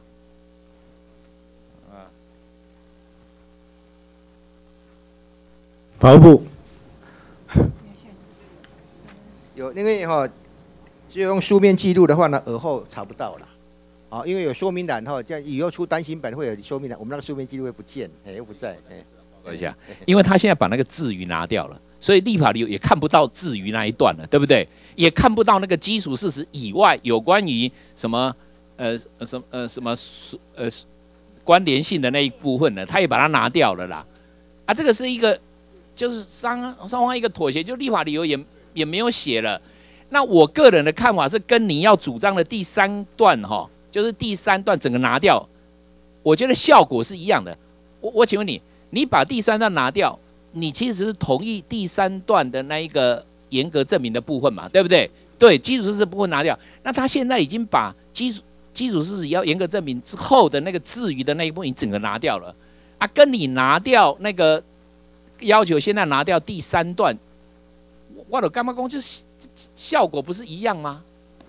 就是那两行了，中间那两行，检察官负举证责任，第三行、第四行那里的。好啊，那你不要举证责任的话，我我想这也没关系，因为那那就是看看怎么样再把它拿掉。因为你你又说要把什么刑事制裁也也也要拿掉，什么都要拿掉，就文章就写不下去了。刑事制裁哈，那个文字把它稍微调改为是不利处，就也不能叫不利处或者，就是不利啦。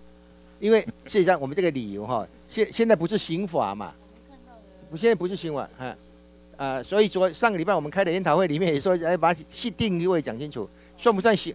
保，这个算不算刑事制裁？嗯，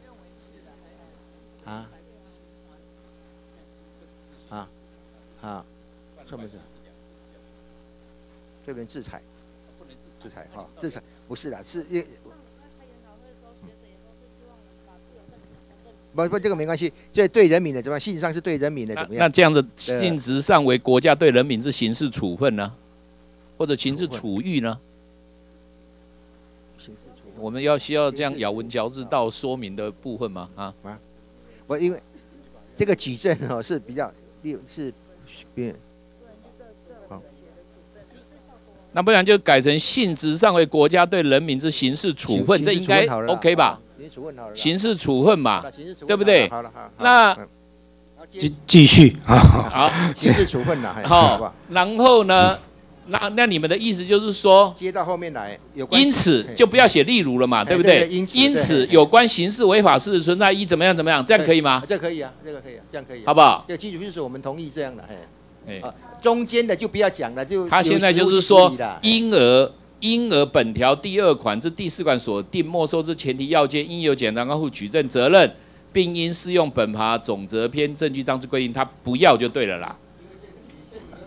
因为这适用会被法有的法官部分法官呢用成说是严格证明，我们怕这样将来会有造成实务上的困难呢，所以就是怕这样来。哎，他那个前面讲的是。第二款到第四款锁定没收的前提要件，前提要件当然是那个违法事实啊，对，所以违法事实一定是严格证明啊，所以他已经写的嘛，对不对？那后面的就说你严格证明以，就说你这个违法事实以外的这种关联性跟这个所谓数额的部分他没写，那就表示说他只是特别标明你违法事实要负举证责任嘛，对不对？哈，你讲那一句啦。啊，那意思不？我跟你讲，性质上为国家对人民之刑事处分，因而本条第二款之第四款锁定没收之前提条件，哦，例呃前提要件，例如有关怎么样怎么样，可以吧？这样可以了吧？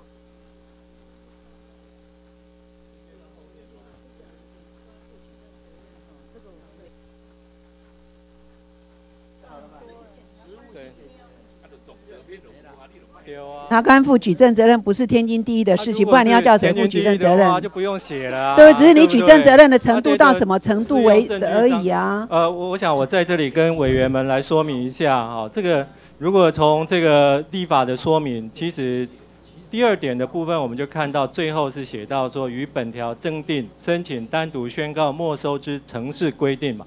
那这一条其实就在处理一个城市规定。你在第三点的部分，你又在提到说他举证责任。到底是应该做什么样的处理？我觉得就让它回归，就是像我们之前的之前大家认知一样嘛，有一就留给食物，留给食物界去处理嘛。我们本来第一首选就法务部，我们向来的意见都一直认为它本来就应该是一个自由证明。但是既然有这样的歧义，认知上面歧义的话，那我刚刚一再的重复了，也就是说不要让食物工作者。他有一些处理上面的困难。再再瞧一下哦，不是这个讲瞧好难听啊！我我我 删删除这个瞧这个字。好，好，我删除，我再再改一下，说因而本条第二款至第四款锁定没收是条前提要件，应适用本法总则篇证据章之规定，这样可以吧？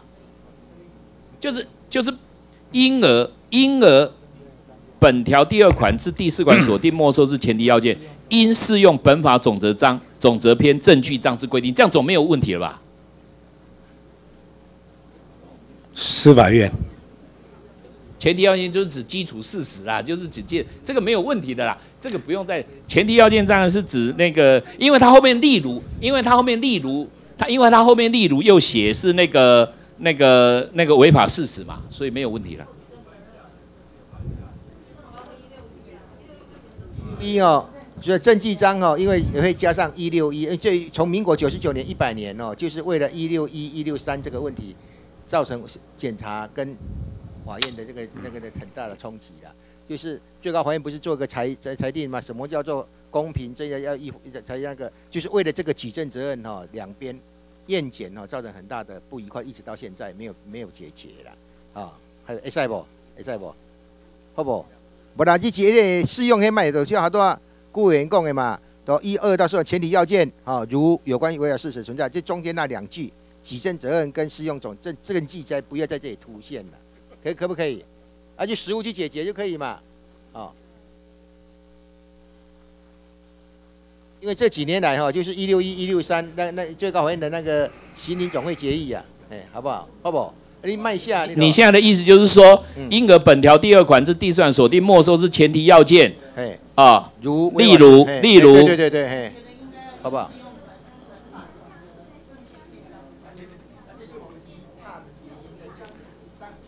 嗯，法务部可以啊，就是三两句啦，就是刚才复原的前提要件，例如，接下来后面例如有关刑事外围存在，一直到最后的好不好？好不？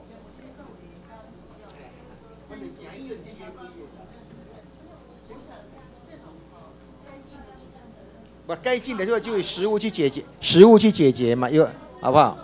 可不可以？不是，就是我们的共识跟法验方的共识不一样啊。其实你现在有这个问题，这从九十九年那两次的决议以后啊，好不好？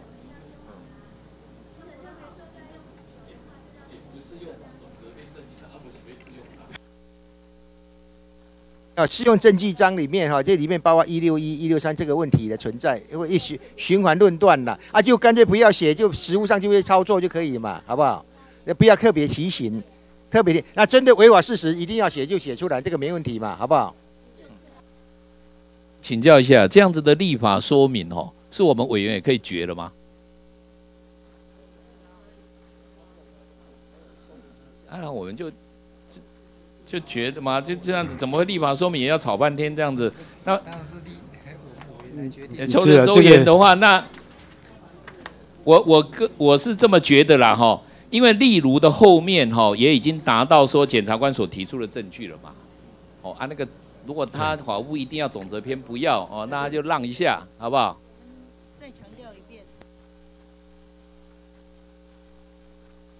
我们现在这里面写的一个是举证责任是一件事情，第一个层次的问题。那先有了举证责任以后呢，再来提说举证责任到底是要尽到什么样的程度？是确信就可以，还是市民就可以？那所以呢，在这个这个例如之前，其实都是在讲举证责任该由谁来负。那么对于我们这个没收，不管它是叫做已经脱离刑法的一个独立的法律效果，或是怎么样，总而言之，它还是属于刑事的处分的一种。那么刑事的处分，我们在一个案子里头，三角关系，公平的法院，然后另外一方就是申请的检察官跟申请的相对人。那么总不可能说叫相对人来负举证责任，那法院是公平的法院，更不可能叫法院来负举证责任。所以这个举证责任非检察官莫属，所以这个部分是第一个层次的问题。那么第二个层次的问题呢？到底这个举证责任要尽到什么样的程度？那么我们在例如里头就只写到大家有共识的部分。那我们现在是觉得说，如果要把第一个层次的举证责任都拿掉的话，那个例如其实是失所复利的啦。啊，那第一个层次的举证责任的这样的一个分配。几乎是不可能有第二种可能性的啦。那要说不写，那不写的话，在一个新制施行的时候，说这个，例如说我们现在的这个法务部的代表就有说，他们对这个部分是有疑虑的。那将来难免会让法官呢面临新制的时候呢，又要面临很多不同不同的一个好。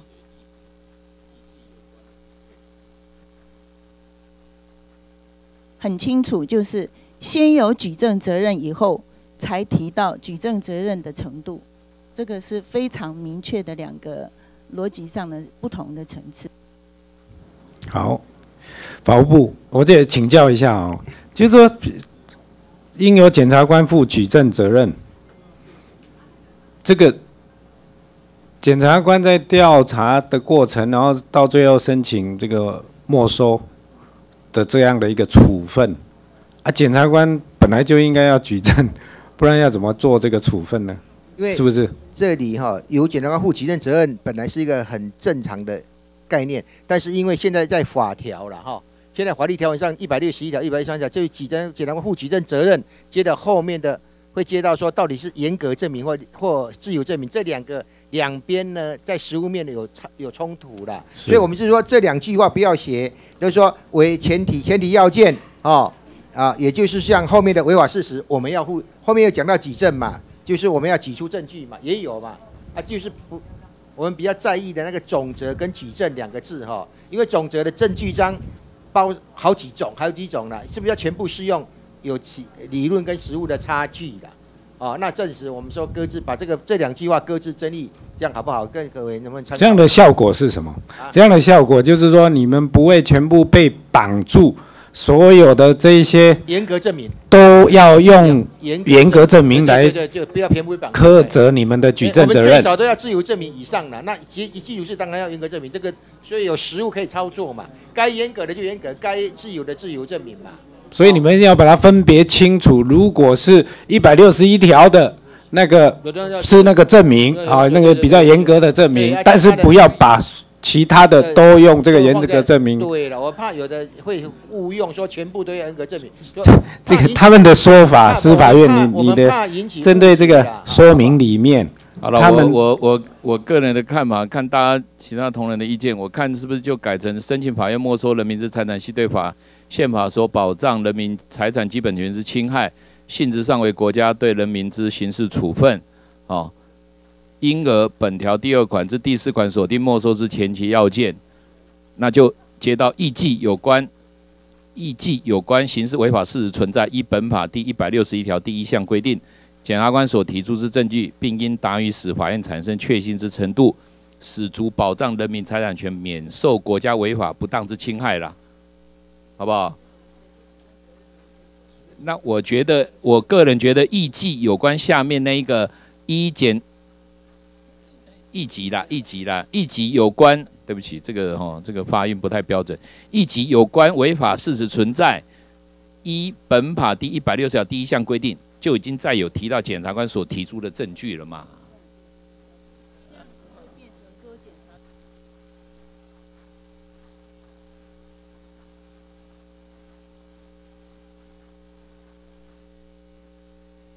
把后面拿掉的时候，哈，那个前面不管写到什么程度，都也会有引起这样的困扰的啦。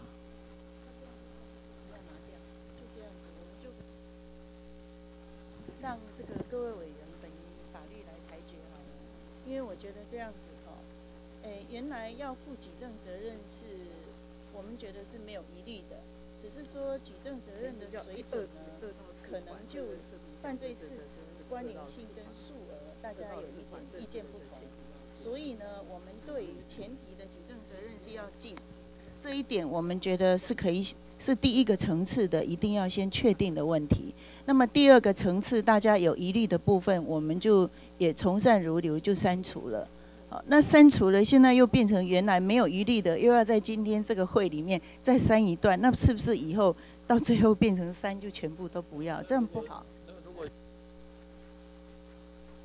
按照你们这样删掉了，对不对？哈，那后面那个至于其他没收之前提要件，法院依检察官所提出之证据，应形成何种程度之新证，使得为没收之裁判，则由法院视个案之具体状况，妥为认定。这样可以接受吗？就前面已经按照你们讲的，将检察官负举证责任比以及并应适用本法总则编证据章之规定拿掉了，那后面那个至于就回复回来。原来有，原来有，原来有，原来有有一段。至于其他没收之，你所以次长跟市长看一下。至于其他没收之前提要件，一法院依检察官所提证据，应形成何种程度之新证，使得为没收之裁判，则由法院是个案之具体情况，妥为认定了。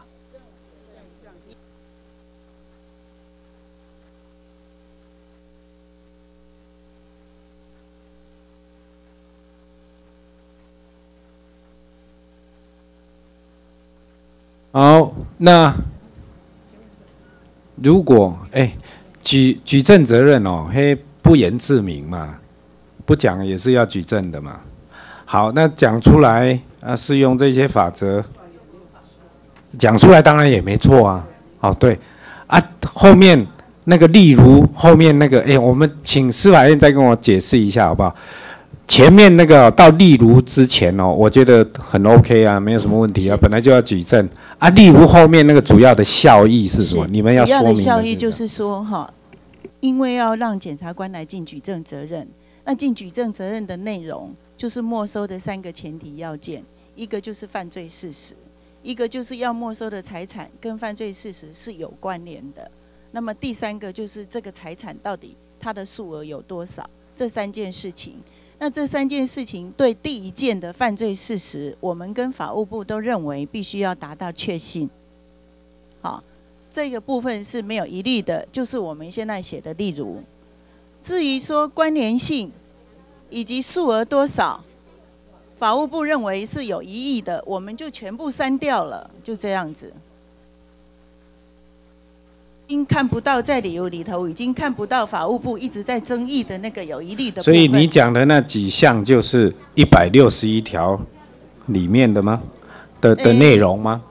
我们现在的这个确信就是属于一百六十一条的。你在哦。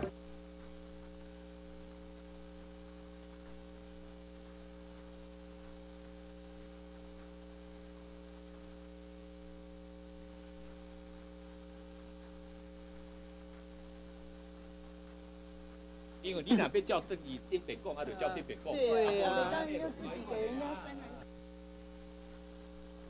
你把前面的那个拿掉，那你后面的那个治语那些要加进来，不然会不完整，而且会反而变成是说，它的前提要件就就会变成，它只是举例说你这个这个所谓的 违法事实要依照严格证据，那后面没有写，它只是例如，所以后面也可以去解释说，所以后面也都一样。所以其实是后面的那部分要把它加上来才会清楚了。说明吼，已经其实看得出来那个味道了，因为他就讲说至于怎么样怎么样，那当然就表示说至于的那个部分跟前面的要求严格证明不一样嘛。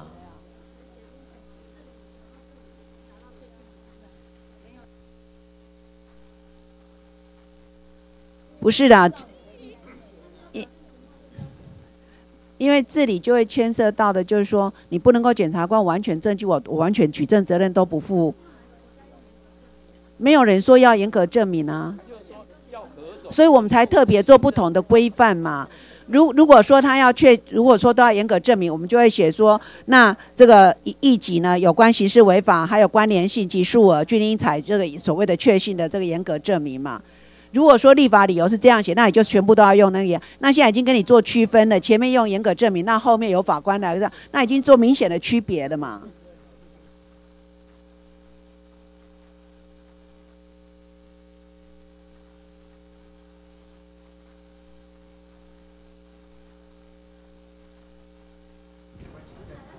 那我再请教司法院一下哈，呃，司法院，我再请教一下哈，哦，还在讨论哈，好，嗯，好，好吧，就是，呃，依照司法院今天的版本嘛，性质上为对国家对人民的刑事处分嘛，所以这个前提要件应有国家应有检察官举证了，不要负举证，因为负举证了，好不好？举证，那后面一适用总则不不要了，哦，让一级后面违法事实的存在。再把它讲讲清楚，一级有关违法事实存在就是前提要件嘛，好，就就写的很清楚嘛。那不要因为适用总则是我们最疑虑的地方呢。来来来，次长，我帮你哈，我帮你，我帮你当文书哈，我帮你念一遍哈，好不好？好，申请法院没收人民财产，系对宪法所保障人民财产基本权之侵害，性质上为国家对人民之刑事处分，因而。本条第二款至第四款锁定没收之前提要件，应由检察官举证。没有没有，他他说他说不要写负举证责任，应由检察官举证啊。你的意思用这个文字是不是？那应由检察官举证，例如有关刑事违法事实存在，依本法第一百六十一条第一项规定，检察官所提出证之证据，并应达于使法院产生确信之程度。使足保障人民财产权免受国家违法不当之侵害，据点，好不好？好好好，那哦好，好哎，其实这样对你们反而不清楚啦，因为你是用例如哦，所以例如后面没有举的就也可以比较办理哦。好不容易，好不容易哦，好，好，没有其他意见，好，那还要不要再写一次修正动议？还是我们这样念过，还是在写了哈？好，现在在写啊，在那个修正写一个修正东西，啊，就这个就没有了。对，好，好。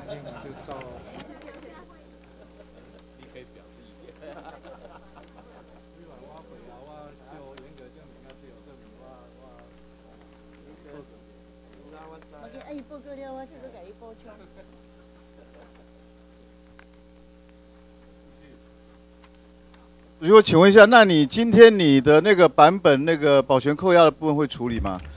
诶，今天我们请请问各位委员哈，因为司法院一直没有版本哈，所以我们觉得大家提的意见是很对啦，就是司法院你要有有版本，你们多久可以给我们版本？如果我们没有办法一直等啊。呃，我我刚刚有大概跟我们在讨论一下哈，十天之内好不好？十天呢？咋刚？这个主席哦，下个礼拜。这个主席啊，我刚才征得我们今天招委的同意啊，我下礼拜三下午会再排林维洲版本的刑事诉讼法修正案。那如果司法院那时候的意见，我不管用你们用什么样形式进来了哈，那你们去想办法。如果司法院那时候的意见没有进来，我们有可能下礼拜三说不定就通过了林维洲版本的这个部分，所以。十天我们觉得太久了啦，哦，因为这个部分我们一直有接到这个包括一些学者的意见，觉得你这个没收的规定，我在这边做了听了也学习了很多了哈。虽然说我大部分在实务上面我除了担任被告之外没有什么经验啊，但是呢，但是我一直听到的讯息一直不断的跟我强调，包括一些团体学者，那么要求说。这个保全扣押的部分跟没收不可以分开处理。那我们也知道司法院我们面对的这个七月一号的这个时效，但是呢，我们也一直不断的也听到，包括上个会期在处理这个这个这个这个司法院那个时候也承诺要送版本进来，一直拖到现在。那所以呢，我唯一可以做的就是用我们主持会议的权限，让司法院动作可以快一点。所以我这边先跟我有刚才有征得这个我们林委员的同意啊，我下礼拜三下午会就排这个林维洲版本的刑事诉讼法修正案。我这边先跟你们说明，动作要快，好不好？谢谢。去，那那个因为那个案子只好再往后。如果但是只不过今天林维洲的版本如果审的话。他小段已经先答应我了，不是？对对对，那个 因为顾立雄、顾顾委员、顾远在等你的法官法，你不是叫我等你吗？对不对？你还有一个法官法。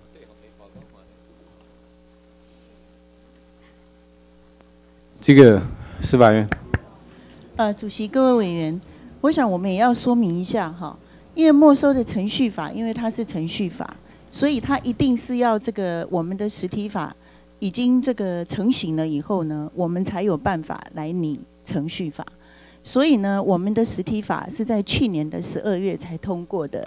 那么从去年的十二月到现在四四个月间，我们提出了有关于没收程序本体的规定，以及这个有关于这个。没收本体的规定现在还在审，哈，那我们密集的到地法院来，那所以呢，如果就这个时程来说，我们在短短的四个月的期间，我们就可以把没收程序法的草案提出来。我相信我们是已经尽到主管机关的一个很大的一个责任。那当然，刚才那个段总段招伟，哈，刚才是对我们也责之深爱之切，我们也非常了解到说扣押保全呢。呃，它是这个属于这个没收的一个重要的配套，但是毕竟它就不是。如果说实体法没有这个扣押，它还可以这样运作，只要有没收程序的部分就可以运作。那我们在这里是要特别说明说。因为我们的程序法一定要在实体法出来了以后，那么实体法出来了以后，到现在四个月，我们没收本体的草案已经拟出来了。那么扣押的部分呢？因为它非常的复杂。好，那么如果说我们要像现在这个提出来给林维洲委员的这个版本这样简单的话，都完全不需要经过法官的一个审核。那么，呃，这个。侦办刑事侦查的公务员就可以自己去扣的话，那这样的这个草案非常的快，我们不用十天。但是如果我们希望周全林维洲来回答你，但是我的态度其实很清楚。你们今天没收要出委员会，我也没有意见。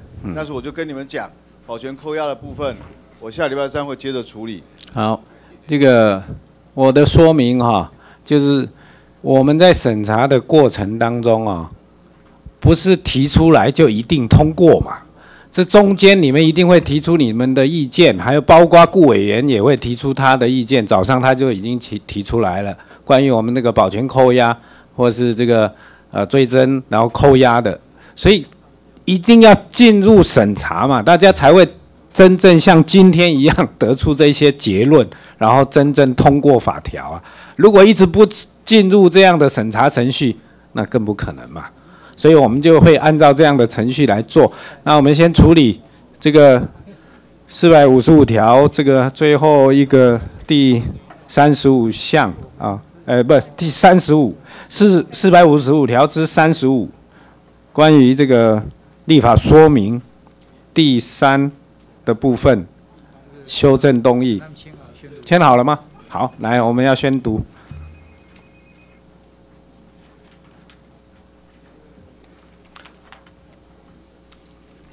四第四百五十五条之三十五修法说明三修正如下：申请法院没收人民财产，系对宪法所保障人民财产基本权之侵害，性质上为国家对人民之刑事处分。因而本条第二款至第四款锁定没收之前提要件，应由检察官举证。例如，有关刑事违法事实存在，依本法第一百六十一条第一项规定，检察官所提出之证据，必应达于使法院产生确信之程度，使足保障人民财产权免受国家违法不当之侵害。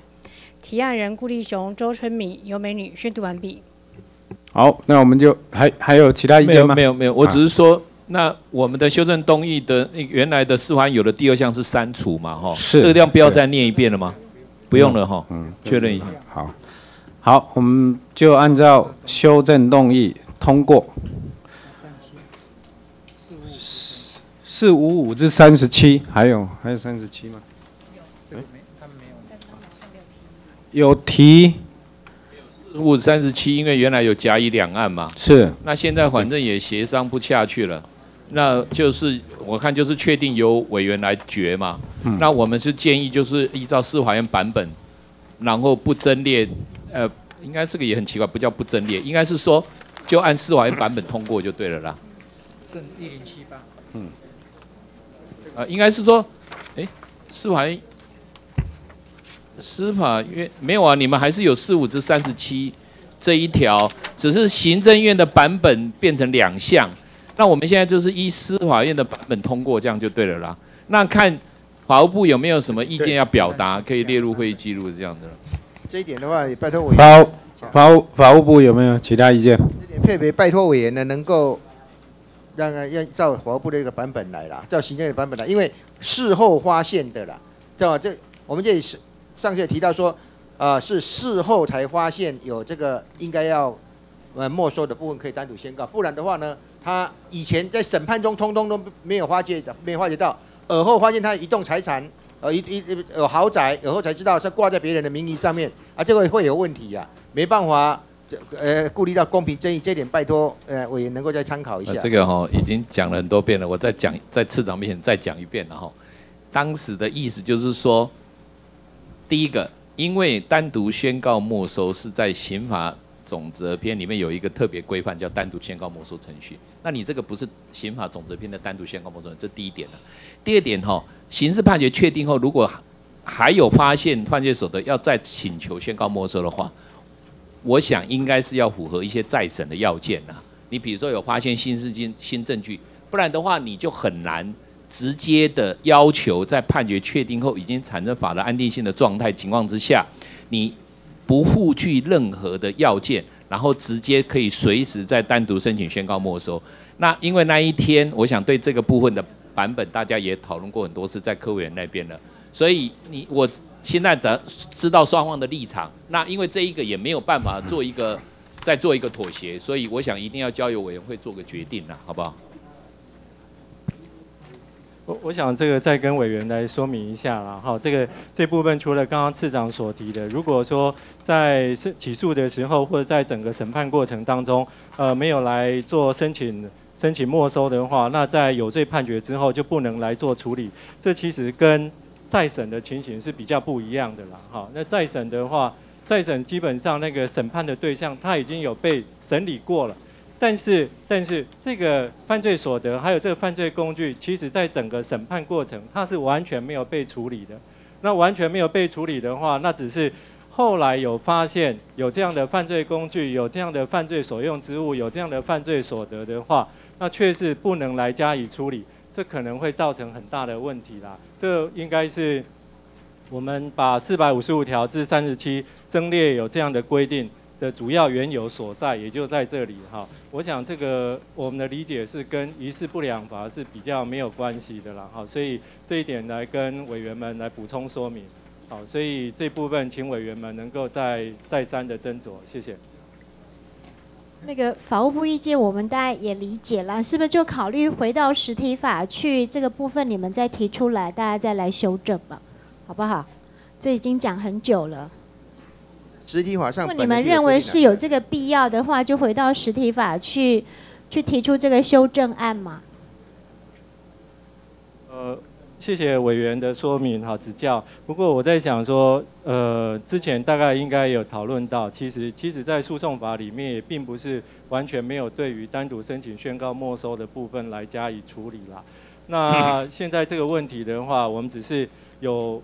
有有，我们觉得说这个让检察官来启动这样的程序的话，其实也应该也可以算是一个程序上的一个事项了哈。那我刚刚讲说，这个其实跟我们所理解的再审哈比较不一样。如果说是已经有曾经处理过的话，那我们觉得说应该不应该让检察官再起这样的程序，这是有道理的。但是这整个审判的过程当中的话，并没有做任何处理。那却是因为在整个确定了以后，那就完全置之不理，这恐怕呃也不是人民所愿意见到的哈。所以再请委员们能够仔细斟酌，谢谢。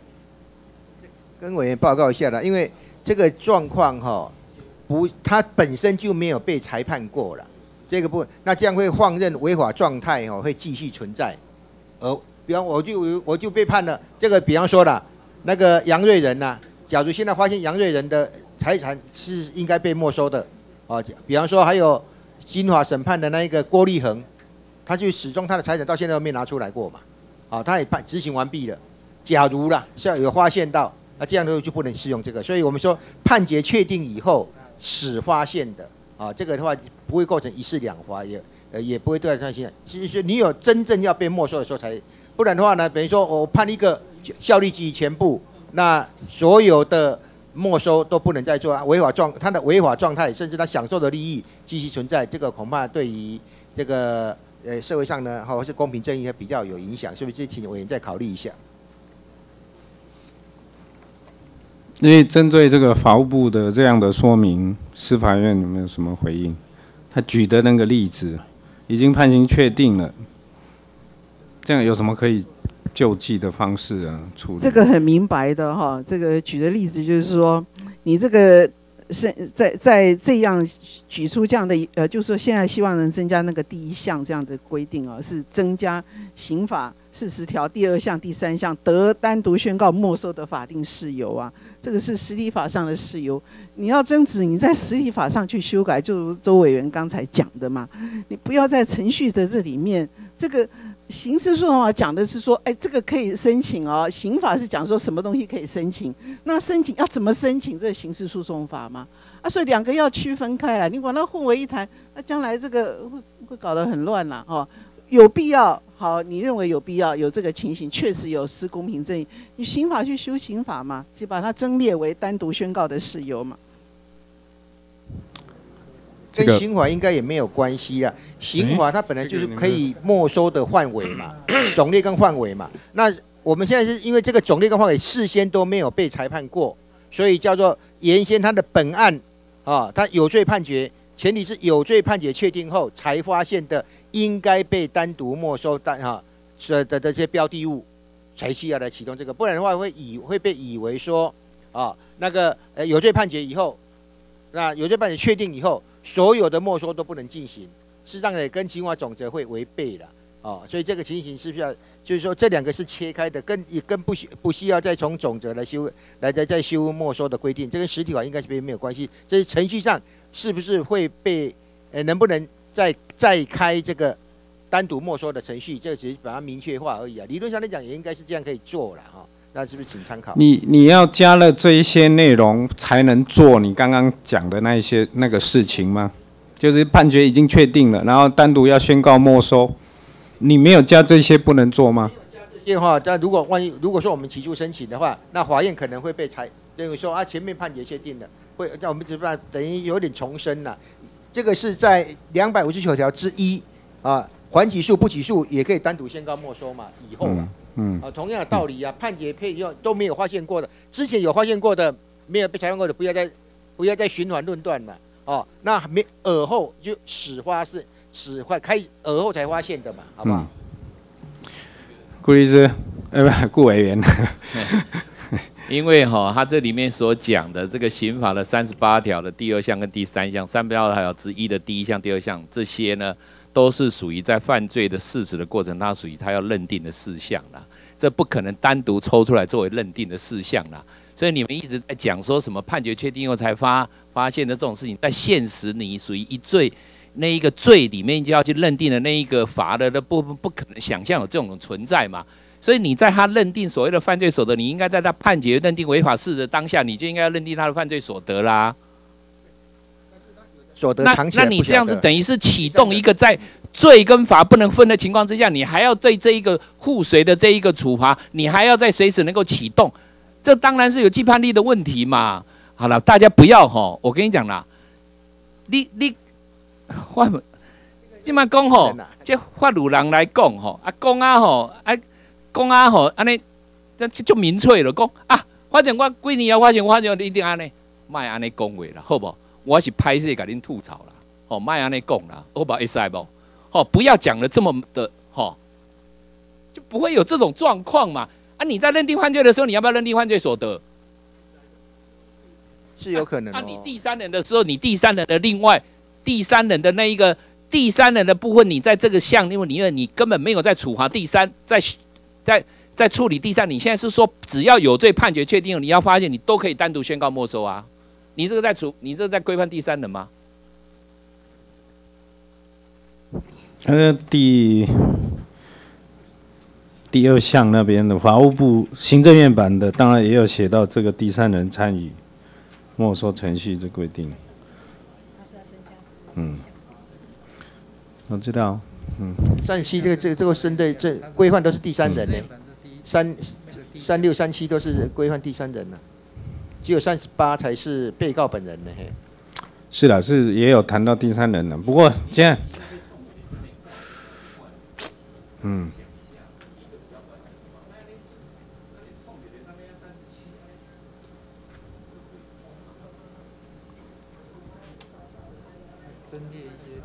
杨瑞仁把他放在我的身，放在我这里，他判决确定了，他放在我的这里，现在才被发现的，能不能在前提事实都没都都是属于贪污所得，哦，但是他现在我我放在放在我身上，放在他子女身上，而后才发现的，啊，这个会有这个问题，第三人啊。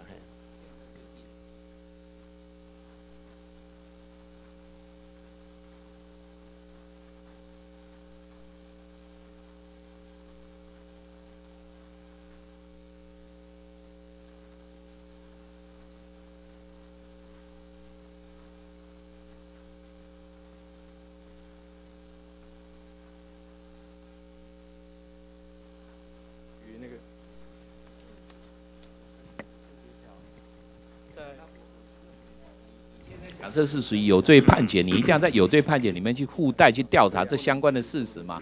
你们跟又去惹一个惹一个在判决确定后单独对被告是当然不可能想象了。你说对第三人，那你们对第三人的这个没收的程序要在四十条之外还有一个单独宣告没收的程序，那你们要想办法在四十条里面去规范嘛？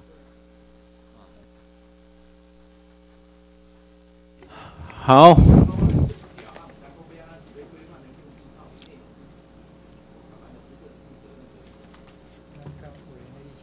好，各位委员，有没？就说第四十条哈，其实有在讲说，就刑法的第四十条，第一个就说没收，第一个是要在裁判时的时候一并宣告嘛哈。那第二个就是违禁物的时候，就如果可以单独宣告没收的有哪些？一个是违禁物，或是专科没收之物。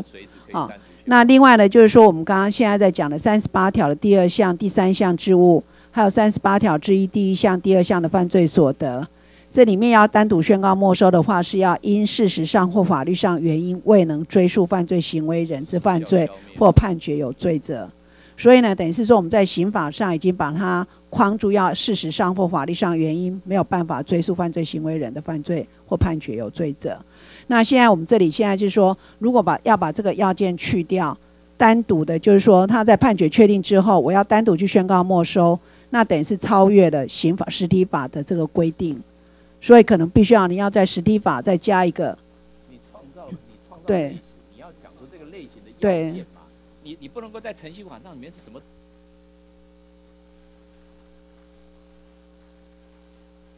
简单讲，你违禁物已经有宣告没收的单独，你随时都可以来单独宣告没收。你专科没收也可以了。那你现在对于被告的部分，当然是随着这个判决来加以认定嘛。告南宫判决的犯罪事实不认定，然后去单独，那已经判决都犯罪判决确定了，啊，突然过了几年以后，突然又说，哎，我还有另外一个犯罪所得，不用去附随于这个犯罪事实认定，是不通的嘛。好，那你说对第三人你还要对第三人你还要你要在第三项这个不管你还在创造一个类型，那你要创造这个类型的要件是什么？是是不太可能用你的这个三十七的这个版本来来来来认定。好了，我想主席啊，我看是不是就这样子过了啦？因为好，另外这呃那个法务部，你们想要强调的那一部分，可能要用其他的途径去处理了哈。好，那我们就按照司法院的版本通过。好，再来是四百五十五条之三十八。资料这三十八，我记得那一天协商算是有一个结论哦，说是不同意增列，不同意增列哦。你们带回去的意见是没有转达这个意思吗？记得那一天讲的意思是这样子，意思就是说，反正对于被告没收的财产，都是一并可以提起上诉的，没有必须要有照准用四五之十三第二项到第四项，还有四五之二十三及四五之二十六的。必要了，因为你那个要准用的那个规定的意思是指说，你对于被告的上诉不，你现在就就那一天讲了讲，就举一个例子，就是说，你对于本案的犯罪事实你没有意见了，判刑你也没有意见了，你只是专门针对那个没收的部分有意见。那现在他没收的部分的规范的方式就是说，他他不写要没收，他要写要没收，当然要在主文宣告嘛。他不写要在没收的部分，他在理由里面宣告。那如果你对于那个理由，就是不没收的部分，在理由里面一并宣誓的部分，你有意见，你就对整个判决就上诉啦。啊，因为你你你单独对没收上诉，被告嘛也是被你一起带上去上诉啦。他他被你带上去上诉，跟你在所以在理由里面一并宣告后，你对整个判决上诉，结果是一样的啊。那所以那天已经讲了，就是一定可以上诉。一定是可以对理由那个不予没收的部分的宣告，对被告部分呢，我们现在不是讲对第三人，一定可以去上诉嘛，所以这就没有去准用的必要了嘛。这一部分当然我们是想说，这可能跟司法院是比较有关系。对于被告的部分，如果只有就没收的部分上诉，你有没有给予其他部分？这你必须要很清楚哦。你但是如果有，因为现在对于没收的部分，他不没收，他因为在理由里面嘛，啊，你们本来就对对整个判决提起上诉，不是吗？啊，所以你当然就会去上诉了嘛。你说，哎，我认为有一个东西还是要没收啊，法院就不予宣告没收，他会在理由里面并予续名，或者他甚至都没有续名也没有关系，你就是对判决提起上诉啊。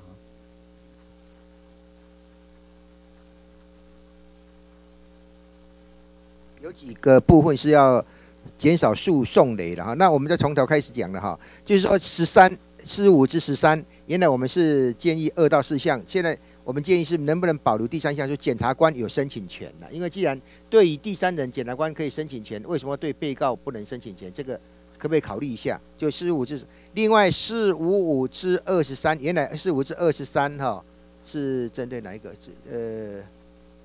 是传闻法的那个那个部分的话呢，要不要准用？哦，那不要准用。那事务至二十六是主文要不要一之不没收？就原来裁判里面，哦，我们呃一之权或者要不要要，如果让检察官有申请权的话，要不要在主文里面说申请的呃甲乙丙，啊那个就比较二十六了哈，那个主文里面甲乙丙要没收，那个 A、B、C 不没收，让这个检察官有上诉权嘛？啊，这个部分的话是这个部分是不是应该有呃跟第三人一样的一个意志的没收？另外，我们后来这里提到的是说四五五之十五啊，哈，是不是是经双方同意免没收的部分呢？如果这样说明免免没收，就不需要再做其他的诉讼上的的某些的诉讼行为嘛？是不是对法院呢比较有利？哈，这个这个，另外还有一个是四五五。啊，一部上诉给予全部有没有必要？我们只能说，如果只单纯针对没收上诉，那那个对事实、对判决并没有争议。那如果要重新审，我们也没意见呐。这个看法是我我们只提出来啊。这样你那个被告跟第三人，因为被告没有办法比较特定，第三人是对物的特定嘛。啊，你们你们大概实务上都很清楚，对被告的那个扣押哦，它是可为证据的没收书中一并扣押嘛。所以已经讲，这也讲了很多遍了。你就是说，有时候一个案子一摸一扣押吼，就扣押个整间嘛。那这个里面有很多部分是可为证据，有一部分是得没收。所以你如果要按这个民事的诉讼标的的概念，说驳回也要写在主文，吼，那个万一哈，万一啦，吼，那个比较大的案子，你一扣押扣押的满满坑满谷的吼，你你要怎么去驳回？写在主文。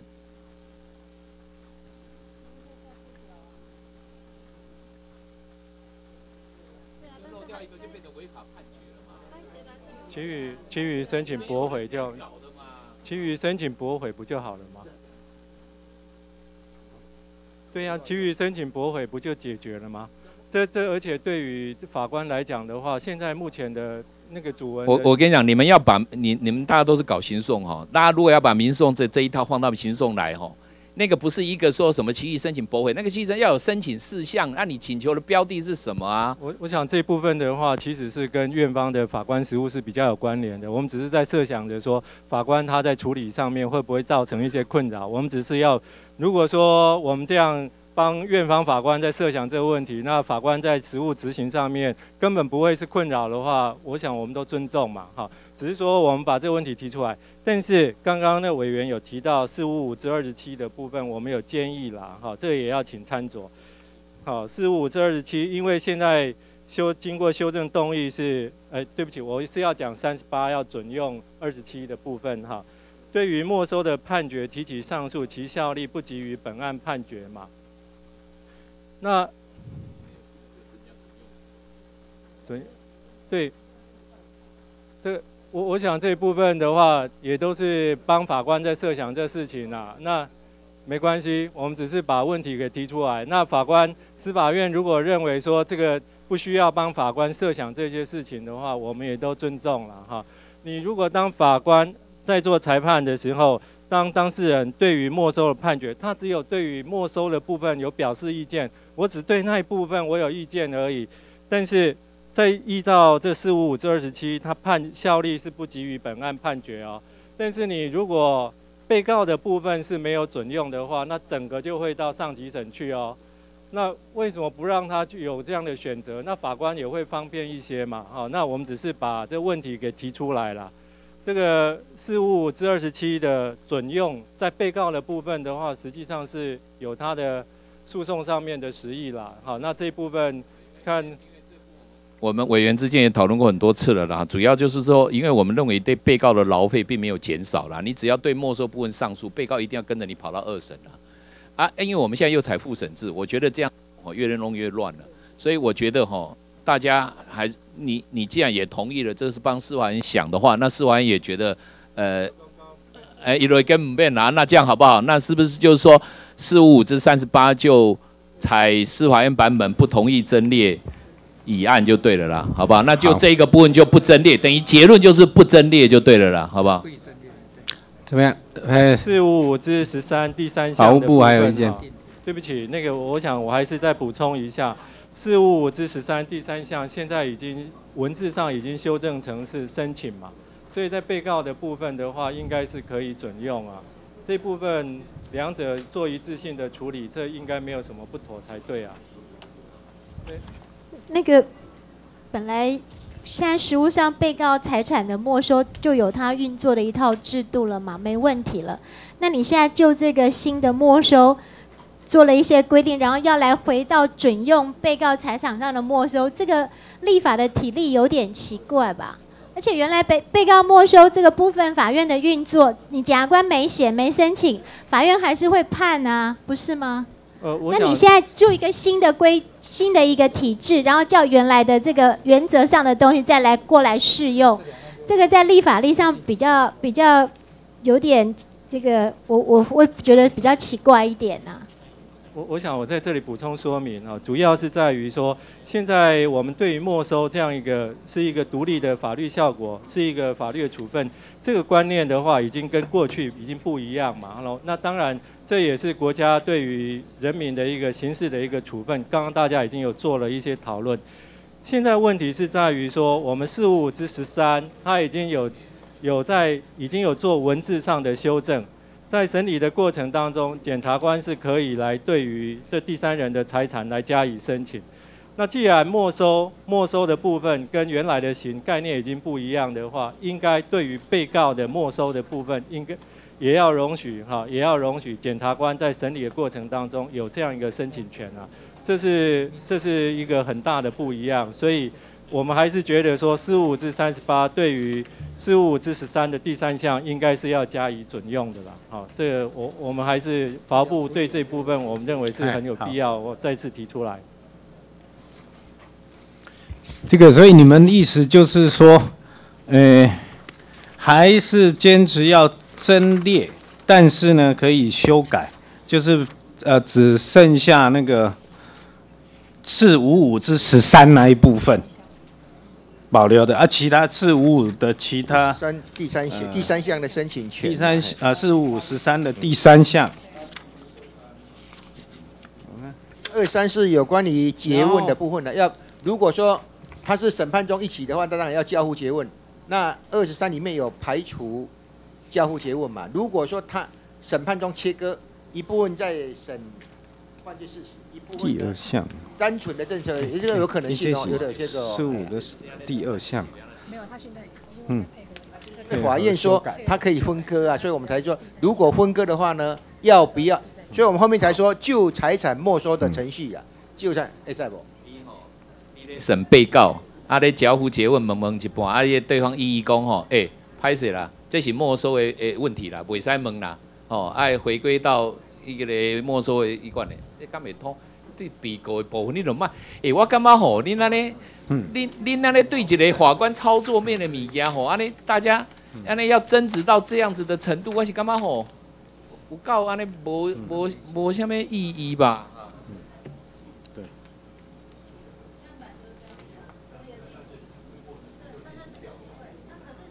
对啊，这个一样的。这是它是啊，我知道，跟这个、这个、这个、这个已经有改过了吗？没有啊，这有改过了。它实际上是说要到第三，呃，四五五之条之十三的第三项，对，对吧？对。好，还有四五五条之十五，四五五条之二十三，四五五条之，嗯，二十六，这个还是争议。因为报告委员，我们上礼拜五才开完研讨会，学者都来报告别的国家在进行的状况，没有看到哪一个国家犯罪所得因为属于被告或属于第三人，他的程序而会有差异。因为我们今天是要没收这犯罪所得，不管他是在谁的身上，程序应该是一样的。那是我们提四五五至三十八的缘由。那这个今天我们提一个草案，这样子讲吼，你这样讲说两个没有程序没有不一样啊，你也准用也只有准用几个条文啊啊，到底有没有实质上不一样？也可以准用全部啊，如果委员，我们当初的条文是重点。你这个人讲的是在高灰的，确实是这样。你卖高安那灰哪里啊？这确实是这样。报报告委员哈。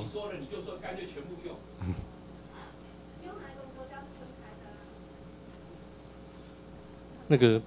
报告委员跟主席哈，如果如果照这样说的话，那这样子德国跟日本就不会有所谓的第三人参与诉讼，然后就那个一些程序事项做不同的规定啊。所以可见对第三人跟对被告本来就是做不同的程序规定啊。第三人是因为附加的关系，所以他变成在主程序中做一个附加参与的方式来参加这个诉讼，所以应该结论上不是这样的推法了。这主主席主一下意思是不是请人员就坐啊？啊，就就做了，哎，不要激动，继续谈啊。开始的他的章节就是属于第三人程序了，你现在怎么被告也是准用的程序嘛？那你不然你开你法务部拟一个第三人跟被告一起准用的程序给我啊，一起适用的程序了，不是一起准用的程序。第五摘掉你安那你安那你嘛，不要到了这个关卡你才跟我说这两个的程序一定要一样啊，都哪个年代了，已经搞成是这个样子了。你还在跟我说这两个程序要一样？世界上哪个国家是没有不一样？在讲这些啊？你现在准用，就算你准用到天涯海角，你也表示这两个程序是不一样嘛？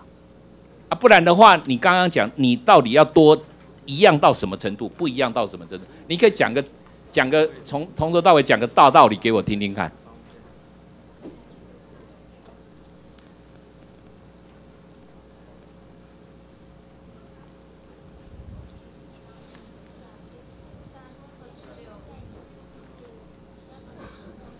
好，法务部，你们呢？二十六证，二十六没有啊。我想，我想，我我我是提议了，我们不要再继续讨论了，我们就做一个决定了，好不好？好。十三好的二十二。好。各位委员，如果按照司法院的版本，不予增订这个四百五十五条之三十八，有没有其他意见？可不可以保留十三第三项跟那个二六的？可不可以？嘿，OK。呃，你再讲清楚一点，就是就是保留准用，修改你们自己的版本嘛，哈，你把修改之后念一次。可以，比如说四五五四百五十五条之十三第三项，啊，顿号，还有四百五十五条之啊二十六，好。就以被告财产没收之程序准用之，可不可以？就就这两条，我们比较，就一个是申请权呐，好，一个是有关于主文的部意知部分，可不可以这样？司法院呃保留的这部分，我们没有办法同意，没有办法同意啊，是。那个什么，我不太知道法务部你们现在，你们现在是说？四百五十五条至十三的第三项，新修正过的第三项，哈，我们那就是说，检察官他可以申请，就是说对没收的财产可以申请嘛，是向法院申请。那现在不行吗？现在在诉讼中，本来你们就可以随时可以申请啊。的时候呢，只是说表达意见啊，哎，就表达意见而已。那表达意见不是？那不是申请权啊。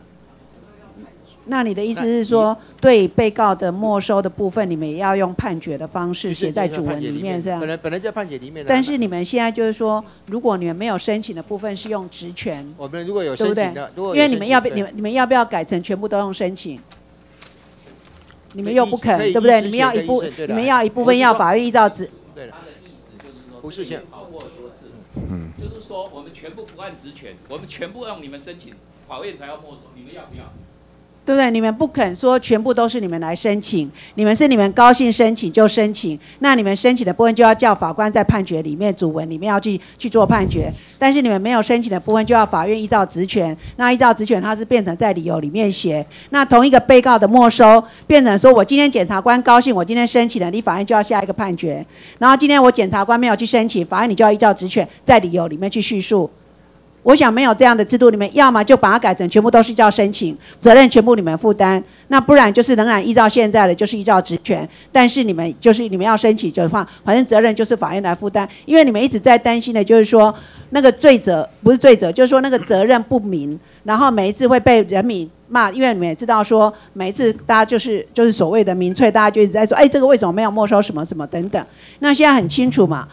被报的没收的部分，就是法院的权，就是法院的职责，所以法院必须要依照职权去没收。那如果该没收他没有被没收，没有没收到，那就法院自己去负责。该骂就法院被骂嘛。但是呢，对第三人的部分，哈，就是说，但是呃，对第三人的这部分，现在是让你们可以申请嘛，对不对？那所以对在第三人的部分，你们应该要去调查、去申请，你们要去申请，那到时候被骂就变成你们检察官去被骂嘛，就会变成这样子啊。那现在你们要把它在。再把它调回去，就会变成是说一部分，就就那个部分会又会权责不明啦。嘿，我我想这个谢谢委员的指教了。那委员提到这个问题，确实是一个制度上面的一个选择。那我们的理解就是说，我们参采的德国的法制的部分，那德国的法制它其实也是依照职权来做调查。那但是在法院的依职权调查的同时，也容许检察官来做申请。所以这并不是说。呃，世界上并不是没完全没有这样一个法法法律呃法治制度的一个选择，所以那因为现在在这没收的法治的部分，我们是刚好也都参采德国的法治，所以这部分我我们特别再提出来跟委员来做报告哈，来做说明。这部分的话，应该是容许容许检察官是有这样一个申请权，可以让这整个在诉讼的进行的话，在整个没收的程序的进行会更加的。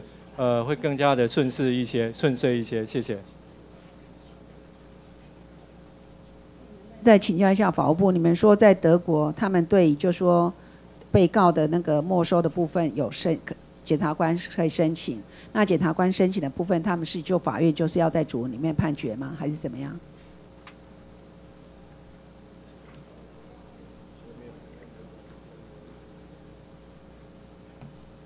对，我们的理解。我想这样子吧，哈，因为他们现在除了十三之之的第三项以外，最重要就是说，那一个要在判决主文里面宣告。那判决主文宣告已经讲了，会没收的一定会在判决主文宣告，这是没有问题的。驳回的部分我们已经讨论过不晓得 N 百次了，都确定说在实务上不太可能，嗯，也。也就被告的部分直接来就驳回的部分来一一来判决组里面宣告嘛。那对被告的部分，如果对没收的一个判断，不管是在理由里面表达或在主文里面表达不服，都可以提起上诉嘛。对。所以我们也已经决定确认过了，这个在上次也已经确认过了，所以就这个部分就已经定案了。那所以我我是认为第七篇之后没收的特别程序是对第三人。那所以。被告的这一个请求没收的这个部分，就按原来的刑事诉法一般的章节就去处理掉。我想实务上也就是如此了，这样子好不好？哦，那就不用再特别准用的规定了，不用再增列了啊。好，呃，针对这个四四百五十五条之三十八，就不予增列，不予增定了哈。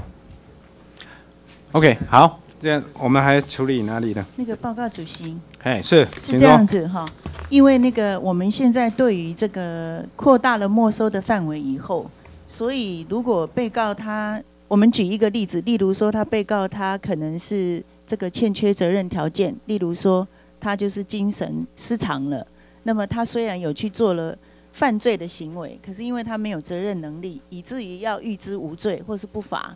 这样子的情形也必须要有一个没收的判决，所以呢，因为我们是在这个跟法官教育训练的时候，法官每天在写判决，提醒我们说，以后不只是有罪的判决会没收，哈，有罪判决以外的其他的判决也有可能要预支没收，所以我们有做了一个，在我们今这一次有修订的这个三百零九条，我们原来只修订了三百零九条的。这个第一项第一款加了没收，那么不管加了没收以后，它还是属于有罪的。是。那我们现在针对不是有罪的部分，我们做了一个增订了一个第二项的规定，好，来弥补这个将来的一个对的的判决的部分。嗯。这个现在还能改吗？三百零九条这个。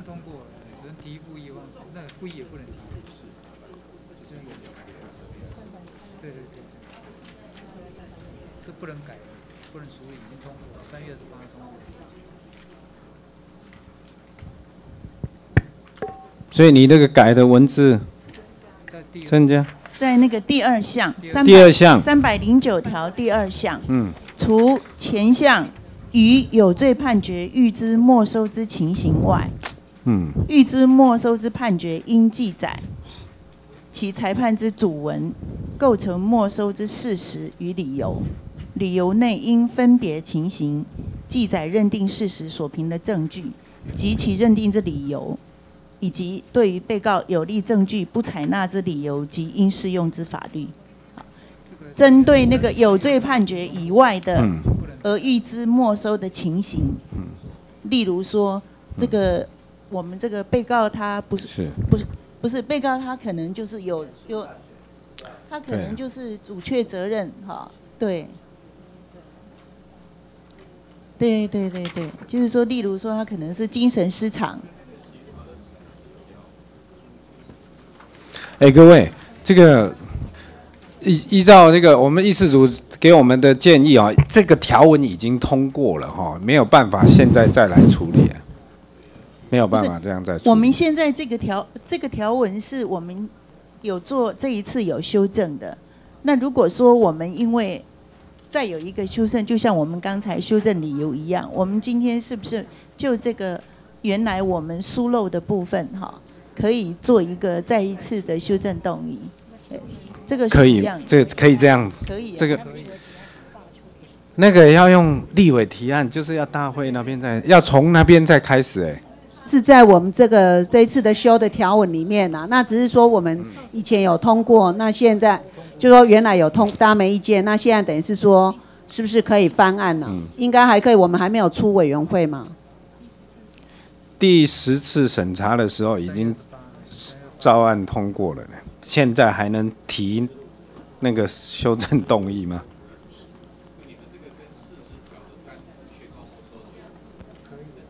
不行了哈。不可以，完全对不起，这个没有办法这样做，哈，复议期也过了，啊，这个委员会已经做了决议了，他是没有在保留的状况之下，所以，对啊，当时是完全没有保留的，是照司法院的条文通过的，那不然就算了，那没有办法，那不然就如果如果不。如果技术上没有办法克服，那我们就算了啊，因为法法官有这样的建议。那个还要在委员提案，另外走程序委员会再进来委员会哈。好，所以针对这个刑事诉讼法这个修正条文，好，嗯。那个林委现在现在处理林委。接下来我们就要处理。我的部分哈，林维洲等十八人凝聚刑事诉讼法部分条文修正草案哦，我们留待下一次另定期审查。那现在接着再来处理委员蔡依仪等十七人凝聚的刑事诉讼法第十七条修呃条文修正草案。这个条文已经宣读过了哈。好，请宣读提案条文。刑事诉讼法第十七条修正条文：法官于该管案件有下列情形之一者，应自行回避，不得执行职务：一、法官为被害人；二、法官现为或成为被告或被害人之配偶、妈亲等内之血亲、母亲等内之姻亲或家长家属；三、法官与被告或被害人订有婚约；四、法官现为或成为被告或被害人之法定代理人；五、法官成为被告之代理人、辩护人、辅佐人或成为自诉人，附带民事诉讼当事人之代理人、辅佐人；六、法官成为告诉人、告发人、证人或鉴定人；七、法官曾执行检察官或司法检察官之职务；八、法官曾参与被告或同案共同被告之先前裁判。宣读完毕。请宣读，我们这个有修正动议啊，请宣读修正动议。呃，请参阅第一页第十七条，法官于该管案件有下列情形之一者，应自行回避，不得执行职务。第一款至第七款除推事修正为法官外，与现行条文同。第八款修正为法官曾参与被告同一案件之判决者。九。法官得参与呃曾参与关于判断被告是否为共犯之判决者。十，法官曾法官曾为交付审判或开始再审之裁定者。提案人顾立雄，联署人周春米、张宏禄宣读完毕。好，各位委员，这一条文及修正动议。好，已经宣读完毕。好，大家有没有意见？哎，主席，好，来。那因为我提这个案哈，我主要是认为说，站在一个公平法院的一个原则哈，确实被告他没有办法去期待说，一个法官他已经参参与过。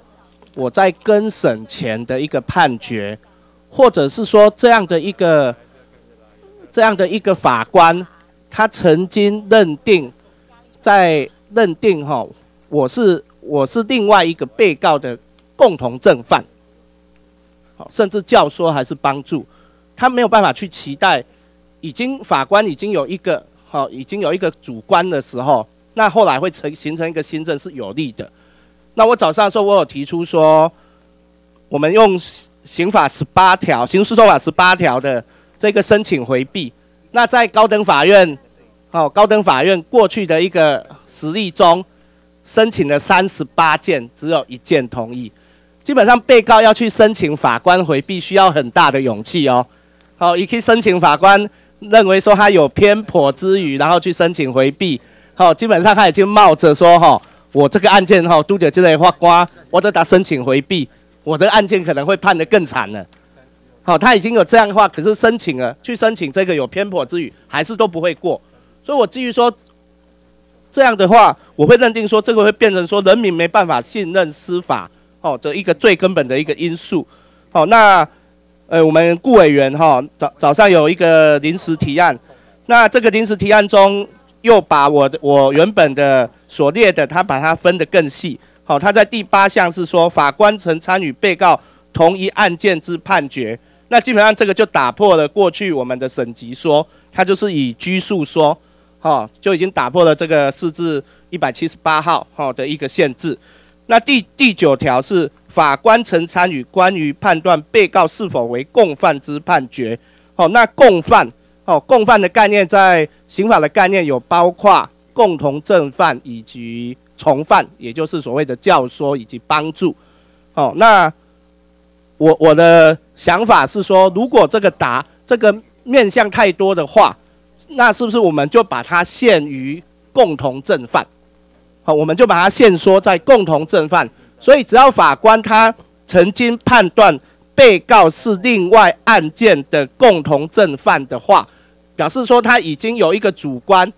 他在他之前审理的案件，他认为有一个共同正犯。假如假如就是现在这个被告，那这个被告又遇到这个法官的话，好，这个被告遇到同样这个法官的话，他就有有一个好期待，说我这样我我不要让已经有这样一个先入为主概念的一个法官来审理我的案件。哦，我认为说以被告他有这样一个合理的对司法的一个期待。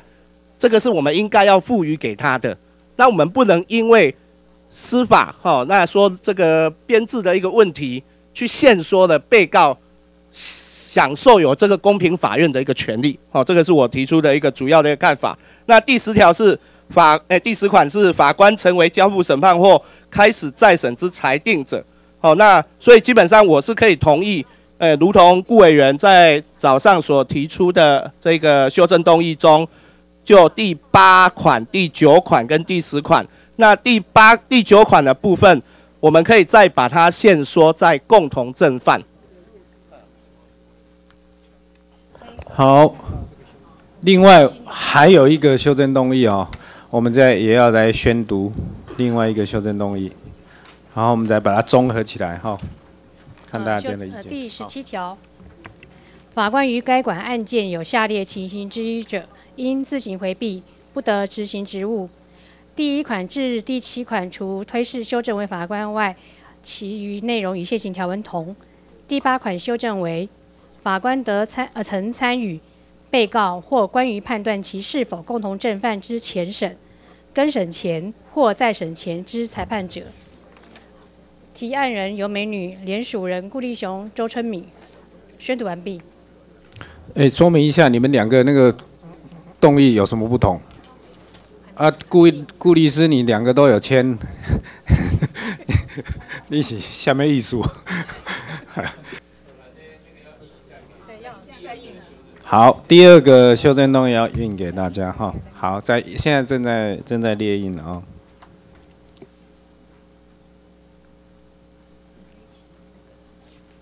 法，呃，我们司法院啊，不，我们先请尤美女委员。说明一下这个新的这个修正动议，还是等一下，等一下哈，等他们都呃列出来哈之后，还是我们请司法院哈，整体上因为这个跟司法院比较有关系哈，来说一下了哈，因为其实呃就是今天早上咨询的嘛啊，就是说对所谓的公平法院，那这个公平法院它应该包括的就是说。你今天法官不能够有任何的预测或是臆断在那里偏颇，所以在这里呢，就变成只要你这个法官你以前曾经审理过被告的案件，那你就对其他的这些的呃共同被告，好，就一个是 就一个是所谓的呃省级的，就是说我今天被告我的案子在地方法院判过，然后到高院，结果高院的法官。就是地院的法官，那当然就剥夺到我的省级利益嘛。或是我的这个案子呢，上去到最高法院，他又发回到高院，就发回到高院，又是原来高院的那个法官。那因为原来现在现行的条文里面规定是讲说，你推是曾经参与前审的裁判的话，那你就不可以。那这个前审他们解释是说，是等于说第一审、第二审、第三审是这样一个垂直的，但是发回以后的就不算是前审。可是，在一般的人民会觉得说，啊，我花回前是你，啊，花回后又是你，啊，怎么会说没有异断？那在实务上是认为说，因为已经花毁了，所以把原来的判决已经废止掉了，所以原来的判决已经不在了。所以这是另外一个一个判决，所以让这个法官再判是没有关系的。好，那一方面当然也因为说这个人员可能不够的问题，可是呢，就是我们依照不管是两公约的第十四条的一个规定，就是说你要所谓的公平法院，那你只要法官曾经接触过这些案子的话，那不管我是不是呃更审之前的，或是再审。的之前你曾经判过的，你就不应该。不管你是在怎么样的公正，反正人家都已经先对你打上问号，所以这些都应该要回避。那这是指垂直的部分。那对于横向的部分，就是说，好，今天呢，如果说我今天法官我是审理这个啊这些的被告或是共同被告，但是里面可能有一个共同的正犯，比如说他，但是他这次审理的时候没有被发现，那等到下一次被发现的时候，他另外提起。可当他提起的时候呢，是原来审理这些共同被告的这个法官呢来审理。那这里就变成说，我这个被告等于是你今天你已经先有成见了，那你今天再来审理我的时候，我等于是就说还是有偏见。所以这里就是说，如果你曾经在的案子里面审理过这个共同被告，或是呢这些所谓的啊共同正犯的啊，就说对这些共同正犯曾经审理过的话。那你也应该要回避，所以一个是垂直的，一个是横向的。那所以我这里会把它啊，就是提出来，就是说，被法官曾经参与被告或是关于判断其是否共同正犯的前审、更审前或再审前的裁判的法官，你都要回避的。那因为今天司法院有提到说啊，这样子的有可能，譬如说对那个小的法院，有可能都回避掉，没有法官可以审理，好，或是呢，像说最高法院。也这个我上去几次之后，最高法院也没有法官，所以在这种情形之下怎么办？所以要不要再要加上一个，就是说但书，就说但事实上鲜有困难者不在此限或怎么样，这个可以大家再讨论一下。嘿，好，这个司法院应该会等一下会说明哈。哎，不过我先提一个哈，因为你们各位专家啦，我我是用民众的观点来看哈，比如说像。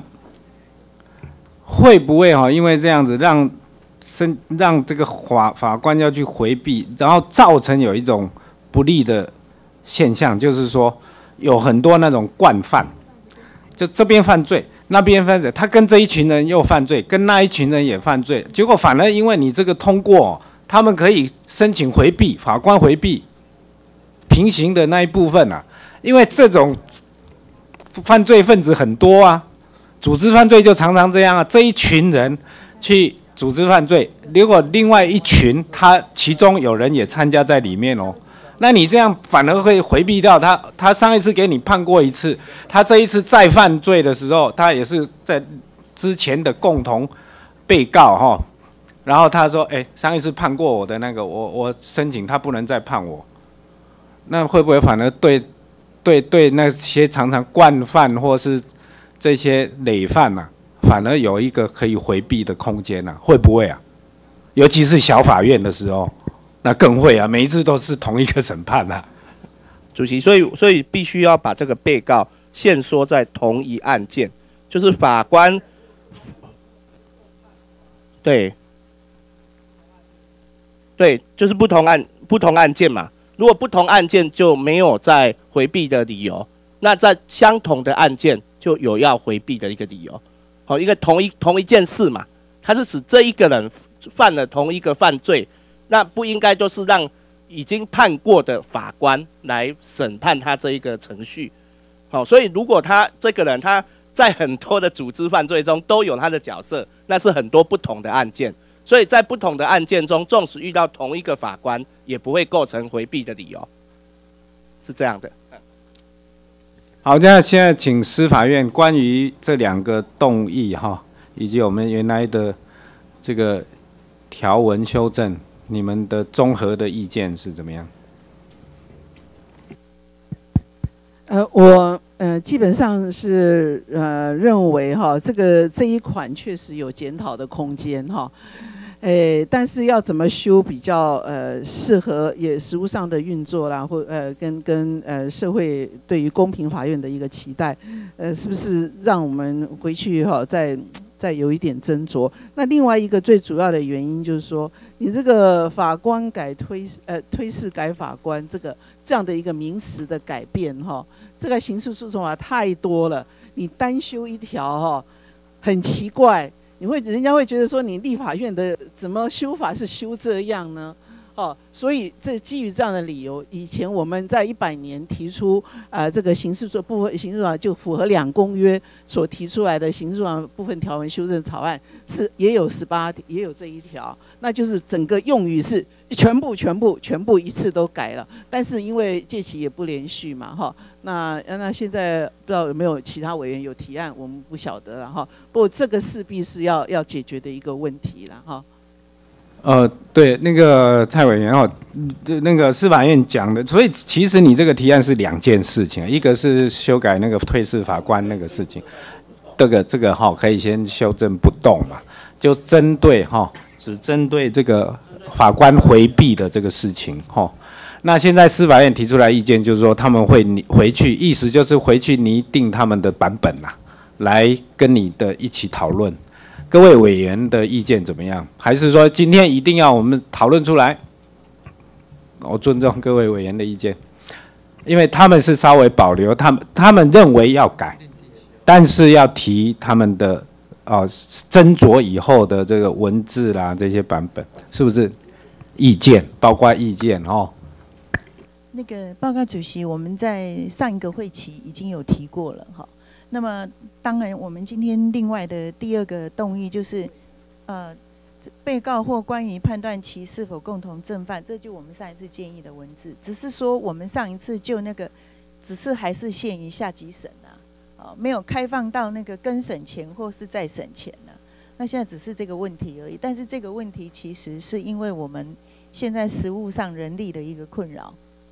那当然，今天早上顾委员有说啊可以移到别的法院去管辖哈。那这个当事人会不会不方便？这个可能也要做全盘的考量。好，好，哦，这个那或许那那这个我们 我们不敢讲哈。不过就是说，当然要考量了，是考量各种。对，早上有委员指教说，三十年前认为人力不足，那现在还是人力不足的理由是，我们这个案件膨胀的速度永远比我们人力增加的速度快。那这是没有办法的事情。好，所以如果说我们一定要扩张到前审、跟审前或再审前，是不是可以顺便就我们的人力做一个一次性的处理？没有带有任何立场的哈，我也没有说一定要支持我的联署或者提案的版本的前提之下问一下，因为刚刚尤委员也跟我私下讲一下，就是说。最高法院的这个部分要怎么处理？就是说，以后假设最高法院庭一直说的话，哈，那现在你们已经同意的这个前审啊，就会包括最高法院，对不对？对啊，前审在，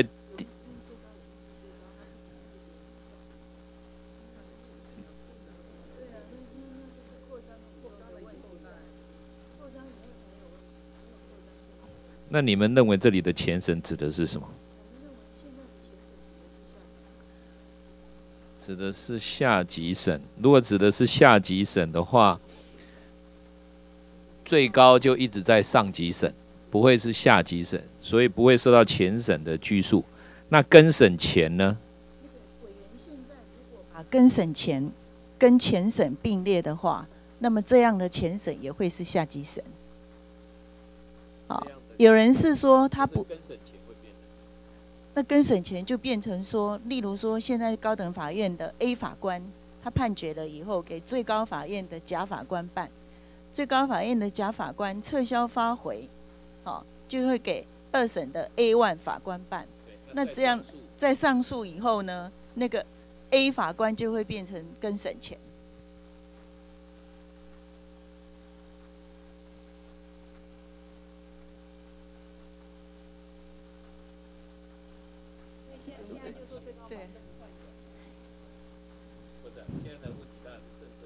最高法院一直换人好，还是最高法院不换人好？这个我跟委员报告好不好？以我以我们在最高法院的法官哈，其实我们是，诶，如果说我们为了要案件能够尽快审结的话，是不要换人比较好，因为他从头处理到这个案子。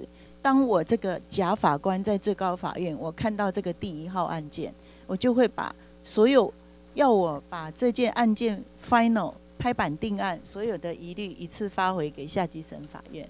那下级审法院的法官如果真的有对这个发回的意志逐逐一去处理的话，那因为上来如果还是我这个法官的话，那么我们就会不可能说再去跟人家挑剔，说我过去忘记挑剔的。除非说下去以后，他又重新做了一个很大幅度的转变，产生新的问题，要不然呢，就同样一个法官来说，他不可能一直去挑以前他自己漏掉的。好，所以呢，如果不换法官的话，他的争点一定会越来越少。可是你如果换法官，他那个发回的意见会不一样。A 法官认为不是问题的，你现在换到另外一个法官，他会认为是问题，就会。确拍板确定的案件一定会比较慢，这是逻辑上的必然。所以，哎，这个好像好好还要再思考哦。好像你刚刚提到那个最高的，到底换？才是对的，还是不换？每次在跟，一直跟，然后你叫他一直换，好像也很奇怪。一定要换到你对你有利才。假设我是被告辩护人，我上去做有利发挥以后，又被他再判了一次，我当然希望上去不要再换。是啊，所以对对会有这个问题啊。所以这个恐怕要大家这更慎重哈。好，那我们这一个是不是各位委员？我们哈，蔡委员。哎我们现在已经有逐条进来了，哈，那就是说再来的话，就是没有再答询了，就是下一次可能就是对岸的条文或意见，直接就审查这十七条。下一次开会会表示一下意见，是，就是说我们现行的条文呢，哈，大家应该就是理解，就是保护被告的审级利益嘛，好，大家是限缩在这边。那现在一些委员的提案，大家就认为说，啊，如果你曾经在共同被告或者是相关的案件有裁判过，那现在某部分的案件又跑到原来的法官，大家就会就会觉得说他是不是有已经有定见了？大家比较难期待说他会做一个他认为是一个公平，法官可能认为公平呢，那被告可能认为对他是不利的。那所以现在修法的方向好像都是往这个共犯或者是共同同案被告或者共同正犯这边去切入。而不是原来这个仅仅限于省级的利益，所以我也我也是建议说，司法院回去再把今天委员的意见再参酌，到底我们这个条文修正的点、切入的点跟角度是要放在哪里？啊，因为原来第八条的呃第八款的现行条文是保护这个省级利益嘛，那现在显然这个已经不符合，就是可能。不符合人民的期待，希望再拓宽，但拓宽是不是就是换换成说，只要共同正犯或者同案被告，那这个范围又非常的广，是，所以我们是希望说，司法院回去也也从这些角度去考量，上看看说怎么去修法会比较妥当或妥适这样子。是，还，顾委员没有，我我我只是说哈，如果如果如果我们的共识是这样，就是说。同跟审前的排裁判的同一级的法官不要再重复了，好是，然后一个是下级审的法官，当然不可以到上级审来再判，这是一定的，这比较是大家都肯定，而且这种状况也比较少了哈。坦白讲，就是少数的法院才会碰到。那现在大家最最不能太能不太能接受的，当然。纵向的部分是指说，纵向跟水平都有了。纵向的部分就等于说，最高法院花回来之后，那有仍然分给了原来那一个跟审前的同一省级的 法官了。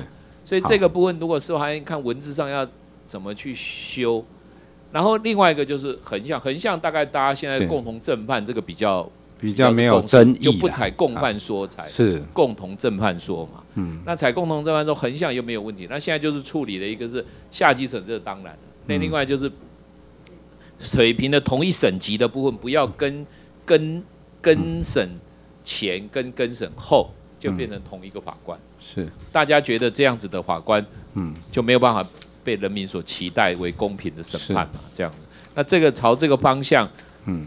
今天如果没有办法把文字拟出来，好，嗯，那是不是请司法院回去好能够想一下？嗯，司法院好，朝这个方向来拟定文字。但是哦，我提醒一点，就是说，先不用考虑那个所谓法院法官不够、人力不够的这个问题了。你如果考虑这个问题，就都通通做不成了啦。因为我们这个一定一体适用所有的法院嘛，不可能说只针对某些法院适用。